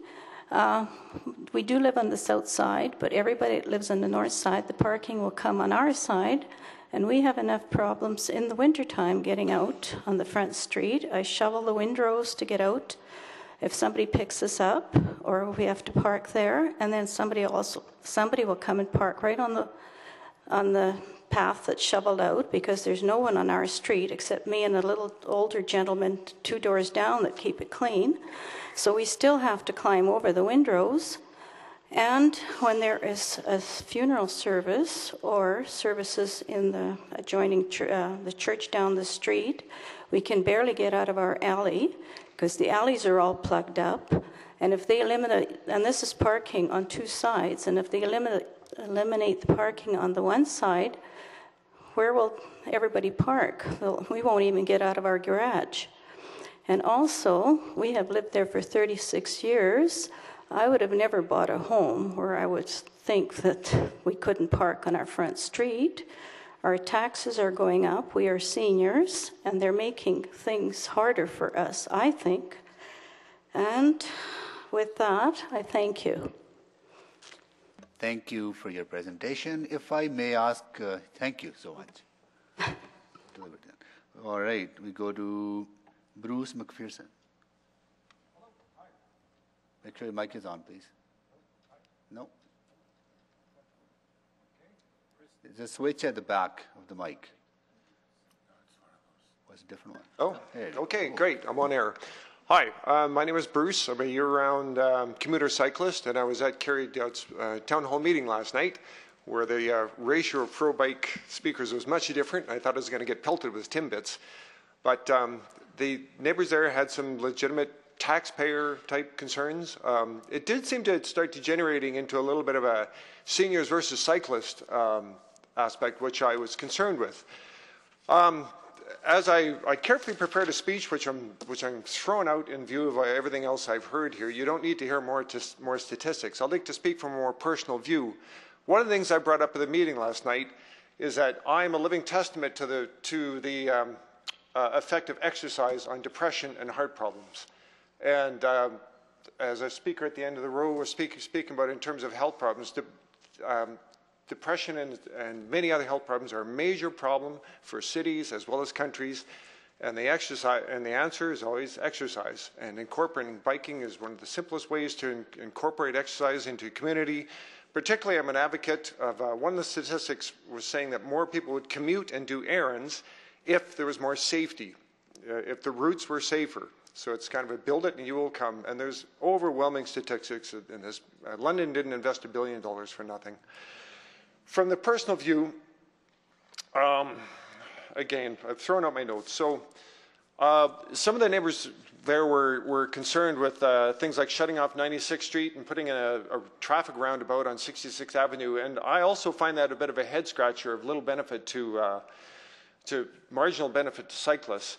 Um, but what I will say is try and give you more of an in-the-seat view of, of cycling in terms of uh, why things like parking would have to go. And uh, if you want to create commuters, you have to make straight, clear paths of, of dry pavement, and uh, you can't do that from side streets. Um, I personally feel that putting me off, off, off on a side street, if you're concerned about my safety on a thoroughfare, I'm just as in, in much danger on a side street because there's more cars popping out of alleys. The, the sight lines are worse at corners. Um, and so uh, thoroughfares to me are one of the, actually one of the safer ways. Sharrows are still a bit of a compromise because one of the greatest dangers that's out of my control is a suddenly opening car door or a car pulling out quick. I'm a safe rider. I do, if I could show you all my equipment and lights and, and visibility, I do a lot of things to keep myself safe, but there's aspects that I can't control.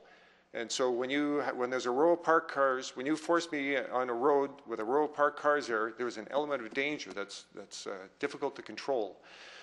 Um, I wanted to inv invoke a, a, couple people here, and uh, one of them is um, Tucker who I don't know if any of you, any of you recall. He proposed a network of uh, cycle trails way back in the early 90s, and uh, I'm channeling him a little bit here. And uh, the other person I'd like to invoke is Isaak Kornelsen. Uh, I was a friend of, he's the young man who died on Whyte Avenue last summer, and I'm a friend of his dad. And one of the reasons he died is because of he was trying to ride alongside parked cars and there was a large FUV, SUV with an extended mirror there that may have been technically within the parking requirements, but still presented an obstruction that contributed to his death. If the route that's uh, being planned for 83rd Avenue was in place at this point, that young man might still be alive. Um, again, from a, from a personal view and my um, uh, struggles with, with depression, I have found my uh, medications unsuccessful. Being in a bike has been one of the, the only things that have worked. You can spend millions on a large community center and swimming pool, but that still requires people to take time out of their day and go there and swim. If you can get them commuting, that's a daily exercise, and that also reduces every dollar you put into these bike trails pays off 10 times, I'm sure, in uh, reduction of gas and crowding. Last, I'll say, as a taxpayer, I pay the same amount of taxes as anybody else as the seniors, and I'm sorry, I don't know if I want my tax money spent on parking spots. I pay for laneways, I pay for traffic. Um, traffic, traf parking has been eliminated also in much of downtown and many other congested areas. When the city needs to use that roadway for other purposes, yeah, it's just the reality.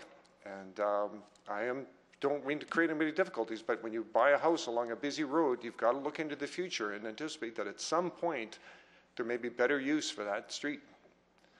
Um, saying that, I do wish everybody well, and I encourage everybody to get on a bike. Edmonton's beautiful, and many of the trails that are uh, that are in place are tremendous. Thank you so much. Uh, we'll go to Dagny Alston. Thanks for being here.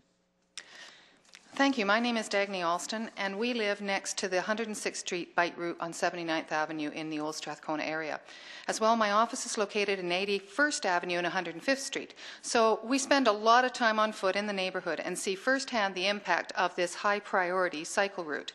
I realize that our route is past history, but for the record, we got hijacked by transportation. We received a fait accompli information, when the, and when issues were raised, we were told politely but firmly that change was happening and supported by the consultation done in the master plan stage. We were then assured that it was only paint and obviously was open to evaluation. We were also assured that there would be an education and an enforcement program for cyclists as well as motorists and parking. So we were told to give it a try and see how it unfolded over the next year or so. None of this has come to pass, so my advice to those residents along the current route is once the route is in, you're stuck with it. And to the current cyclists, you too will be stuck with routes that many potential cyclists in the target group are unlikely to use, based on our firsthand experience of living, walking, and experiencing in our neighborhood. Because they're too narrow, they're on a busy road, and they're too close to too many cars and trucks. I'm pleased that complaints about the consultation process last go round have resulted in a more comprehensive approach. However, consultation is about looking at options and consequences of each at the time when you can actually do something about it and you have a willingness to actually change your view. It is about listening to and responding to issues and alternatives. It isn't about selling one solution, which appears to be the approach when consulting with residents. The city's underlying father knows best attitude is not very conductive to listening to others. Of all the criteria driving this plan, the direct route seems to be a priority and reiterated by many people today, including many of the commuting cyclists. Not creating routes that are both safe and feel safe. The department also appears to be unconcerned when solution pits drivers, parkers, cyclists, and pedestrians against each other, turning potential supporters, which I was, into an opponent. For example, we suggested using quieter streets that bracket 106th Street as one ways to better accommodate the route and mitigate impacts. One lane to drive with current, one lane to drive on, one current lane of parking, which is there, and take that second lane, which is currently two-way, and convert it into a wider bike path. A little inconvenience for all, but a solution that frankly is used by many cyclists already in the area, even with the bike paths installed on 106th. We were told it wasn't direct, therefore not a good solution. I see the same thinking occurring on new routes. Haven't we learned anything from tragic incidences when we continue to force a constrained mixture of trucks, cars, and cyclists on high traffic areas? Do you really feel that you will attract the interested but concerned target audience by forcing them on busy roads? The results on 106th Street would indicate not. I appreciate that you state 30% increase in traffic on this route, or cycling traffic, but 30% of what? 30% of a limited number is still only a few. But that aside, our personal observations include very few use the pass, more cyclists on the sidewalk, many cycle on the neighboring roads because they're quieter, Many cyclists don't know or follow the rules of the road, such as cycle up the wrong way on the, on the bike path so they are opposite traffic. Don't stop at stop signs or yield signs. Don't use the safety equipment or follow distracted driving rules. Weave in and out of traffic, sidewalks and pedestrian crossings on their bikes at will, and don't respect pedestrians that are on sidewalks or on pedestrian crossing. Yes, some are responsible cyclists, and many today, I suspect, are but most that we see in our neighborhood aren't. As a formal policy to promote and facilitate major expansion in the cyclist traffic, then it is more than bike paths.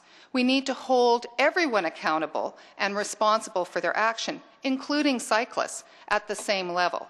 Why don't we hold them at the same accountability as a motorcyclist, which means that they need to be licensed and insured in some way? The department's solution doesn't reflect the realities of a winter city with huge truck population. Half the year paths are under snow, ice, and grit, none of which creates a safe feeling environment for any but the hardcore cycling commuters. And as we know, they ride on the streets anyway because they can. Consultation needs to look at all the issues, options, and consequences for it to be meaningful, and you need to have an attitude that is willing to shift gears and look beyond serving the interests of a few, no pun intended. Nothing to date has illustrated that solutions reflect listening or are created with this in mind. There are less divisive options available. However, you need a process that will listen and look for them. Thank you very much. Thank you. We'll go next to Ross Goodine.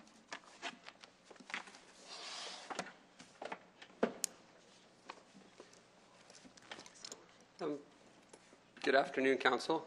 I'm a homeowner on 83rd Avenue, and my street, my 83rd Avenue is scheduled for a bike route coming up sometime in the near future. Um, I just wanted to, to speak to that. Um, 83rd Avenue is, uh, I live between 98th and 99th Street. Uh, we have a very high traffic volume whenever there's any difficulty on Whyte Avenue. We get two to 300 cars an hour down our street. Many of them are cutting off of Whyte because they are frustrated with the flow of traffic on Whyte. So they're people that are inattentive and rushing to get somewhere. Um, there's often 10 to 15 cars backed up at 99th Street waiting to turn. I would love to see the bicycle route make sure that it's on my street, and I'd like to really see it limited to something that really controls traffic and shortcutting. Um, I do bicycle. I'm primarily here as a homeowner that sees the bicycle route as a solution to the traffic problems in my area. Um, I experience Edmonton. I, I've been here since 98, but I've lived in Vancouver, Victoria, and Winnipeg previously. And I see Edmonton having an incredible um, bias towards car traffic in general. I drive, I drove down here, I drive most places, but Edmonton is completely oriented towards serving the car And that really doesn't make for the kind of city that I'd really like to see living in going forwards. What makes for a great city, in my mind, is a place that you feel comfortable walking and visiting, that has vibrant neighborhoods. And suburban sprawl isn't, to me, what, what lights up something amazing. Um, I know that Edmonton has a lot of solid waste management that's really awesome, and I know that when that was coming forwards, it was not popular and had a lot of friction. And I see the bicycle situation as something similar to that. And I really encourage council to shoot for something amazing and awesome rather than something that's that that kind of keeps the status quo in Edmonton. Um, you know, I'm I'm sort of struck in Edmonton coming from somewhere else, even though I've been here for a long time, by um, especially compared to Winnipeg, the amount of infrastructure here um, for cars is is amazing. Um, the amount of money spent, how how re- regularly the roads are paved, um, the lack of potholes, even though people here say there's a bit of an issue with that. Having lived in other cities, um, potholes aren't such a big thing here. Um, parking on my street, I did a survey. My house I bought it. It was built in 1967. We have a double garage and four spots on the pad behind it. The neighbors on one side have a double garage parking for four cars on their pad. Same with the neighbor on the other side. When I tour both sides of the street in the back lane, there's the worst, the worst, the, the least amount of parking anywhere was two spots on the pad, um, and lots of them were well over engineered for the amount of parking given the, the size of the house and the amount of people living there. I would love to see parking removed from my street. I'd love to see no cars on my street at all and have just a pedestrian mall space with a bike route through it. That for me would be what would make my street something that I really love to be part of. Um, and I'm just would really like to see speed limits lowered sort of in general throughout the city. Um, I know 99th Street through my neighborhood um, just got wider and faster without any real benefit to the neighborhood except um, increasing the speed of people that were driving through it. And so I'm interested in good infrastructure in all ways, but I really see Edmonton as as um, having the opportunity overall in lots of areas to shoot for something amazing rather than for something that's good enough and we don't want to ruffle too many feathers. Um, and that's never going to take the city to exceptional. So that's all I have to say for now. I thank you for listening. Thank you so much. Uh, we'll go to Dr. Spence. Uh, yeah, I'm, I'm a professor at the University of Alberta and uh, in the Faculty of Physical Education and Recreation. And uh, much of what I study is uh, factors that influence physical activity. And uh, one of my areas of specialty is how the environment uh, influences people's behavior and the built environment in particular. Next slide, please. Um, uh, and several people have already made this case. Uh, we, we are dealing with an energy crisis in most of the developed world, and that energy crisis is not uh, decreasing oil, but the fact that humans naturally uh, gravitate towards expending less energy than they take in. Uh, and that relates to the various chronic diseases that some other people have mentioned here today. Uh, but this graph shows also that not only are we decreasing uh, activity in some of the traditional ways, uh, we're expending less energy in active transportation and commuting, less active, less energy in, in the workplace. So we're no longer working in the fields and chopping down trees, and we're sitting behind computer, computers and, and uh, uh, driving to work. Next slide, please. Um, so my work focuses on a lot of it on how we construct neighborhoods and environments and where we live. And much of the research shows that people who live in suburbia type neighborhoods are more overweight, walk and bicycle less, use cars more, and have higher rates of obesity related illnesses. Next slide or yeah, next point, uh, and the next point too, please.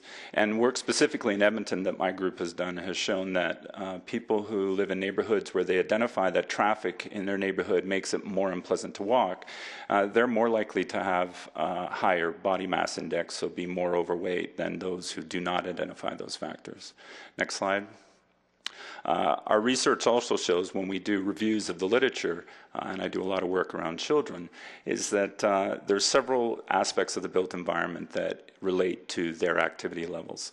Uh, and a couple of those relate to the conversation here today. So, for instance, things like traffic safety, presence of crosswalks, uh, connectivity, land use mix. These factors influence activity because there's places to go, but also places to go safely. Next slide. Um, and uh, several people already mentioned this here. Unfortunately, when we look at uh, Edmonton compared to other cities in Canada, uh, by some definitions, we would be the most sprawled city uh, in Canada and one of the most sprawled in, in North America. We have low population density and low density of uh, infrastructure relative to the size of the city, uh, and also the highest ridership in terms of motor vehicles. Uh, so we have a lot of cars on the road, a lot of trips being taken by car, uh, covering a, a, fairly large landmass. Um, next slide. How much did that move here? Um, okay, so that leads to why would we be encouraging uh, bicycling specifically? Uh, it's definitely a good way of uh, increasing physical activity. It's good for the environment. In fact, a, a, recent economic analysis out of the UK showed that promoting active transportation was perhaps the most cost-effective way to address uh, issues around greenhouse gas emissions um, and also promoting uh, reductions of chronic disease. It also fosters a sense of community, and others have mentioned that here today.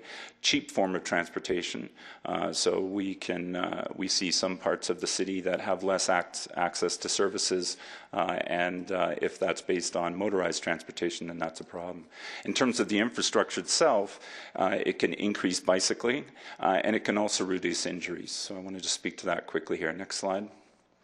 Uh, a recent systematic review of the literature looking at uh, infrastructure related to injuries uh, shows that infrastructure does influence uh, crash risk.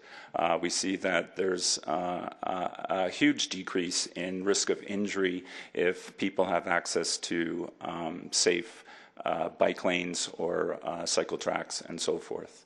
Next slide. Uh, so we've done a lot of work with developers to try and understand how and why we construct our communities in a way. And uh, this uh, one particular developer was talking about walkable communities uh, and wasn't certain whether they'll always uh, they'll attract people that want to walk. But they they had an aha moment where they realized that perhaps we shouldn't be constructing. Uh, neighborhoods and developing neighborhoods that will prevent people from walking. And I would say the same thing about cycling. Thank you. Thank you. Uh, before I go to the next council, is Councillor Leibovici still online? I know she was online listening. Is she still online? Yes, I am. Okay, good. Just wanted to make sure you're. Okay. We have three more speakers, then uh, we'll go to questions.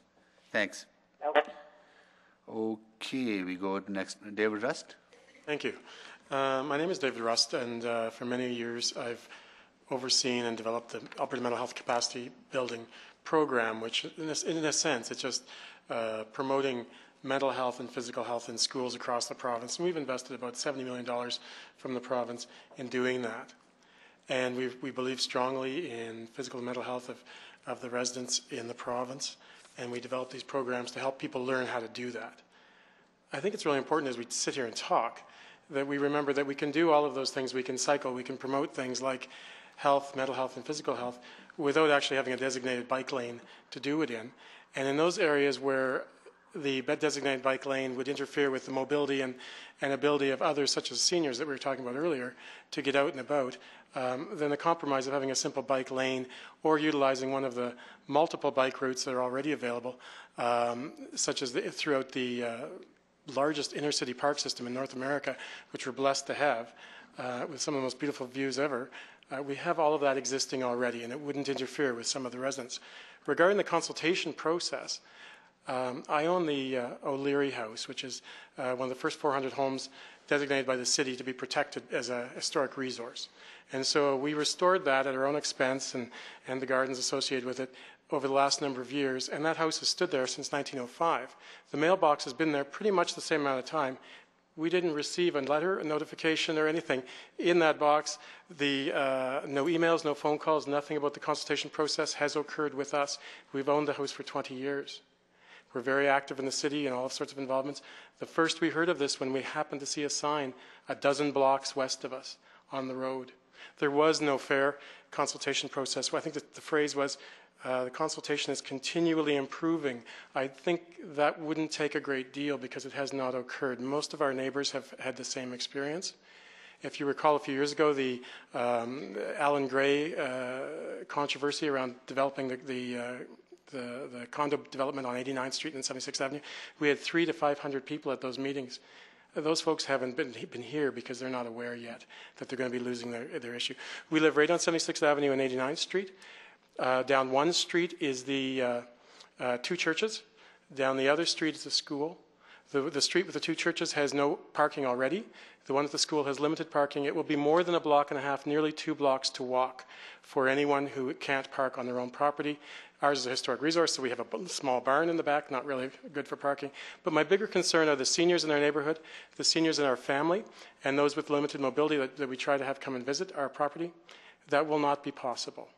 I, most of the neighborhood within uh, King Edward Park and those areas, as you well know, uh, is, is an older generation who should be respected for the contributions that they provided the city and not limited in their ability to access their own home after, as uh, some of the folks have said, owning it for several decades.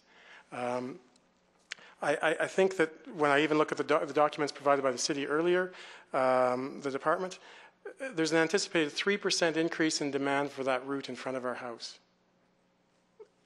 a 0% collision history. Those are the facts that have been brought forward this morning. I think it's on the uh, Bicycle Priority Network Analysis and Prioritization Report, and it's in the gray on 76th Avenue from 79th Street to Sherwood Park. Those are the facts. Not, not, not a high demand is expected. There has been no risk. The, the hazards to folks uh, cycling have been in high traffic areas such as 109th Street, Whyte Avenue, and so on. We know that. Not quieter residential districts. I don't think the expense of uh, the mobility of some of our longest serving citizens uh, is worth um, trading on the, mobility, the obvious mobility access that, that, our cyclists have as being young, healthy people who could perhaps cycle around a block, go a little bit out of their way, not needing a direct route, or, or even utilize some of the long term bike paths that go throughout, as I say, the largest inner city park system in North America. So I, I ask you to be uh, considerate in your approach in looking at what has been uh, provided today, and I think of all of our citizens here, and we, we do love and uh, appreciate the city. We've invested in ourselves, and we would like to be heard as far as what the consultation has been and what it should be now before it goes forward. Thank you. Thank you. And our no next speaker is Shelley Craven. Craven. Craven. Hi there. Thanks for meeting with us today. Um, I'm a long-term resident of the Hazeldean neighborhood, which is just south of what Dave was talking about um, in Ritchie on 76th Avenue.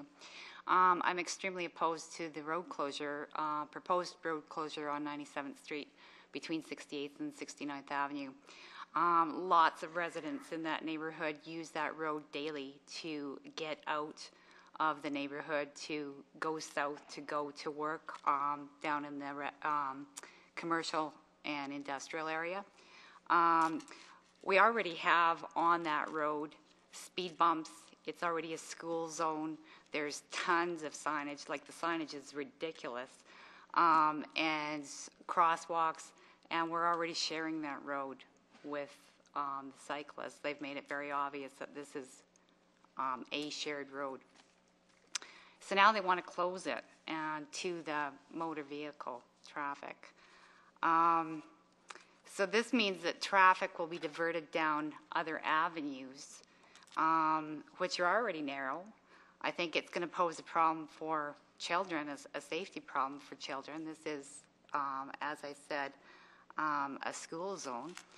Um, and um, also traffic that needs to get residents that need to get out and go to work if they're not going to use 97th Street if it's not accessible. They have to go on to 99th Street. Turning left on 99th Street is insane. You just wouldn't be able to do it. It's uh, it would it would take forever. So I think that there I I'm I'm not suggesting that transportation hasn't done their job. I'm just thinking that maybe they haven't thought about all of the issues that could arise from this. Um, my, I guess my question is, and it hasn't been answered in any of these meetings that we've attended, what is the valid reason for closing 97th Street? I haven't, I haven't, that hasn't been answered. I really don't understand it. The only thing that I've been told is that um, it would be better for cyclists. What about everybody else? Um, what about emergency vehicles? How are they going to manipulate and maneuver um, through these very narrow roads um, when one of the main accesses, 97th Street, is going to be closed. Um, I, I just want to let everybody know I'm not opposed to cyclists. Um, I commend you for your choice. However, it is your choice. Um, I'm just not too fond of some of the ideas that have come about because of your choices. Um, I'm also opposed to the traffic circle or the um, roundabout that is proposed at 66th Avenue and 97th Street. Um, I, again, I don't, I don't see any validity to this. Um, I've been told that they want to slow the traffic down going, um, going on 97th Street south into the industrial area. I, I get it. I, I live in that neighborhood, but the traffic doesn't go fast in that neighborhood. They can't. The, the, the speed bumps um, and the potholes um, are ridiculous. So, um, but so if you're going to, there's already four-way stop there right now. So I'm, I'm not following why a traffic circle would benefit us. Um, cars already stop. I was told that a roundabout would be better for cyclists because then they don't have to stop, so they can carry on. So in one regard, you're trying to slow the motor vehicles down, but you're trying to speed the cyclists up. Um, is there, that doesn't make sense to me, but in any case, are, is there any consideration here given for the students, the, the pedestrians? I don't know about you guys, but when I'm in a traffic circle, I'm not, I, I know I am looking out for pedestrians, but that's not my main focus. Um, I guess moving on here is, uh, I'd like to know about the costs concerned with those two changes. Um, and I also agree about the consultation process um, in any of the meetings that I have attended. Um, and I found about them kind of in a roundabout manner. Um, we were not given the opportunity for a question and answer process. We were told point blank that kind of this is the way it is. Um, and one more thing, and again, I'm not trying to um, insult the transportation department or question their numbers. I guess I am questioning their numbers. I find some of the numbers for the cyclists. Um, I believe it was 54% of all residents of Edmonton. And your time is over.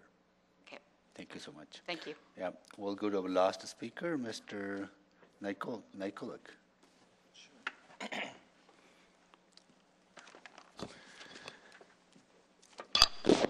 Sorry. Hello, my name is Joe Nykoluk. I uh, am an owner of O Canada Gear, which is on the corner of 99th Street and 76th Avenue.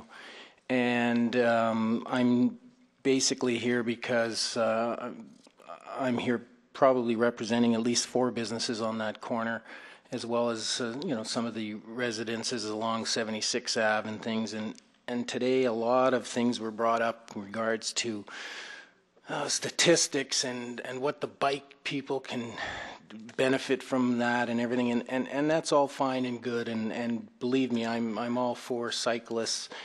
But I'm a couple things were brought up is that the city of Edmonton um, is is, uh, is motorists or cyclists, cyclists or motorists, and we should all get along.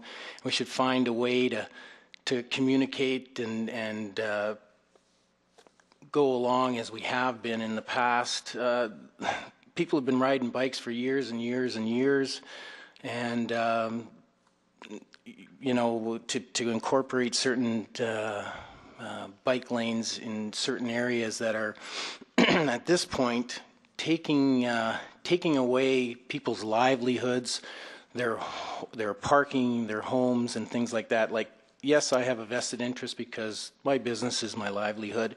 I'm paying taxes just like a lot of other people, but I've been there for ten years. Uh, I've seen how many bikes go by my street. I see how many uh, emergency vehicles go down my street, and I have a fire truck that goes down my street more often than I see a bike. I have buses coming down that street. That is a very, very busy street to begin with. It takes off a lot of the pressure off 82nd Avenue. Um, just last Friday, I'm coming down from Argyll Road and I'm going along 76th Avenue. I'm at 83rd Street, and there's four-way traffic there. There's a bus, there's cars, there's an accident, and then the next thing you know, you want to throw uh, some extra, like you know, a bike lane in there. So, um, I just want you to think of the, take a step back. Uh, we haven't been given any kind of notification. Again, the first time I even heard of this bike lane that would affect my livelihood regards to parking. Again, if you look, they, they even used, uh, I guess you're getting uh, feedback from someone like myself because it's finally come to my attention.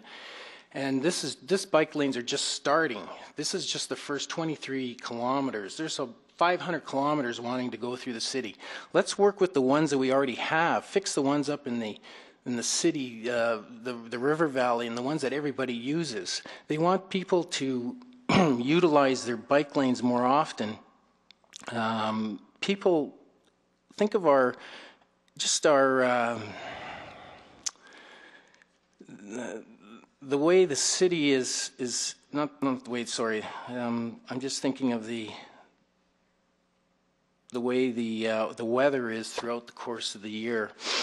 I mean, we don't even ride bikes all year round, and the, the percentages, all these figures that the city is coming up with, figures of how they want to try and get more people using the bike. The people that are trying to get more use of the bike are the ones that are recreational riders, and they don't ride during the winter. They're not riding during the time when all these roads are under under snow and not being plowed and things like that. I, I'm sorry I didn't bring a, a big presentation on facts and figures and pictures and stuff, but I just invite you to go up and down 97th Street right now. And that road is atrocious. There is absolutely no street cleaning as far as the, the um, um, uh, snow removal. The potholes are so bad, you can't even get two vehicles going back and forth through out there, let alone add a bike lane in there. Um, I just feel that the city is, um, the transportation department or whatever is trying to bring this through. Yes, it's all looking great. It looks great on a map. Those are all good routes, but you got to sit back, look at the feasibility of these routes, look at the feasibility of what you're doing with the people who have livelihoods, who have, have lived there all their lives, and work with the routes that you already have and utilize the routes that you have and work with those. Get them up to up to snuff first before you start um, incorporating a whole bunch of other roadways that we can't even keep track of uh, as it is. And um, again, I'd, I'd, I'd like to look at some of those figures that they took apart uh, when they, they said they had around 624 parking spaces along 76 Ave, and then they, you know, with this bike lanes going in, they will take out all the parking. Thank you. Okay. Your time is over. All right. Thank you so much. So, uh, we are pressed for time, right? Uh, we can take a break, uh, or I don't know how many questions we would have. We can deal with the, the panelists and uh, take a break, right? Uh, can we also defer two items to the next meeting? Uh, the one, uh, uh, the, the, the 6.5 and 7.1? Yes, you Council- can by Council- motion. DR, you're fine with that? Okay, so if we could send them over to the next meeting, and we have, after that, number one. So can you move? motion. Yeah. Council Anderson? Yeah, I'll move, I'll move um, 7.1, 6.5, and 7.1 be deferred to the next meeting. Uh, Please vote. Display the vote. That is carried. So is there will on the part of the committee to, let's deal with the the panelists first, then take a break? Well, I don't know. There's lots of questions. As long as you keep three of us at a time. Well, let's take a break then. Let's take a break. 15 minutes. Yeah, we'll be back in 15 minutes with questions. Next step is that uh, committee members and council members may have question, uh, questions to the panelists. So we'll be back. Thank you. Just a comment to speakers, it's not necessary that we're taking a break to have a coffee or da, da, da. Our offices, a lot of them will have staff go home at four, so that we've been away from them all day. And it's nice to be able to check in to see what's happened in your office. Thank you. Before they leave, thanks.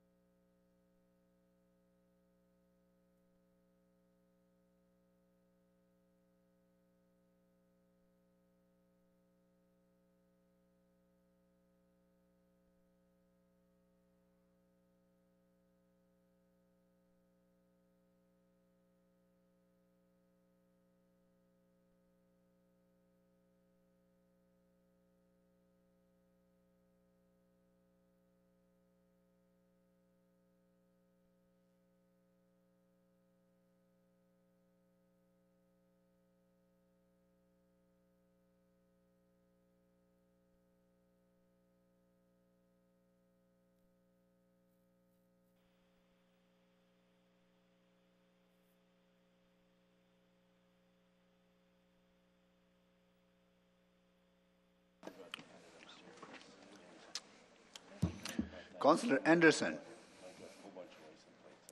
Bryan, we can start.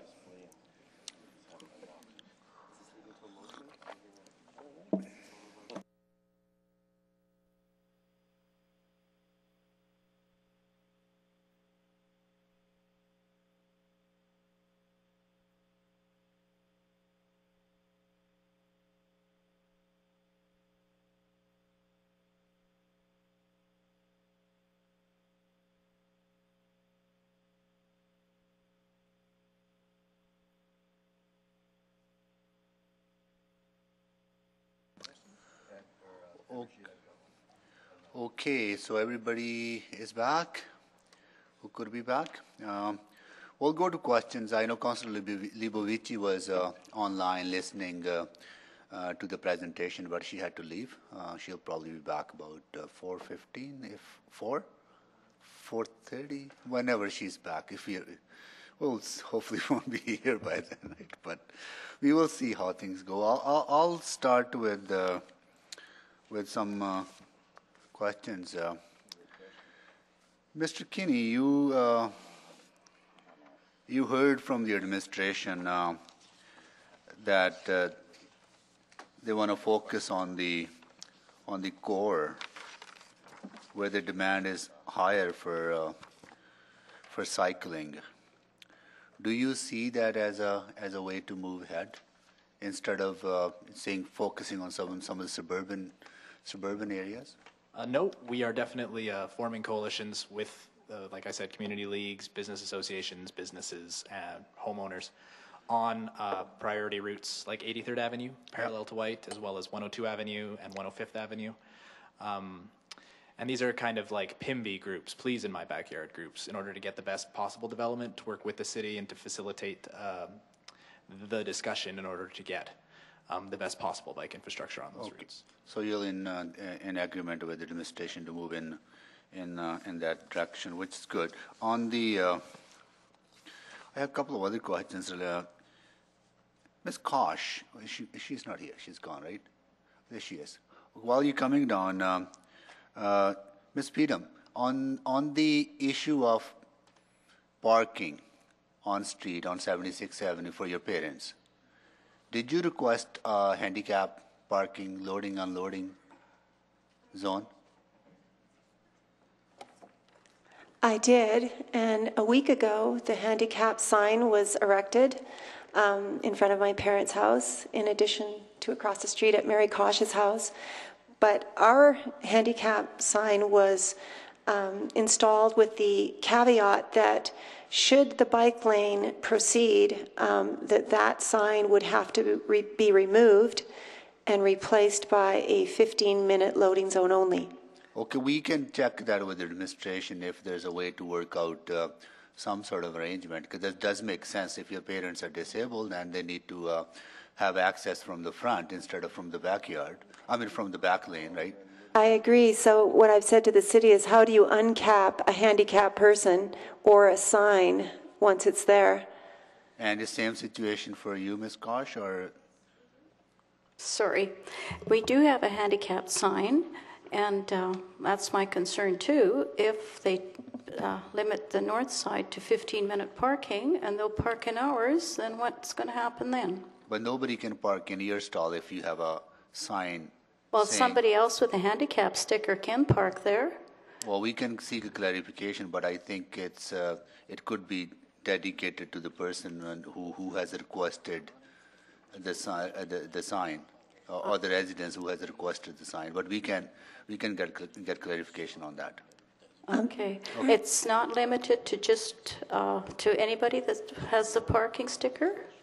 We can, I, I don't know, but we can. I actually do know the answer. Yeah, what is the answer? The answer is in San Francisco, where I live now, um, there's a system within the parking uh, transportation division that stipulates that the license plate number of the vehicle correlates with the placard. Okay. Well, here you go. Here's the solution, right? So we can we can possibly there, there's possible solutions to uh, accommodate parking for uh, for for your, your your parents' needs and and your needs, Ms. Kosh. Okay, we'll check with, check that with administration. I'll go to Councillor Anderson. Thank you. Mr. Kinney, could you give me a brief synopsis of the benefits or negative aspects of using two-way bike lanes? Two-way bike lanes in One, one side of the street, bicyclists go in both directions. So I'm still trying to picture this. So this is a regular street with biking on one side, and that Correct. biking goes in two directions. Correct. Um, the big, I'm again not a bicycle infrastructure ex- expert. It might be better. I, I, I will, I just wanted to get an, off the top of your head. In certain situations, it can work. I know a lot of jurisdictions are worried about a cyclist turning left against traffic. Um, how do you manage that? Um, again, I would. It's a fairly technical question. That would probably be the biggest issue, I would imagine. And also, the other one is that if you are dealing with traffic that is not used to bike traffic going in the other direction, the uh, the possibility of that cyclist getting hit is um, going to be higher as well. Yeah, getting into a two-way lane or out of a two-way lane is going to require the cyclist to probably get off and walk to the other side of the street or walk. Exactly. Yeah, there, there would seem to be a, you'd have to do a lot of finagling in order to make if it was two way on one side of the street. Uh, It- My opinion would be that it would have to have a fairly lengthy route to make it a, a valid choice. that, that's probably correct. Yeah. Okay, thank you for that comment. Um, Mr. Dunwald, I appreciated your approach, which was significantly different than everybody else who spoke here. Uh, Could you synopsize into a perhaps short paragraph the answer to the question, what would be the most significant change to the approach and/or the city's uh, job so far or their job into the future? What- Can you synopsize your, Well, um, maybe I'll just read my, my conclusions. Uh, the City of Edmonton is responsible for complete, objective, reliable, timely, and easy to find and understand information. The Edmonton on-street cycling network has not been proven safe and or effective for any defined use. And the City of Edmonton has had three years of doing this and is really not in a position uh, to even enter its own uh, public involvement continuum.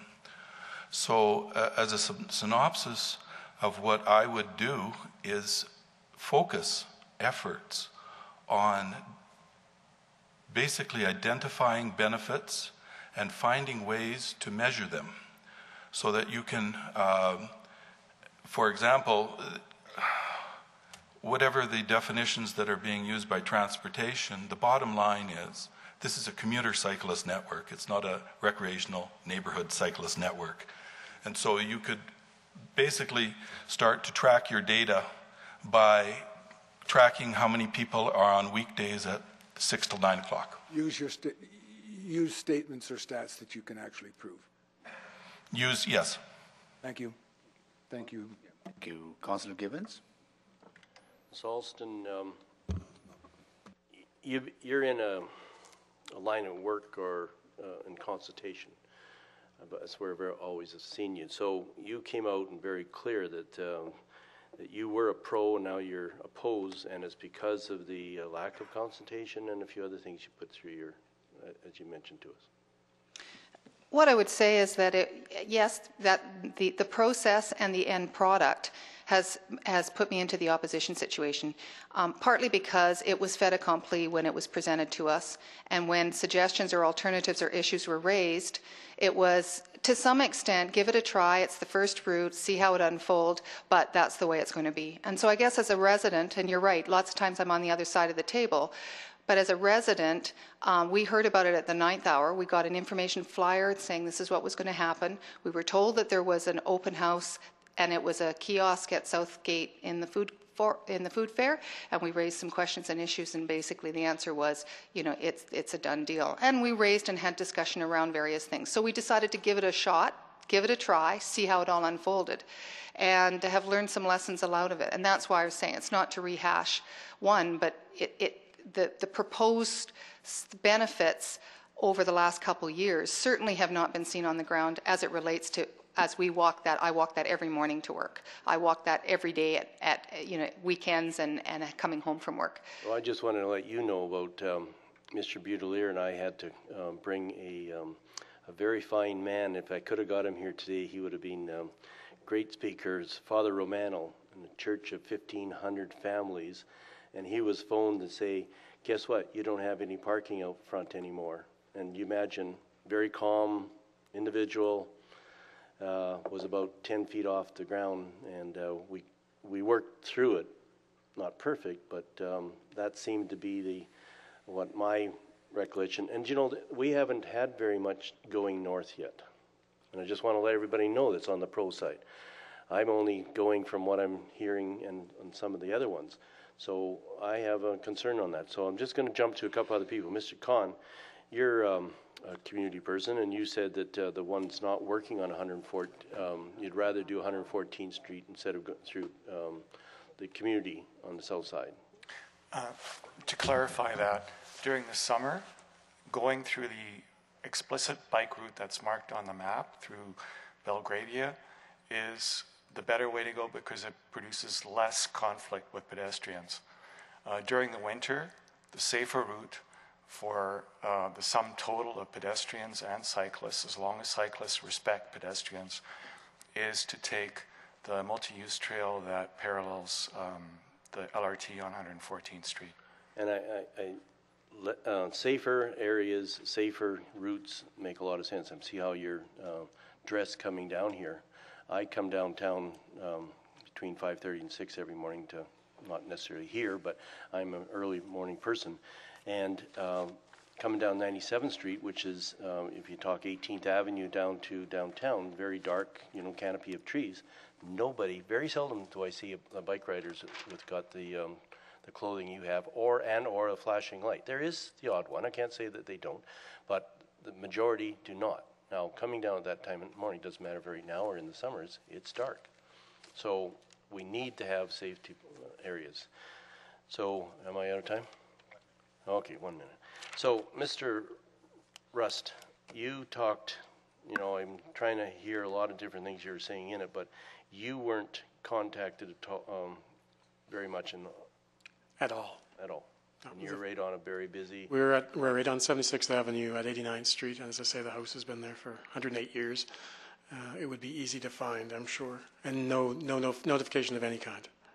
So just, I, I'm running out of time, but I'm just letting everybody know that it's, it seems to be a, you know, we got those that want it. That's, uh, I'm not opposed to uh, bicycle lanes at all, but um, consultation and safety and everything else is uh, very important to move forward. Thank you.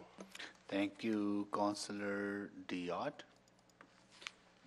Um, Ms. Fedun, um, you've got quite an intriguing story. You came here from San Francisco to help out your parents with this, and I take it those are your parents behind you? That's right. And their their concern is that they're going to lose their, their parking, and uh, in front of their place. Um, there, there's talk about a 15-minute stopping zone or something like that. That's correct. What would they do in the winter if they um, if they wanted to get into a vehicle or if they wanted to be have, to have some mobility? What what would they be doing if this uh, change came in? Well, my parents would literally become immobile um, because to navigate through the back alleys of Edmonton in the dead of winter, I know them well, um, would be virtually impossible. My father is my mother's primary caregiver now, so he's 82 years old and shovels out as best he can to the front street. But then we have something called snow plowing, which brings the height of the uh, banks up to three, three, three, four, five, six feet tall, and oftentimes spilling out over onto the public sidewalk that my father has just cleared. So, trying to transport my mother to the front with those conditions in place is a great challenge for them now. Looking ahead, even greater challenge. So, being from San Francisco, it's a pretty bike-friendly city, I take it. Very. And if they put in painted bike lanes, do they automatically get rid of a lot of parking? There would be riots in the streets of San Francisco if there were any whispers of parking being removed. Um, first of all, parking's at a premium. It's sort of like a condensed version of New York City, and parking's at a premium already. Um, a lot of um, residents in the city live in apartments, and if there's no off street parking offered within the buildings, then and and there were no off street parking spaces available, then you would pretty much um, put people out of business in the uh, rental business, rental apartment business. Okay, thanks for that. Um, Ms. Alston, you, uh, you were once quite in favor of certain bike routes. Um, I, I'm hearing that you're not being heard, that a lot of people are saying they just have not been heard as far as consultation, whether they got notices, etc. Is that correct? Yeah, what I would say is consultation is more than just a notice or a meeting. It's actually a, an active listening process, and it has to happen at a time when you can actually shift and change and adapt to address those issues. I would say that it is more information sharing when decisions are made, and then if they're not supported, then it's information selling um, to get the, the, a decision that's made. So, was it at, at a point when the consultation could make any impact? No. Okay. Thanks for now. Thank you, uh, Councillor Cat- uh, Dave Loken, Councillor Loken. Thank you. Thanks for coming today and for all your presentations. Uh, Mr. Chan, your enthusiasm was duly noted, um, and I want you to stay in Edmonton uh, for many years to come. But you know what we're trying to achieve here is some kind of balance, some kind of compromise. So, what would you say to uh, to some of the other speakers, uh, Ms. Fedun and uh, uh, Ms. Kosh about their concerns that, you know, perhaps bike lanes may not be right for their neighborhood. Uh, perhaps bike lanes may not be right in some areas and might be better in other areas. Would you, would you be willing to look at a compromise on this? Uh, what, what do you have to say about that?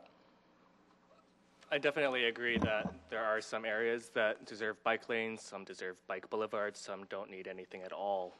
Um, but the consultation at the point where things could be changed quite dramatically happened four years ago. Even now, the consultations are happening in a way that things are still being modified. Um, but you're also hearing from these folks that they weren't consulted, and that's not um, that's not your fault or that's not their fault. We'll have questions for the administration, but their frustration is also that they haven't been consulted properly. They don't they don't feel that they've been heard. Mm-hmm. And I do think that the consultations need to go farther. We are uh, Edmonton Bicycle Commuters is having consultations right now in advance with the downtown and 83rd areas, which are not even uh, announced by the city yet, as like in the same way that 76th is. Uh, and we certainly are open to, to improvements where they can be made. Um, at the same time, uh, when you look at things, considerations about road width and, and, and direct, relatively direct routes and safe routes, uh, and you get down into the engineering details, which we have been looking at to try to find compromises and try to find ways.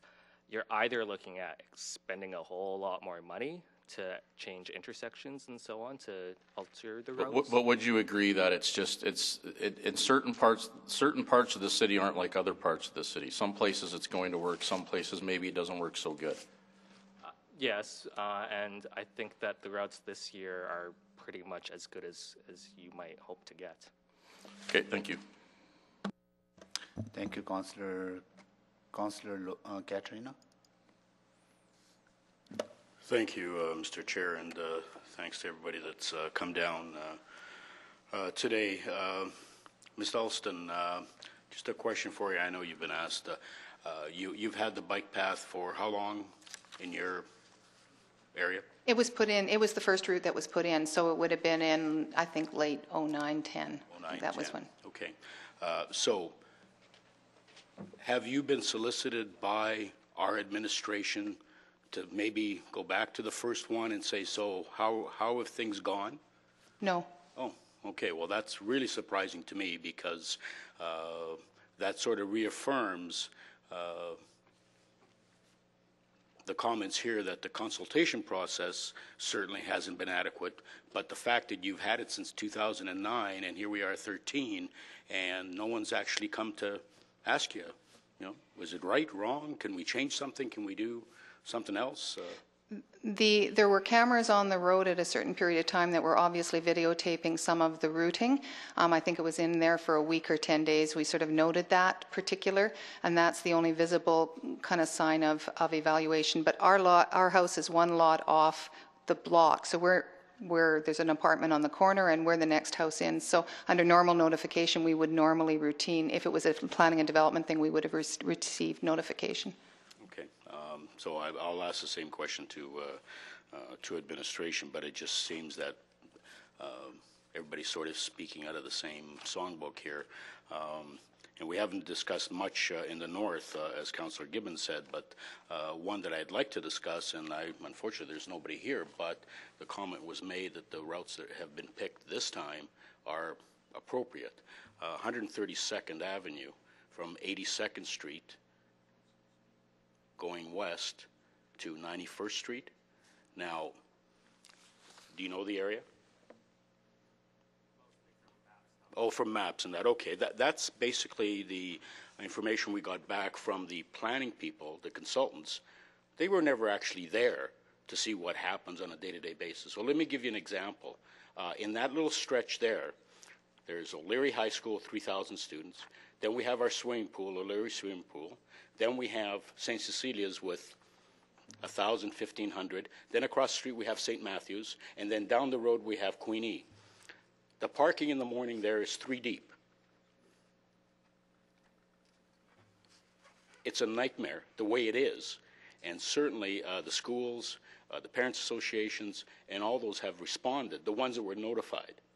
The ones that weren't notified, because this covers uh, Killarney, Delwood, Glengarry, and Baldwin, uh, we can't find any record of anybody ever receiving any notification for those community leagues that this is adjacent to. So would you think that you'd like to see the actual road and how it operates on a day-to-day basis before you make a comment that these are good routes?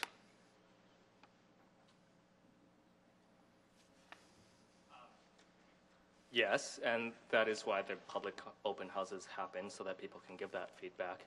Uh, I'm not sure, are you suggesting that it will become more dangerous with less traffic? Much more dangerous, and for cyclists as well, too. Absolutely, it will become much more dangerous uh, uh, with the, the amount of, of travel that's there now. Uh, no one can rationally justify how you would eliminate the two outside parking lanes. It, no, no one can justify that or, or how that could actually uh, be done, and there are many, many concerns. So, um, and this is not to say that there are some routes that could be. And I'll give you another example. That same avenue, 132nd Avenue, if this would have started from 97th Street west, you've got nothing but clear sailing plus service lanes on each side of the road. That would have made a heck of a lot more sense and a heck of a lot more kilometers to do that one rather than this one at this point until some of the uh, issues were, were ironed out. So, um, Are you done? Okay. yeah, the, the, uh, who else, uh, was, uh, Fedun, um, again, with the, with the notification and the parking. You, you did say that in, in, um, San Francisco that the, uh, uh, handicap permit, uh, is assigned to the, The plate. to the, to the plate. Uh, do you know what we do here in Edmonton? As far as I can tell, it's a free-for-all. Okay, so I think that We that, can- but we'll, we'll still have to ask administration because you, uh, you left me with the impression that that was the answer. Transportation has confirmed that. I posed that question to one of the supervisors at Transportation a few days ago, and I asked him how my parents' handicap zone would be protected. Um, would they ha- would they be registering their vehicle to correlate with the placard um, posted? And he said, unfortunately, we don't have a system like that, but that's a great point. Thank you. Uh, Mayor Mandel? Thank you. Um, Mr. Khan, uh, thank you for your comments. Um, One of the things that, that has become a bit clear today is that there's a, a group of people who feel they have not been consulted adequately. and there's uh, cyclists who deeply believe in the importance of being able to commute, which I think is, is, is a great idea. The question I have for you is that is more to do with, I'll use an example of 76th Avenue, seems to be the one that we can use. Is it essential to have a bike route on that street versus, let's say, 109th Street, which would be, a, uh, or 91st Street, or roads that have uh, um, the kind of um, ongoing capacity that would require because of the traffic? And I don't know 76th Avenue that well, but you seem to be a cyclist that goes all over the city, so I'd like you to comment. Um, well, for background, uh, we generally cycle because we enjoy cycling. It's a Mm. pleasurable I activity. And um, one of the things that we enjoy is uh, typical lack of conflict. When you sit in your vehicle, you're you're in, con- in conflict with other drivers. You're in conflict with uh, interruptions. You don't know when you're going to get to work, um, and you're generally frustrated during your commute. As a cyclist, I'm happy on my commute. I'm, I've, unless I've run into a conflict with a, a motorist or another Mhm. cyclist, um, I arrive at work and I'm really happy. Now, what do I need to be happy when I'm riding is to try to avoid as much conflict as possible.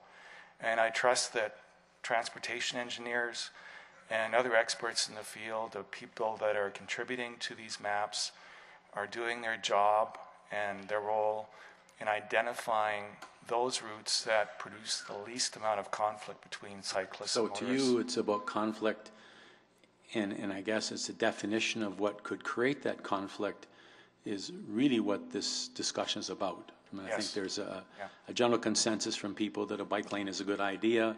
Um, it's a matter of defining where that bike lane might be in, in more quotation mark residential areas that bikes might um, impact the, the ability of people to go to church or to go to their uh, community league or go go to school, etc. And so I, I still like the answer more to do with do we have to have a bike lane for your tranquility in all these areas, or is there not a, uh, a standard in which we could create that would allow the peaceful coexistence of the two in areas um, that, that might meet the needs of both? Because today is an issue of a couple of communities. But if we want to do 500 kilometers or 700 kilometers or 1,000 kilometers of bike lanes, this becomes multiplied by that number of Yeah. people who are going to be unhappy. Yeah. And, you know, you can see that some of the, I, I'm not saying I agree with everybody uh, on either side, but we need to come up with a solution that's going to allow you to commute in your state of mind that's good and comfortable, and but also to allow um, someone to go to church on Sunday and be able to park. Um, so, and still, I'm looking because you seem to have a. a uh, I mean, I could ask all the cyclists and they would have the same opinion, but I like your coat, so. Uh, um, Thank you. Still would like you to kind of define where, where, how can we come to a consensus? Is there a, a bike group, a community group that can begin to look at this and, and come up with some, some balance? Because I think their community is seeing lack of balance. Commuters are saying there's not enough of it. So, Yeah, it's a very difficult situation to be in, and I've, I've asked myself if this happened in front of my house, um, potential loss of on-street parking, how would I feel? And to, to answer that, uh, I think we have to look at our environment, and um, we choose to live in an environment. We, we look at when we're buying a house or a place to rent, we look around us and, and, and we become familiar with what the environment is and we accept it. Um, engineers that build these environments do so with the best of intentions. By virtue of our history, we have a network of some streets that are narrow and some streets that are wide. So, for example, in my neighborhood where the bike lane's going to be implemented, we have wide streets and we do not have the loss of uh, on street parking. Whereas in other parts, the older parts of the city, um, we have narrow streets and there's going to be a loss. But I ask council to, to not only look at today, okay, just, I'm gonna, I need to ask you a question because you're coming at from the point of view of someone who is looking at it from a bicyclist. I think these people are probably who are uh, concerned about their ability to uh, have access to their homes are just as concerned about the environment, but it's they're taking away, you're taking we're taking away their access. Anyway, that's my time. You know, we've been Yeah. Thank you very much. Thank you, Mayor Mandel. Uh, Councillor Henderson? Well, I just wanted to follow up on, on the mayor's questions, and understanding that we're talking generically, but we do have this, you know, everybody mostly has talked about the 76th Avenue piece today, and I, Mr. Kinney, I think you've had it, you, you are fairly film, familiar with that. I think you mentioned the options that were there, and I think everybody would recognize that you want to pick the best options with the least amount, the best, the best ability to, to achieve safety of the cyclist with the, the least amount of conflict. So given, given the choice of 76th Avenue, understanding this is not, the question is not about how you put it on 76th Avenue, but why 76th Avenue might have been chosen over others. I mean, are there other options to get through there? Yes, so east-west routes in that area are pretty restricted um, just by virtue of the ravines in the River Valley system. So 82nd Avenue would be an option. Obviously, again, extremely expensive to retrofit that road to make it friendly for bikes. You're talking about a separated bike path. You're talking about millions and millions of dollars. Uh, and then Argyll Road is your other option. Again, not a very direct route to anywhere for a cyclist, as well as being very far out of the way, and again involving extensive retrofits and uh, a lot of money. 76th Avenue is the least busy road of those three, and it also cuts. And it's also the only route that cuts through the ravine. It also connects to other existing bike infrastructure on both 97th and 100th Street. And I'm, and I'm just trying to think of, even if you take the ravine out of it, I'm trying to think if there's anything else that goes through in there. I don't think there is, is there? On that side, there might be on the other side of the, of the, yeah. Okay, because I think that's, that's ultimately one of the things we have to struggle with here is that question of what the options are versus minimizing, coming up with the best possible. And then I think this is what we struggle with on 106 and 76 on the other side. And whether we got that balance right, I'm not sure. And it's an interesting question between trying to maintain, and there were places where I think parking was put back in along 106, not everywhere, but there were adjustments made based on, but it meant not as quite a good a bike route as well, correct? So that's, and maybe, maybe you have less people using it as a result. Correct. That's one of And there has been, uh, administration has taken steps uh, to address parking, especially on cross streets on 76th. And I think that should be taken into consideration as well. Great, thanks. Okay, thank you. Thank you, Councillor, Hen- Councillor, uh, Councillor Iveson. So I, I don't know if the, well, first of all, let me say thank you to everybody for taking the time to come and, and enlighten our thinking about this, whatever your perspective is. We appreciate your, your, um, your engagement in this. Um, uh, for the folks from the Edmonton bicycle commuters, I know there's a diversity of opinion among your membership as to what the ideal cycling facilities would be, or maybe less diversity of opinion about what the ideal uh, cycling facilities should be, but uh, diversity of opinion about where the emphasis should be and what kind of facilities should should be put in uh, place, and and that that was the case in 2009 and and previously during the consultation about should they be an on-street bike network, uh, on-street painted lines um, network or a separated uh, network, and that debate continues within your group. But I guess the question I want to ask you is is do you see the on-street uh, bike network with with its compromises, with its flaws, as still a good next achievable step to pursue in making cycling um, more feasible, more attractive to more people in Edmonton, even though it may not be the ideal facility from your members' point of view? A complete bicycle network requires a mix of facilities, and that does mean some that, yes, in the core areas with the highest traffic and the road width to take it, we want separated cycle tracks. It also means that on those longer stretches to connect uh, to the outer sections of the city and even just to the inner ring road, uh, that you're going to be looking at bike lanes that aren't separated and aren't as quite high level of infrastructure. It, it also means that they're cheaper, but they connect well. It's going to appeal to that to that 13% or uh, whatever it was, the enthused and confident, and it's just and it's all part of the whole system. And and so yes, we do want that both the diversity as well as the quality, um, but we do see the 2013 on-street routes as as part of that complete network. And and I don't know if your organization's taken a position, but certainly members from your organization have taken the position that there should never be a bike lane next to parked cars because of the door zone. And many of these routes still involve that consideration because the city has been working hard to preserve as much parking as it could on these streets. So the question was put to you, what are you prepared to compromise in this? are you prepared to compromise that that may not be the ideal situation in order to try to uh, allow there to continue to be parking on these on these streets where there where there isn't room to do everything the same as it's been done historically?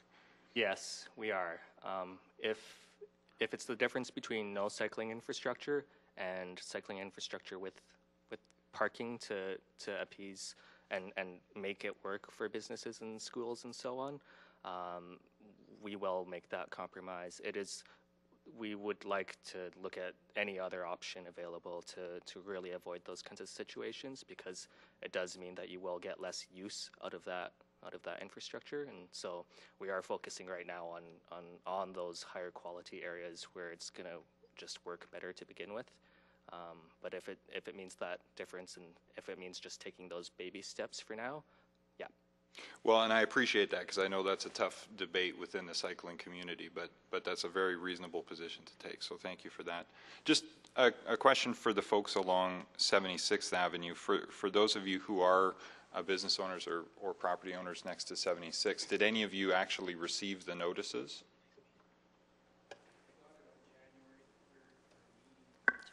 Can you, can you use the microphone? I got a hand delivered letter on January the 3rd telling me about a upcoming meeting on um, Jan- know, January Jan- 14th. January 14th, yeah, that's the one. Okay. Um, And they said they only delivered it, hand delivered it to the businesses. Um, and maybe the, uh, I'm not sure if the houses got it along that route or not. We didn't. Um, apparently, the only representatives for um, 76th Avenue were the business owners, and apparently, two representatives from Ritchie Community League were present. And the rest were cyclists. I believe a dozen cyclists, I believe. Isn't that what you said? At the first, at the first meeting, yeah, there, well, there was only about 10 people total, other than the um, about six to eight city staff. Well, I think there were a- attempts to have some pre-consultation with folks who would have particular issues like businesses who were selected to get some preliminary feedback uh, before going into the larger um, uh, town hall meeting that occurred. So we'll have to get some more clarity on that. Thank you. Thank you so much uh, to all of you for being here on behalf of the committee and uh, all the other council members. We really appreciate your time and uh, and your patience, and uh, we will try to work through uh, through the process and see what what happens next. So thank you so much once again for being here.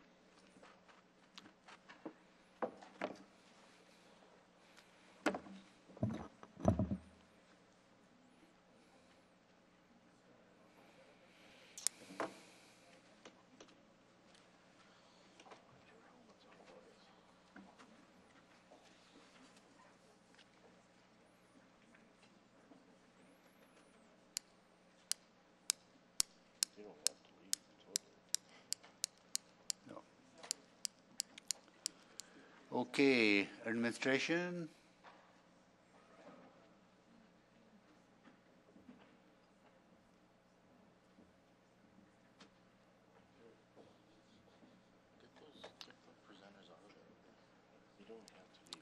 Can you please, uh, uh, Mr. Khan, can you please go to the back seat so uh, administration can have a seat? Yeah, okay. We just taking his stuff out? Okay, good. Okay. All right, so who wants to go first to administration? Councilor Gibbons? No, okay. Okay, go, Bryan. Councilor Anderson, go ahead. There you go. Uh, You heard my question about two-way lanes. Is there any opportunity or place, has, has that been looked at, or is that what people are calling a cycling boulevard? To have two-way bike traffic in one wider lane? That is an option in some cases. It's um, on a two-way roadway, having a two-way cycle, we would call that a cycle track. Having a two-way facility on one side does pose safety issues with, with um, vehicles and turning across the cycle track. In most applications uh, across North America that are building that type of facility, it's usually located on a one-way road as opposed to a two-way roadway. And that, that is what is uh, shown for the Just 102nd for Avenue. my own, just for my own information, if you have, what, what is the width of a, uh, an on-street cycle lane that you are currently painting? Uh, it's between one and a half meters and two meters wide. And if you went to a two-directional, would it double that space? It would have to be a minimum of three meters. Okay. Uh, Mr. Latte, I think, could you give me an order of magnitude for what you are doing now in terms of on-street and prepping the road and laying down the lines, and I'm assuming at the same time fixing potholes uh, or making it bike usable? Give me an order of magnitude to taking the sidewalk that currently exists out and putting in a multi-use trail that was off the road. Are we talking 50 times as much money, or 10 times, or 100 times? Uh, On a, on a per meter basis, uh, I, I would say building a off-street facility versus marking a lane uh, would be at least, at least 10 times, uh, and perhaps even more. For example, 76th Avenue. I have no idea when the majority of those neighborhoods are up for neighborhood renewal, but if a neighborhood that is currently planned to have a cycling facility on the road is up for neighborhood reconstruction, and you are going to 50-50 sidewalks along, say, 76th Avenue, is, does the option arise to have that sidewalk reconstructed at three meters with a divided line and an off-road cycling facility? Well, uh, I'd have to answer that to say, um, wide, three-meter wide off-street facilities in mature neighborhoods uh, pose their own problems. First of all, even to widen it to three meters, um, where you have residential frontage and trees, you're almost encroaching into the property line. So that becomes a, a problem because these mature neighborhoods are very constrained. And secondly, probably more importantly, is um, dedicated off-street facilities on on grid streets where people have to come off and on the sidewalk and cross side streets is inherently unsafe because drivers don't expect those types of behaviors on, on major, uh, major bike facilities. It's not like where you're backing on in the new neighborhoods where you have long continuous stretches and you're cycling interrupted. Does, does the twinning of Rabbit Hill Road that we underwent over the last two years and created a sidewalk on one side and a multi-use trail on the other, is that a cycling facility off-road? Yes, it is. On the wider side, yes. Yes. Um, when we have a whole bunch of congested roads and we make one wider, traffic flows more quickly until everybody on the congested road discovers that it's quicker on that road and they come to it until it too is congested. Basic rule of thumb. That traffic equalizes and balances, yes, that's sort of a basic principle in traffic theory. The 30% increase in cycling, did you try to guess at how many of the cyclists that generated that number of 30% came from other routes to that particular route? Or are you trying to say to me that there was the number of new cyclists increased 30%, or it's simply users on that facility? Yeah, we're, not able to distinguish whether they're brand new users or users that have come uh, elsewhere. It's just a raw count.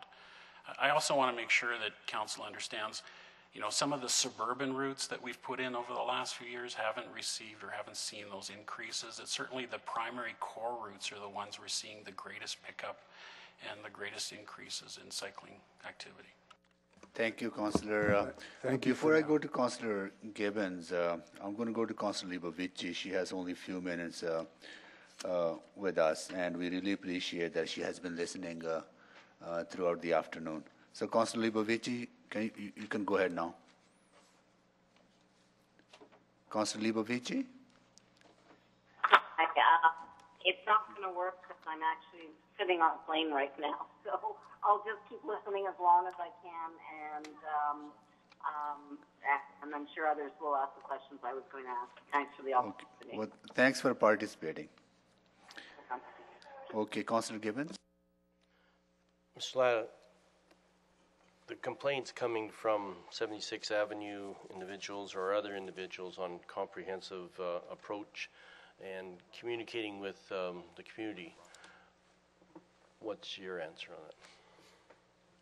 So, Councillor Gibbons, I, I you know, I- I'm certainly, um, I don't know whether frustrated or disappointed is the word in, in hearing that, that people feel they haven't been consulted or haven't been notified because I believe um, administration has done a, a significant uh, part to try to make people aware of what's going on. Um, this started back in early January where we sent um, specific hand-delivered notices, and, and that was for the stakeholder sessions, the businesses, the churches, the community league executive, to bring them to a, a preliminary meeting, as Councillor Iveson had mentioned. That was followed with a tremendous amount of social media, information on the city website, and then we distributed 45,000 uh, mailers. Uh, I have copies of them here to all households along the route. And unfortunately, sometimes with mailers that go through Canada Post, some people see them, some people don't, but we feel we've captured a significant number of people through that. And then we've done newspaper ads, three in the Journal, three in the Sun. We've placed signs on the street. And the types of notification we did this year is greater than last year and greater than the year before. So when I say we've learned and improved, I believe we have. And I think, in, given the fact we've sent 45,000 flyers and you know, we, we were dealing with feedback, there's, I believe, a lot of people that were notified and have been in, informed. A lot of the phone calls and emails coming in my office have actually hit since the mayor's uh, uh, motion that brought us here today. Um, I think they thought it was just over and done with, and um, they weren't being listened to anyway. So they didn't call before, didn't come in before, and uh, so I'm just saying that this is maybe an approach that has to be done that people get uh, get their voices out. Now, Councillor Iveson talked about um, possibilities of the danger of having um, bike lanes where a door can open in a car. You got problems like that right now, and then you got the other one when I'm, I brought up um, John Bosco Church is the angle parking, and you put after we decided you weren't going to take away any parking, the bike lanes markers went into the center of the city, which is in both these cases. And um, I'd sure hate to see somebody backing out of an angle parking and hit somebody on a bike because that's where you put them, where you could have put them on a sidewalk, that it was just built in the in the previous year, and maybe it made it wider because there's lots of boulevard there. It's too wide a street, and it's um, got huge boulevards, and we couldn't even talk about sidewalks. So, Councillor, on that, over the last three years, we've made a number of adjustments, and I would say we've modified some of what would be called best practices for uh, bicycle facilities to try to accommodate concerns of residents and churches. Uh, in terms of angle parking, uh, angle parking is can be problematic where you have a bike facility, but again, it's a matter of looking at well, what is the best solution for the needs that we have, and trying to monitor it and try to make adjustments where where and if there are any issues beyond that.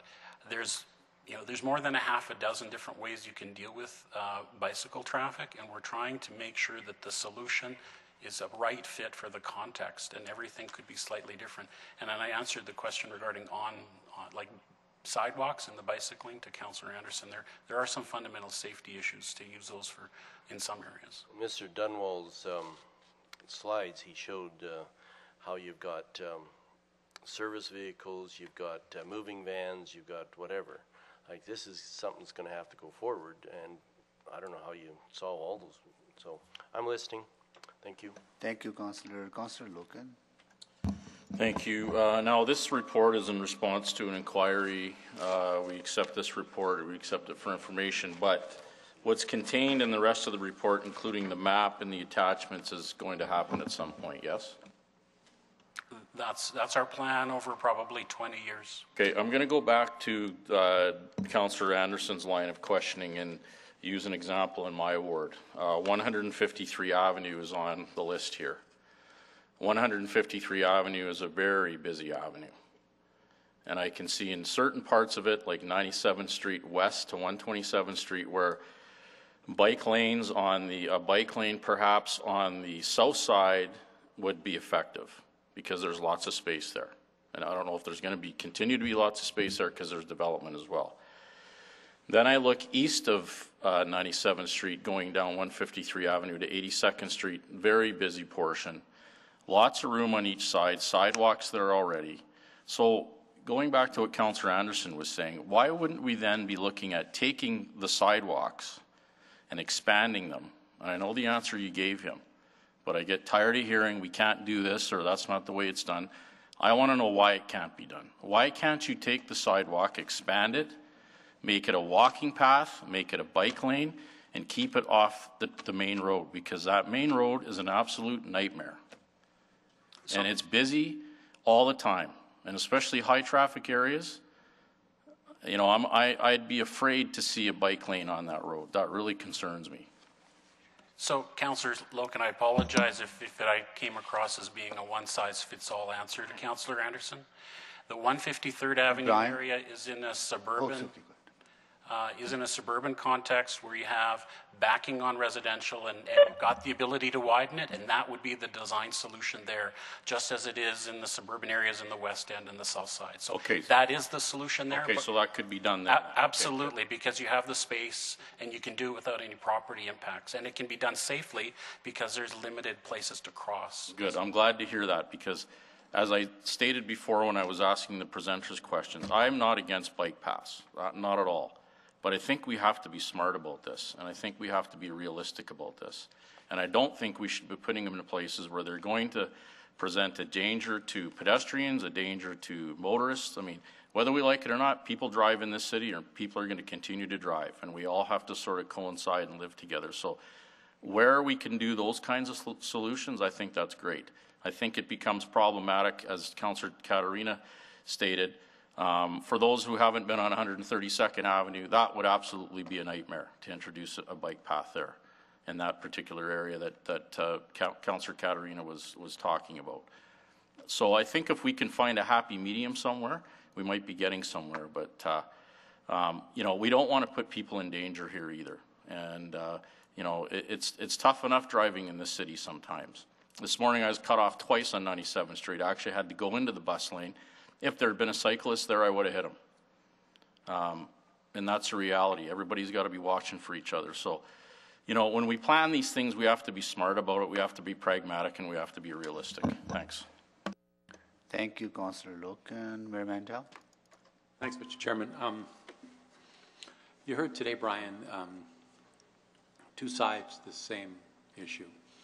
Um, Council has, does have a policy of developing bike lanes, but there seems to be a disconnect between what you're doing within your department and communicating with the community who is impacting, being impacted by this. My concern is that this is 23 kilometers or whatever the number you're going to do this year, but you want to do 500 kilometers. So we need to get a, a system better and a system more effective in place that is going to create this great conflict. Because it seems that people are getting very frustrated. So what are your, some of your suggestions rather than um, what you've been doing in the past, which seems to be alienating a lot of people? So, Mayor Mandel, um, certainly this year, just by the quantity, it's probably one of the largest and most broader number of locations that uh, we're ever going to have to encounter.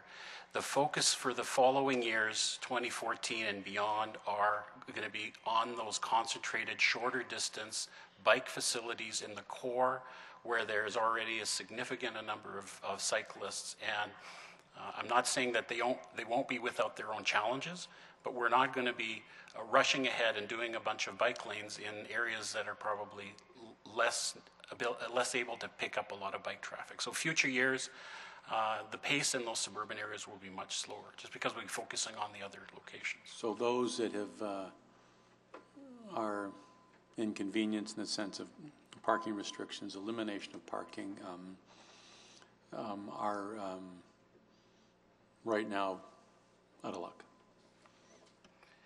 Mayor, we've, um, Because they, they, they really, they've said here, and I, I can't speak to whether they were or weren't consulted. Um, my guess is I would believe what people have to say. They don't reason, no reason to come here. um, to not to tell the truth, just like everybody comes here. I believe they're, they're with, uh, with merit in their positions. But it's quite clear, almost universally, that your consultation process was one-sided. Mayor, I believe, I believe, I believe there were a, a number of people out there that certainly had the expectation that the consultation involved um, a, a relocation of the route. And we were very clear at the beginning that the, the route isn't what the discussion is about, is how do we deal with parking? How do we deal with the Yeah, but that- traffic That's issues? the problem when the city does that. When you go into a meeting and you say to someone that it's a fait accompli, that this is going to be the route and this is what's going to happen, and here are your two options. I'm Not saying we can't do that a lot of times because it's, it's our only options, but when you're impacting um, people the way you have, um, I'm not sure that you're being fair with them in, in essence of trying to come up with some solutions, because you've said, just like when I've read signs in the past, there will be a bike lane here. So it's a matter of not whether it's discussion about the bike lane, it's going to be here, and you can come and listen to us tell you why there's going to be a bike lane here. And then when we were dealing with what does that mean to the businesses, it primarily means a parking issue. We say, all right, can we provide, or we're going to provide more parking on the side street. If we have a handicap issue, we'll provide you a handicap spot uh, in front of your home, and we're going to provide parking on one side of the street. There's, there's back and forth, and there's um, design solutions that staff have been working through on many of these. Have we solved 100% of them?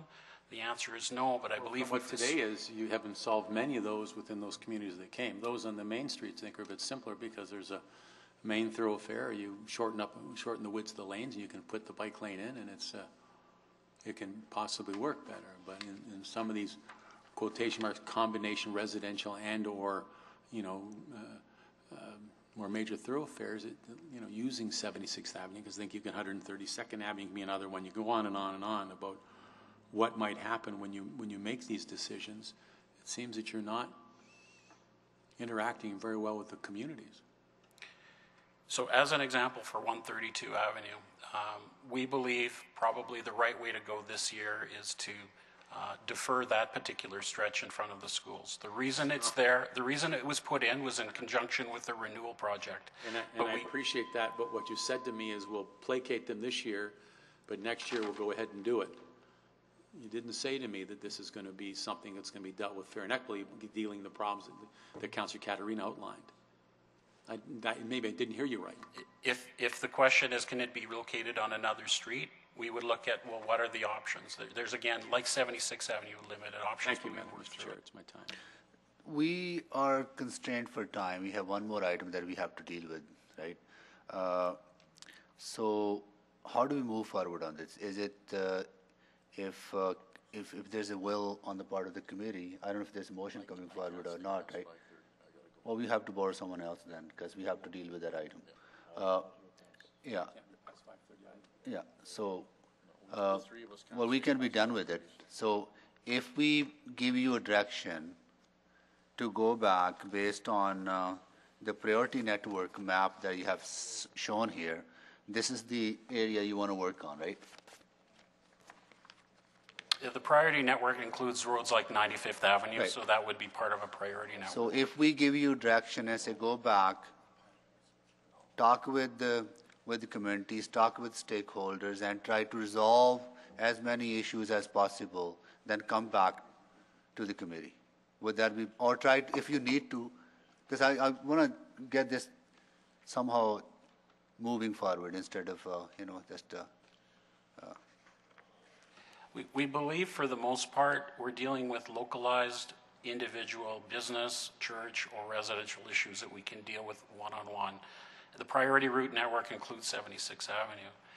Um, If you would like us just to focus on the priority routes, there's probably 25% of what we want to do this year that wouldn't advance. that would not advance, and that will be more, more in the, in the suburban areas, or? There, there would be suburban areas, there would be areas that we're trying to do in conjunction with renewal, so we would forego that opportunity this year. We would have to come back at some later time, and it would be a higher cost to implement. Those are the opportunities we would lose in some of those suburban. But if you're doing a renewal, you can look into that, right? But if, if you just focus on this one, right, then uh, these are the high, high demand, I mean, high traffic areas for cyclists. The, the priority network is the ones we have said a number of times we will be focus on, focusing on in years to come. I'm, I'm just trying to get it, like, is there will on the part of the committee to uh, uh,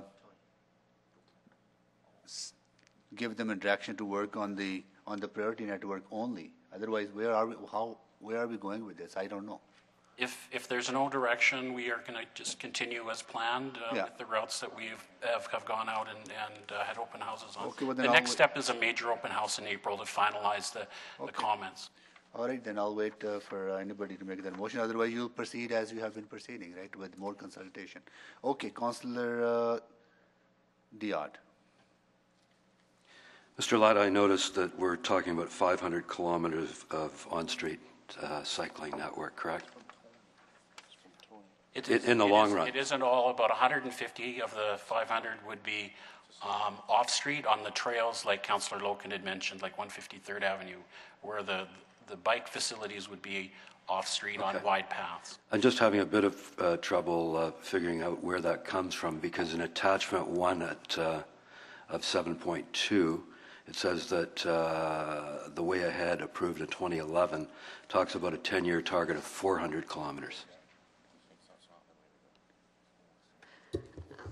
Councillor Diotte, I think we have to realize that as the city grows and expands, we're adding to the network that we need to accommodate cycling on. So over the longer term, our intent is to have on-street facilities and uh, the amount will increase year by year. So you just took it upon yourselves to add 100 kilometers.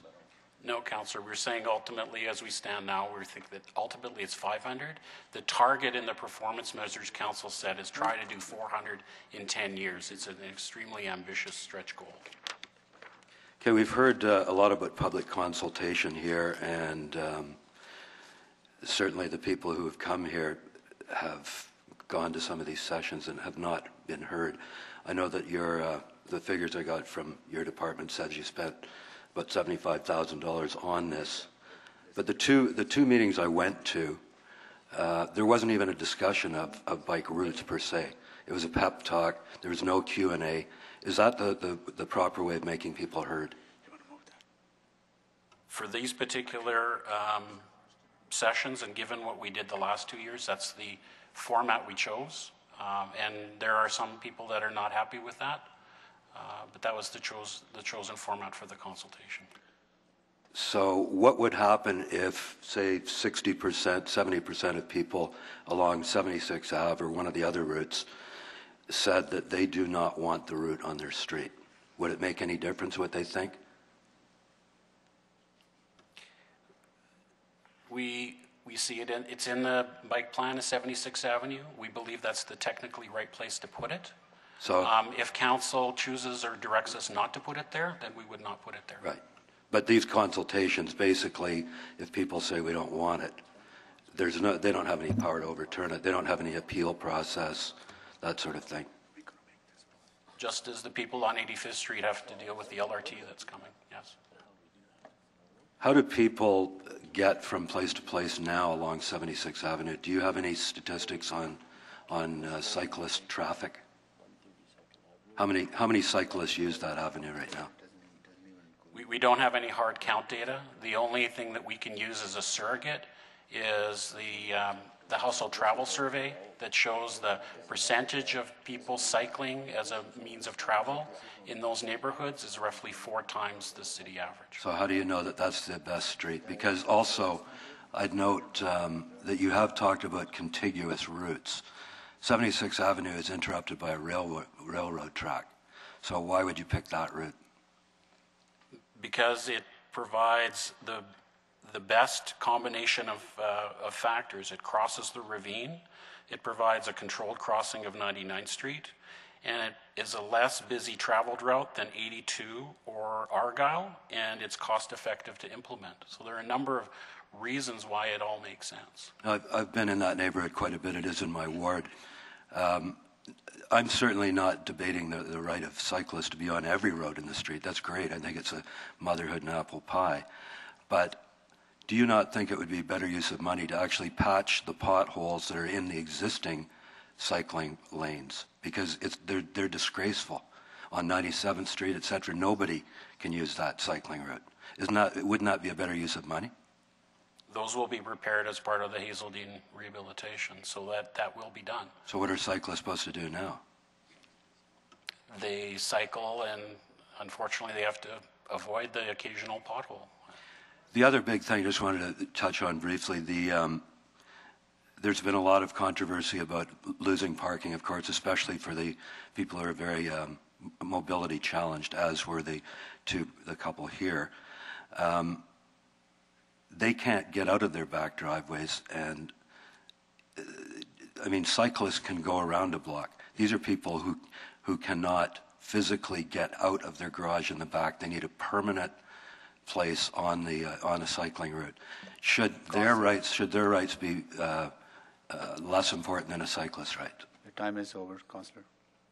You want to quickly respond? Councillor, that they have rights as, as cyclists do. Their issue is different, and we've provided a couple options for them, either in terms of a permanent handicap spot on the other side of the street, or uh, a handicap loading zone area, time limited, on where the bike tra- track is.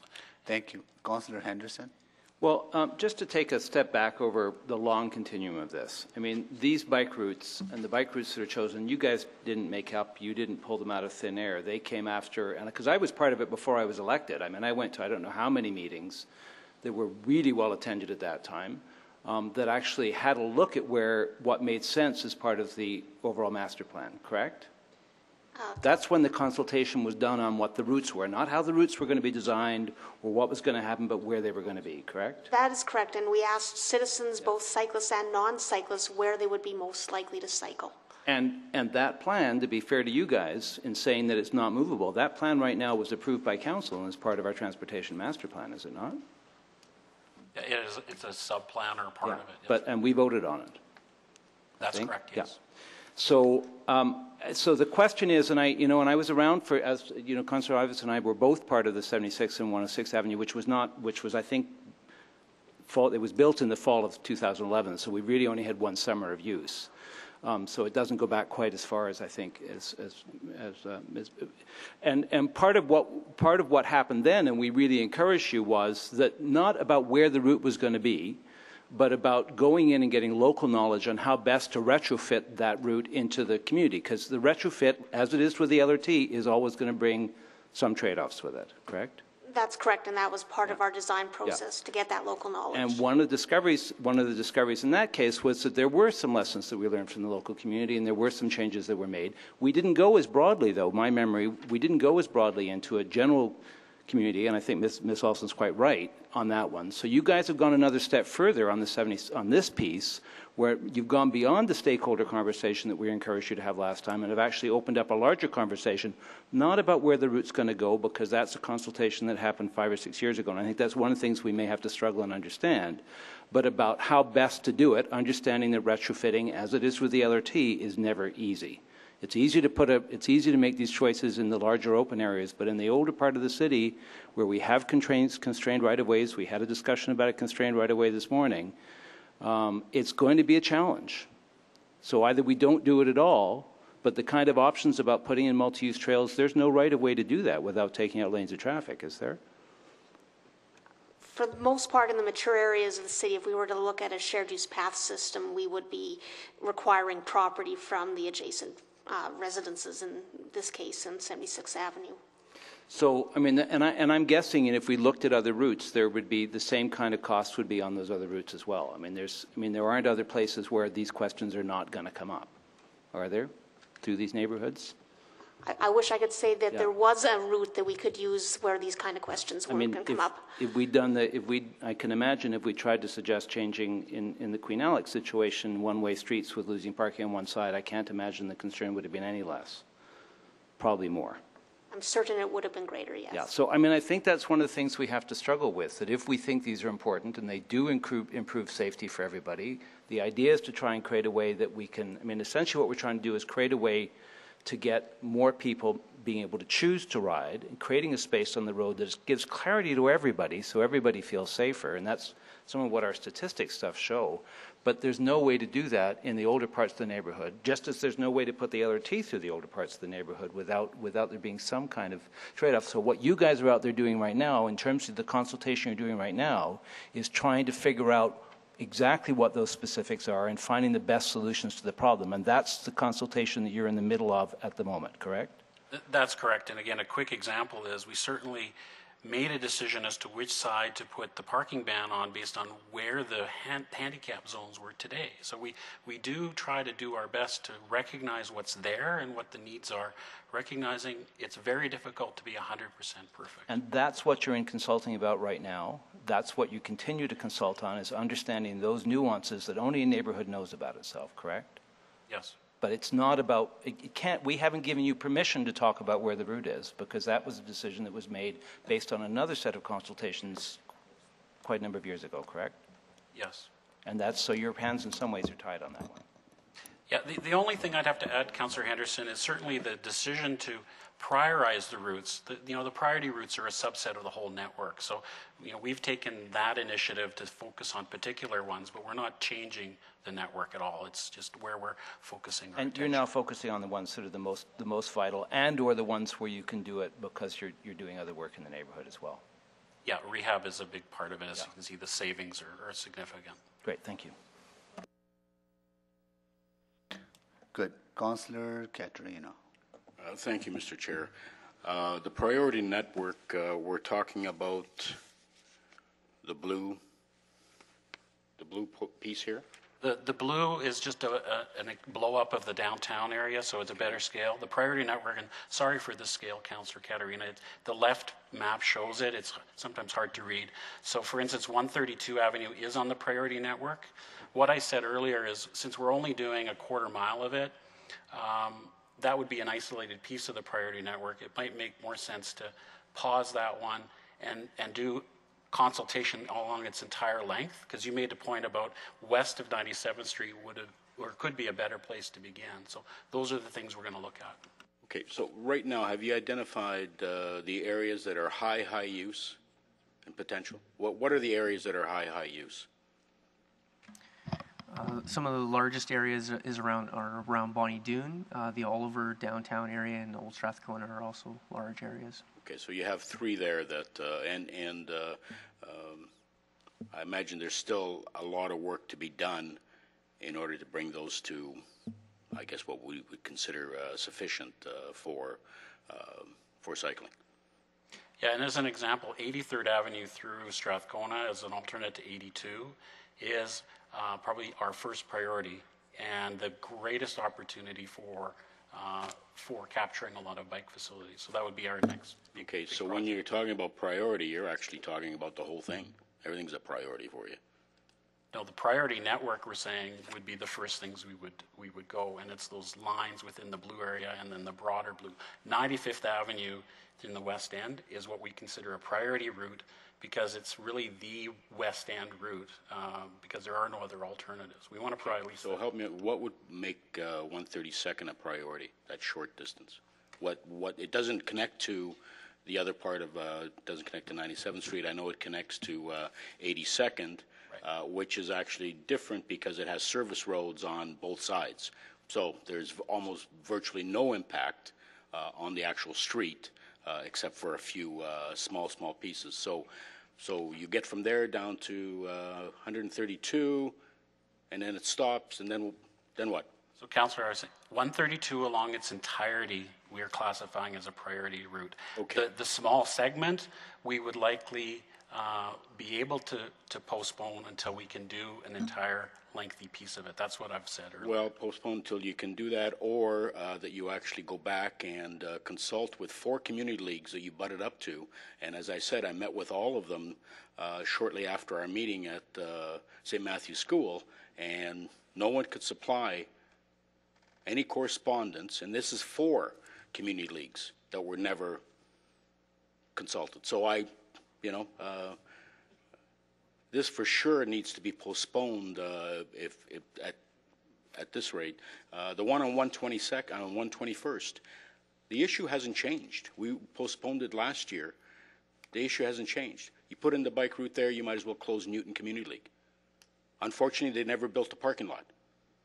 But their livelihood for maintaining it depends on whether they can park there or not. So that hasn't changed. So I, what I'm asking for is some possibility here where you get councillors involved. You know, you went out and you put up the signs on 132. I saw them just like everybody else. This bike route's coming. I said, well, okay, I, you know, surprise to me too. So using councillors that actually know the streets and drive them every day and maybe could have saved you some anguish or maybe directed you to the people you should be talking to would have been beneficial. Councillor Caterina, when we did send out the invites to the stakeholders, we did include councillors. Um, and in the, in the, case of the Northeast routes, uh, when we sent out those January 3rd stakeholder letters, again, those were the ones that were hand delivered. Uh, Delwood, Baldwin, Kilkenny, Glengarry, uh, the, the schools, the, um, the pool were, were included. And, and if people said they didn't get it, I, I don't have anything more to say. And Audrey, you know who, who showed up that night, and uh, uh, they weren't there. I saw them a few days later, and they said no. So I'm, they said no. The four. And, and I, I do understand that, although we did check with our consultant that was leading the public involvement, and they confirmed that there were follow-up letters sent out. There were also follow-up phone calls and emails uh, to remind people about that stakeholder meeting. So it's disappointing that uh, people are saying that they weren't notified, and we'll certainly take that forward as we go into the program next year and try to do a better job of making sure everybody gets the notice. Thank you, Mr. Chair. The consultant uh, also um, uh, said that evening that they had never been to 132nd uh, uh, in the morning uh, PM uh, rush as well, that they hadn't actually looked at the volume of traffic and what actually happens there. Councillor Caterina, just to clarify, the consultant was a public involvement consultant. Uh, the job of looking at how the road operates and then working on the design uh, for the bike facilities is the job of the engineers, and that's what my staff have been working on. And we certainly have gone out and looked at how that uh, road operates during the morning and afternoon school drop-off periods. Thank you, uh, Councillor Loken. I'd like to put a motion on the floor, Mr. Chair. Okay, go ahead. That the March 13th, 2013 Transportation Services Report be referred back to administration for additional consultation and evaluation of the priority network map on community needs, including safety, handicap parking, parking issues for residents, and access parking to any area business facilities. Okay. So I understand there are some questions on, uh, on this. Uh, Mayor Mandel? No, I- I just have a subsequent motion asking for a report back from administration on the consultation process to show us what they did, how they did it, and so I'll do that after this, this motion. So Thank you, that's, Mayor. that's why I'm there. Uh, Councillor Anderson? Mr. Latte, help, help me here. I, I think bike lanes are great if they're in the right location. You said that you would deal with a variety of the issues that surfaced today on a one-to-one basis if you were given the green light to move forward as planned. Councillor Anderson, I- can tell you that staff are doing that. They've been doing that and continue, will continue to do it as best Is they can. there, is there the opportunity for further analysis that would, for example, instead of banning parking and putting a bike lane down the curb and, and using existing roads, or allowing parking, putting the bike lane outside, uh, the parking, can you still adjust that kind of planning to go from no parking to parking with a, There's not physically space to put parking on both sides, two travel lanes, and a bike lane each way. We, we Well- would have used that as our first, uh, first course of action. my action. understanding on 40th Avenue going east of, of 111th Street that you're not doing that. You're doing a lane and a half. So, sorry, my answer was relative to 76th Avenue. So where we can, it can be done. It all, every road is going to be different depending on its width, its lanes, and parking and other things. To fall, to, to, to use the direction on this motion, how long is it going to take you to do additional consultation evaluation of the priority network, including safety, handicap parking, parking issues for residents, access, parking to business facilities? I would suspect that uh, most, if not all, our plan for this year would likely not be able to be implemented, given the times to, to get the plans approved, to have the road marking done at the right time of year, um, dealing with other construction activities. Uh, We could report on what we've done thus far or what issues are still outstanding, but to go through an entirely new consultation process would probably um, jeopardize this year's program. Well, I think our, one of our major problems, and you don't have the only one, I think planning's got it, there's a, community services has it.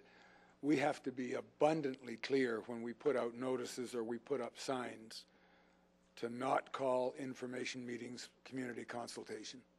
We have to tell people that this is sharing of information. Here is what's going to happen. And if there's some window dressing that can be adjusted, that might occur. But the basic nuts and bolts of a particular plan, we just have to be really careful because I heard that time and time again today that people expected to be listened to, to have questions answered, and get the support of a crowd and, and be able to change things. Uh, to the members of the committee, and all five of us are here, I just got an answer back from Mr. Latte that if this motion passes, everything they've planned for this year won't happen. And if that's what we want, then I suppose we support this. I personally don't necessarily want to eliminate a year of planning and work on bike lanes. Thanks. Thank you. That's not how I understood it. So, so Councillor, certainly if there's certain routes, if, if we're dealing with 76 Avenue as an example, Yeah. um, that's a, that's a different story. If it's all 23 kilometers, uh, and I would say the vast majority of those 23 kilometers don't have issues.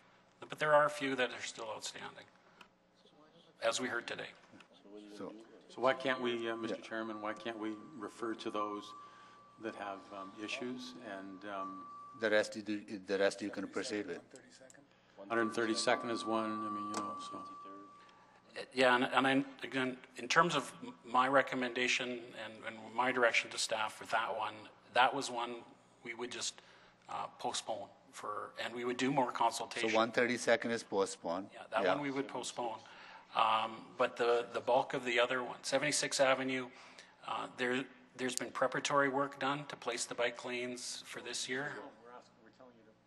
I'm saying that's one that we heard from people, all kinds of people today. That would- needs to be delayed. So you can proceed with the rest. If we say go back, consult with 76 Avenue folks, then that will meet with, the that'll meet the requirement. Is that the intent, Mayor? Yeah. Mr. Chair, I, I would um, request if possible, if we could, if we have time to come back with uh, another report exclusive of 76th Avenue to see if it still can be implemented this year. I think that would be very important because it is one of the priority routes. Yeah, you, if you can come back, you can come back, right? It doesn't have to, that you have to delay it to next year. But all we, uh, if I understand you, the, the areas that are no problem, you should proceed ahead with them, right? The problem area is 76th Avenue. If you can, you come, come back to the committee and, uh, Then if the motion would e- explicitly list 76 Avenue, that would help us a lot. Okay, you know what? We going to be running out of time, and we have about uh, one, two, three, four, five people on board. So I think other some committee members have to leave. They have other uh, commitments that uh, they have to fulfill on their behalf of their responsibilities. And uh, uh, can we continue tomorrow morning with this? 9:30. Utilities in the afternoon.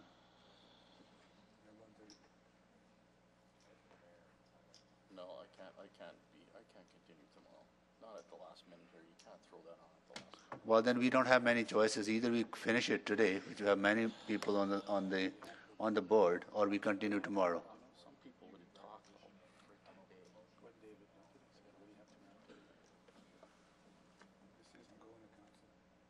Do you, is it, is it okay to, from your end, is it, is it okay to continue tomorrow morning? From ad- administration's end? We can be here, it's not. You can be here. And who, from our side, who, If you start early enough, I can, you know. we can start eight o'clock tomorrow morning. Or nine, nine thirty. Okay, yeah, nine thirty we can start, or nine o'clock, don't matter to me. Nine thirty is fine. I, I have capital region Just, board, uh, so I I mean, I, we've got a subsequent motion that has to be made. We're trying to adjust. Can I ask this question? Yeah, go ahead. Ahead of everybody else. If, if we eliminate the referred back part and insert 76th Avenue, 132nd's already going to be postponed. If we give him direction to deal with 76th Avenue, he can bring a report back. He can bring a report back dealing with the 76th Avenue issues in time for him to continue if he's satisfied the concerns that the committee has. I don't think we need any more talking.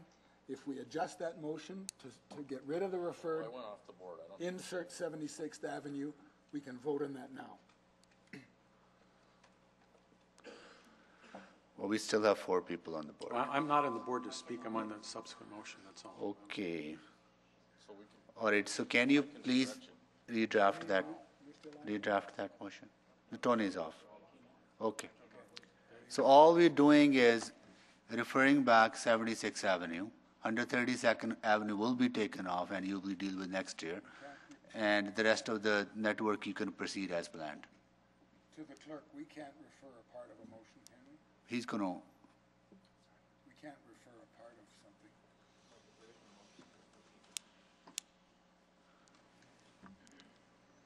you- we're gonna reword this.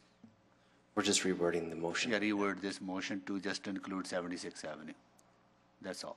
Mr. Chairman? Then there'll be motion on the floor, and Chairman, are there other issues of other councillors in other areas that are part of this program? People mentioned 150, 153rd Avenue, and that is not uh, part of this year. it's not part of, like, I've just, other issues, I guess, Brian, that were raised, are they part of this issue this year? Uh, Councillor, or, sorry, Mr. Mayor, the only ones I heard during this presentation was uh, some concerns perhaps in Blue Quill. Um, That was, there was only one speaker on that. And uh, there was some commentary about Newton and 121 Avenue. Blue Quill was only processed. So then it would be only 121 Avenue that was brought up, and and I don't necessarily... 21 would be, so 121 should be. Newton, Newton, is, is the part of this year? Yes, and actually, we were hoping to do it last year. It's been deferred at least one year already. Okay, so Mr. you- Chair, the reason for that is that the issues have, have never been resolved. uh, So if we include Newton Same into it, positions. 76 and 121. 153rd is not part of it, right, Mr. Lara? It's not, right, it's okay. Yeah, okay. I didn't hear. That administration prior report, additional consultation and evaluation, 76th Avenue, Newton Community, or you want to say 121st Avenue instead of uh, on the, One- 121 Avenue. at 21 Avenue, on the community needs. That's it, okay. Does that, does, is that cool? All right, so uh, can we vote on this? Uh, All in favor? Please vote, display the vote. That is carried. Mr. Chairman, just a quick subsequent motion, I'd like the report to come back to committee as the consultation process they went through um, for council to have an understanding. So a report on the consultation process for this, uh, um, the installation of bike lanes Okay, with accompanying documentation. Please vote, display the vote. That is carried. So we have one item. Yeah, okay. Councillor Gibbons got to go, but Dave, you... Oh, this, this should be a quick one. This shouldn't take too long. We don't need, we don't need much time on this sucker. No, we don't, right. Just tell him we got a speaker, though. No, he, uh, I don't think he's here anymore. He was. Mr. Chair, the speaker is not here. Yeah, he's not, so. Just move to tell them to do it. Yeah. Just can you, uh, just pass on the list of the, uh, locations? So what city clerk is doing is passing on the list of the locations that will be grind, grind and, uh, and paved, right? So,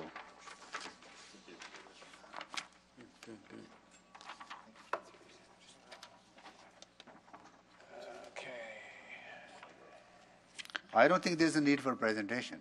No, we have two brief comments. The, we are distributing the list of locations, and um, they're shown on the map here, although the map is not terribly clear. Um, But as indicated, we have at least one location per ward with a total program of up to two- 12 million. Um, I guess our request to actually proceed with the construction is to, that we need an action motion at city council um, to We'll make just that approve it happen. send it to city council. Yeah, there's a, there's a motion uh, that Councilor Anderson is going to make. Can we? Okay, I'll make, have you, have you got this motion? And why not? Bryce got it. Can it. we email it to them? The second, the second part would be helpful too. The motion that is suggested is that the Transportation Committee recommend to City Council that up to $12 million be approved for expenditure in 2013 on a mill and overlay program and that the administration include in the spring SBA the advancement of the required funds by adjusting cash flows in the Rossdale Arterial Construction Project to complete that work in 2015 in conjunction with the completion of Walterdale Bridge and other cash flow adjustments. Secondly, that the administration provide a report to uh, TIC outlining historical and projected trends in arterial roadway conditions and funding expenditures and requirements to adequately rehabilitate and maintain condition of the arterial roadway system over the next five to 10 years.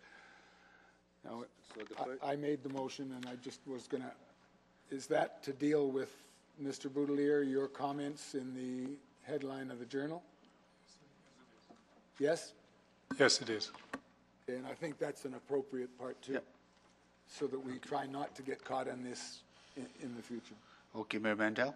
Yeah, just, um, how much grind and fill were you going to do in 2013?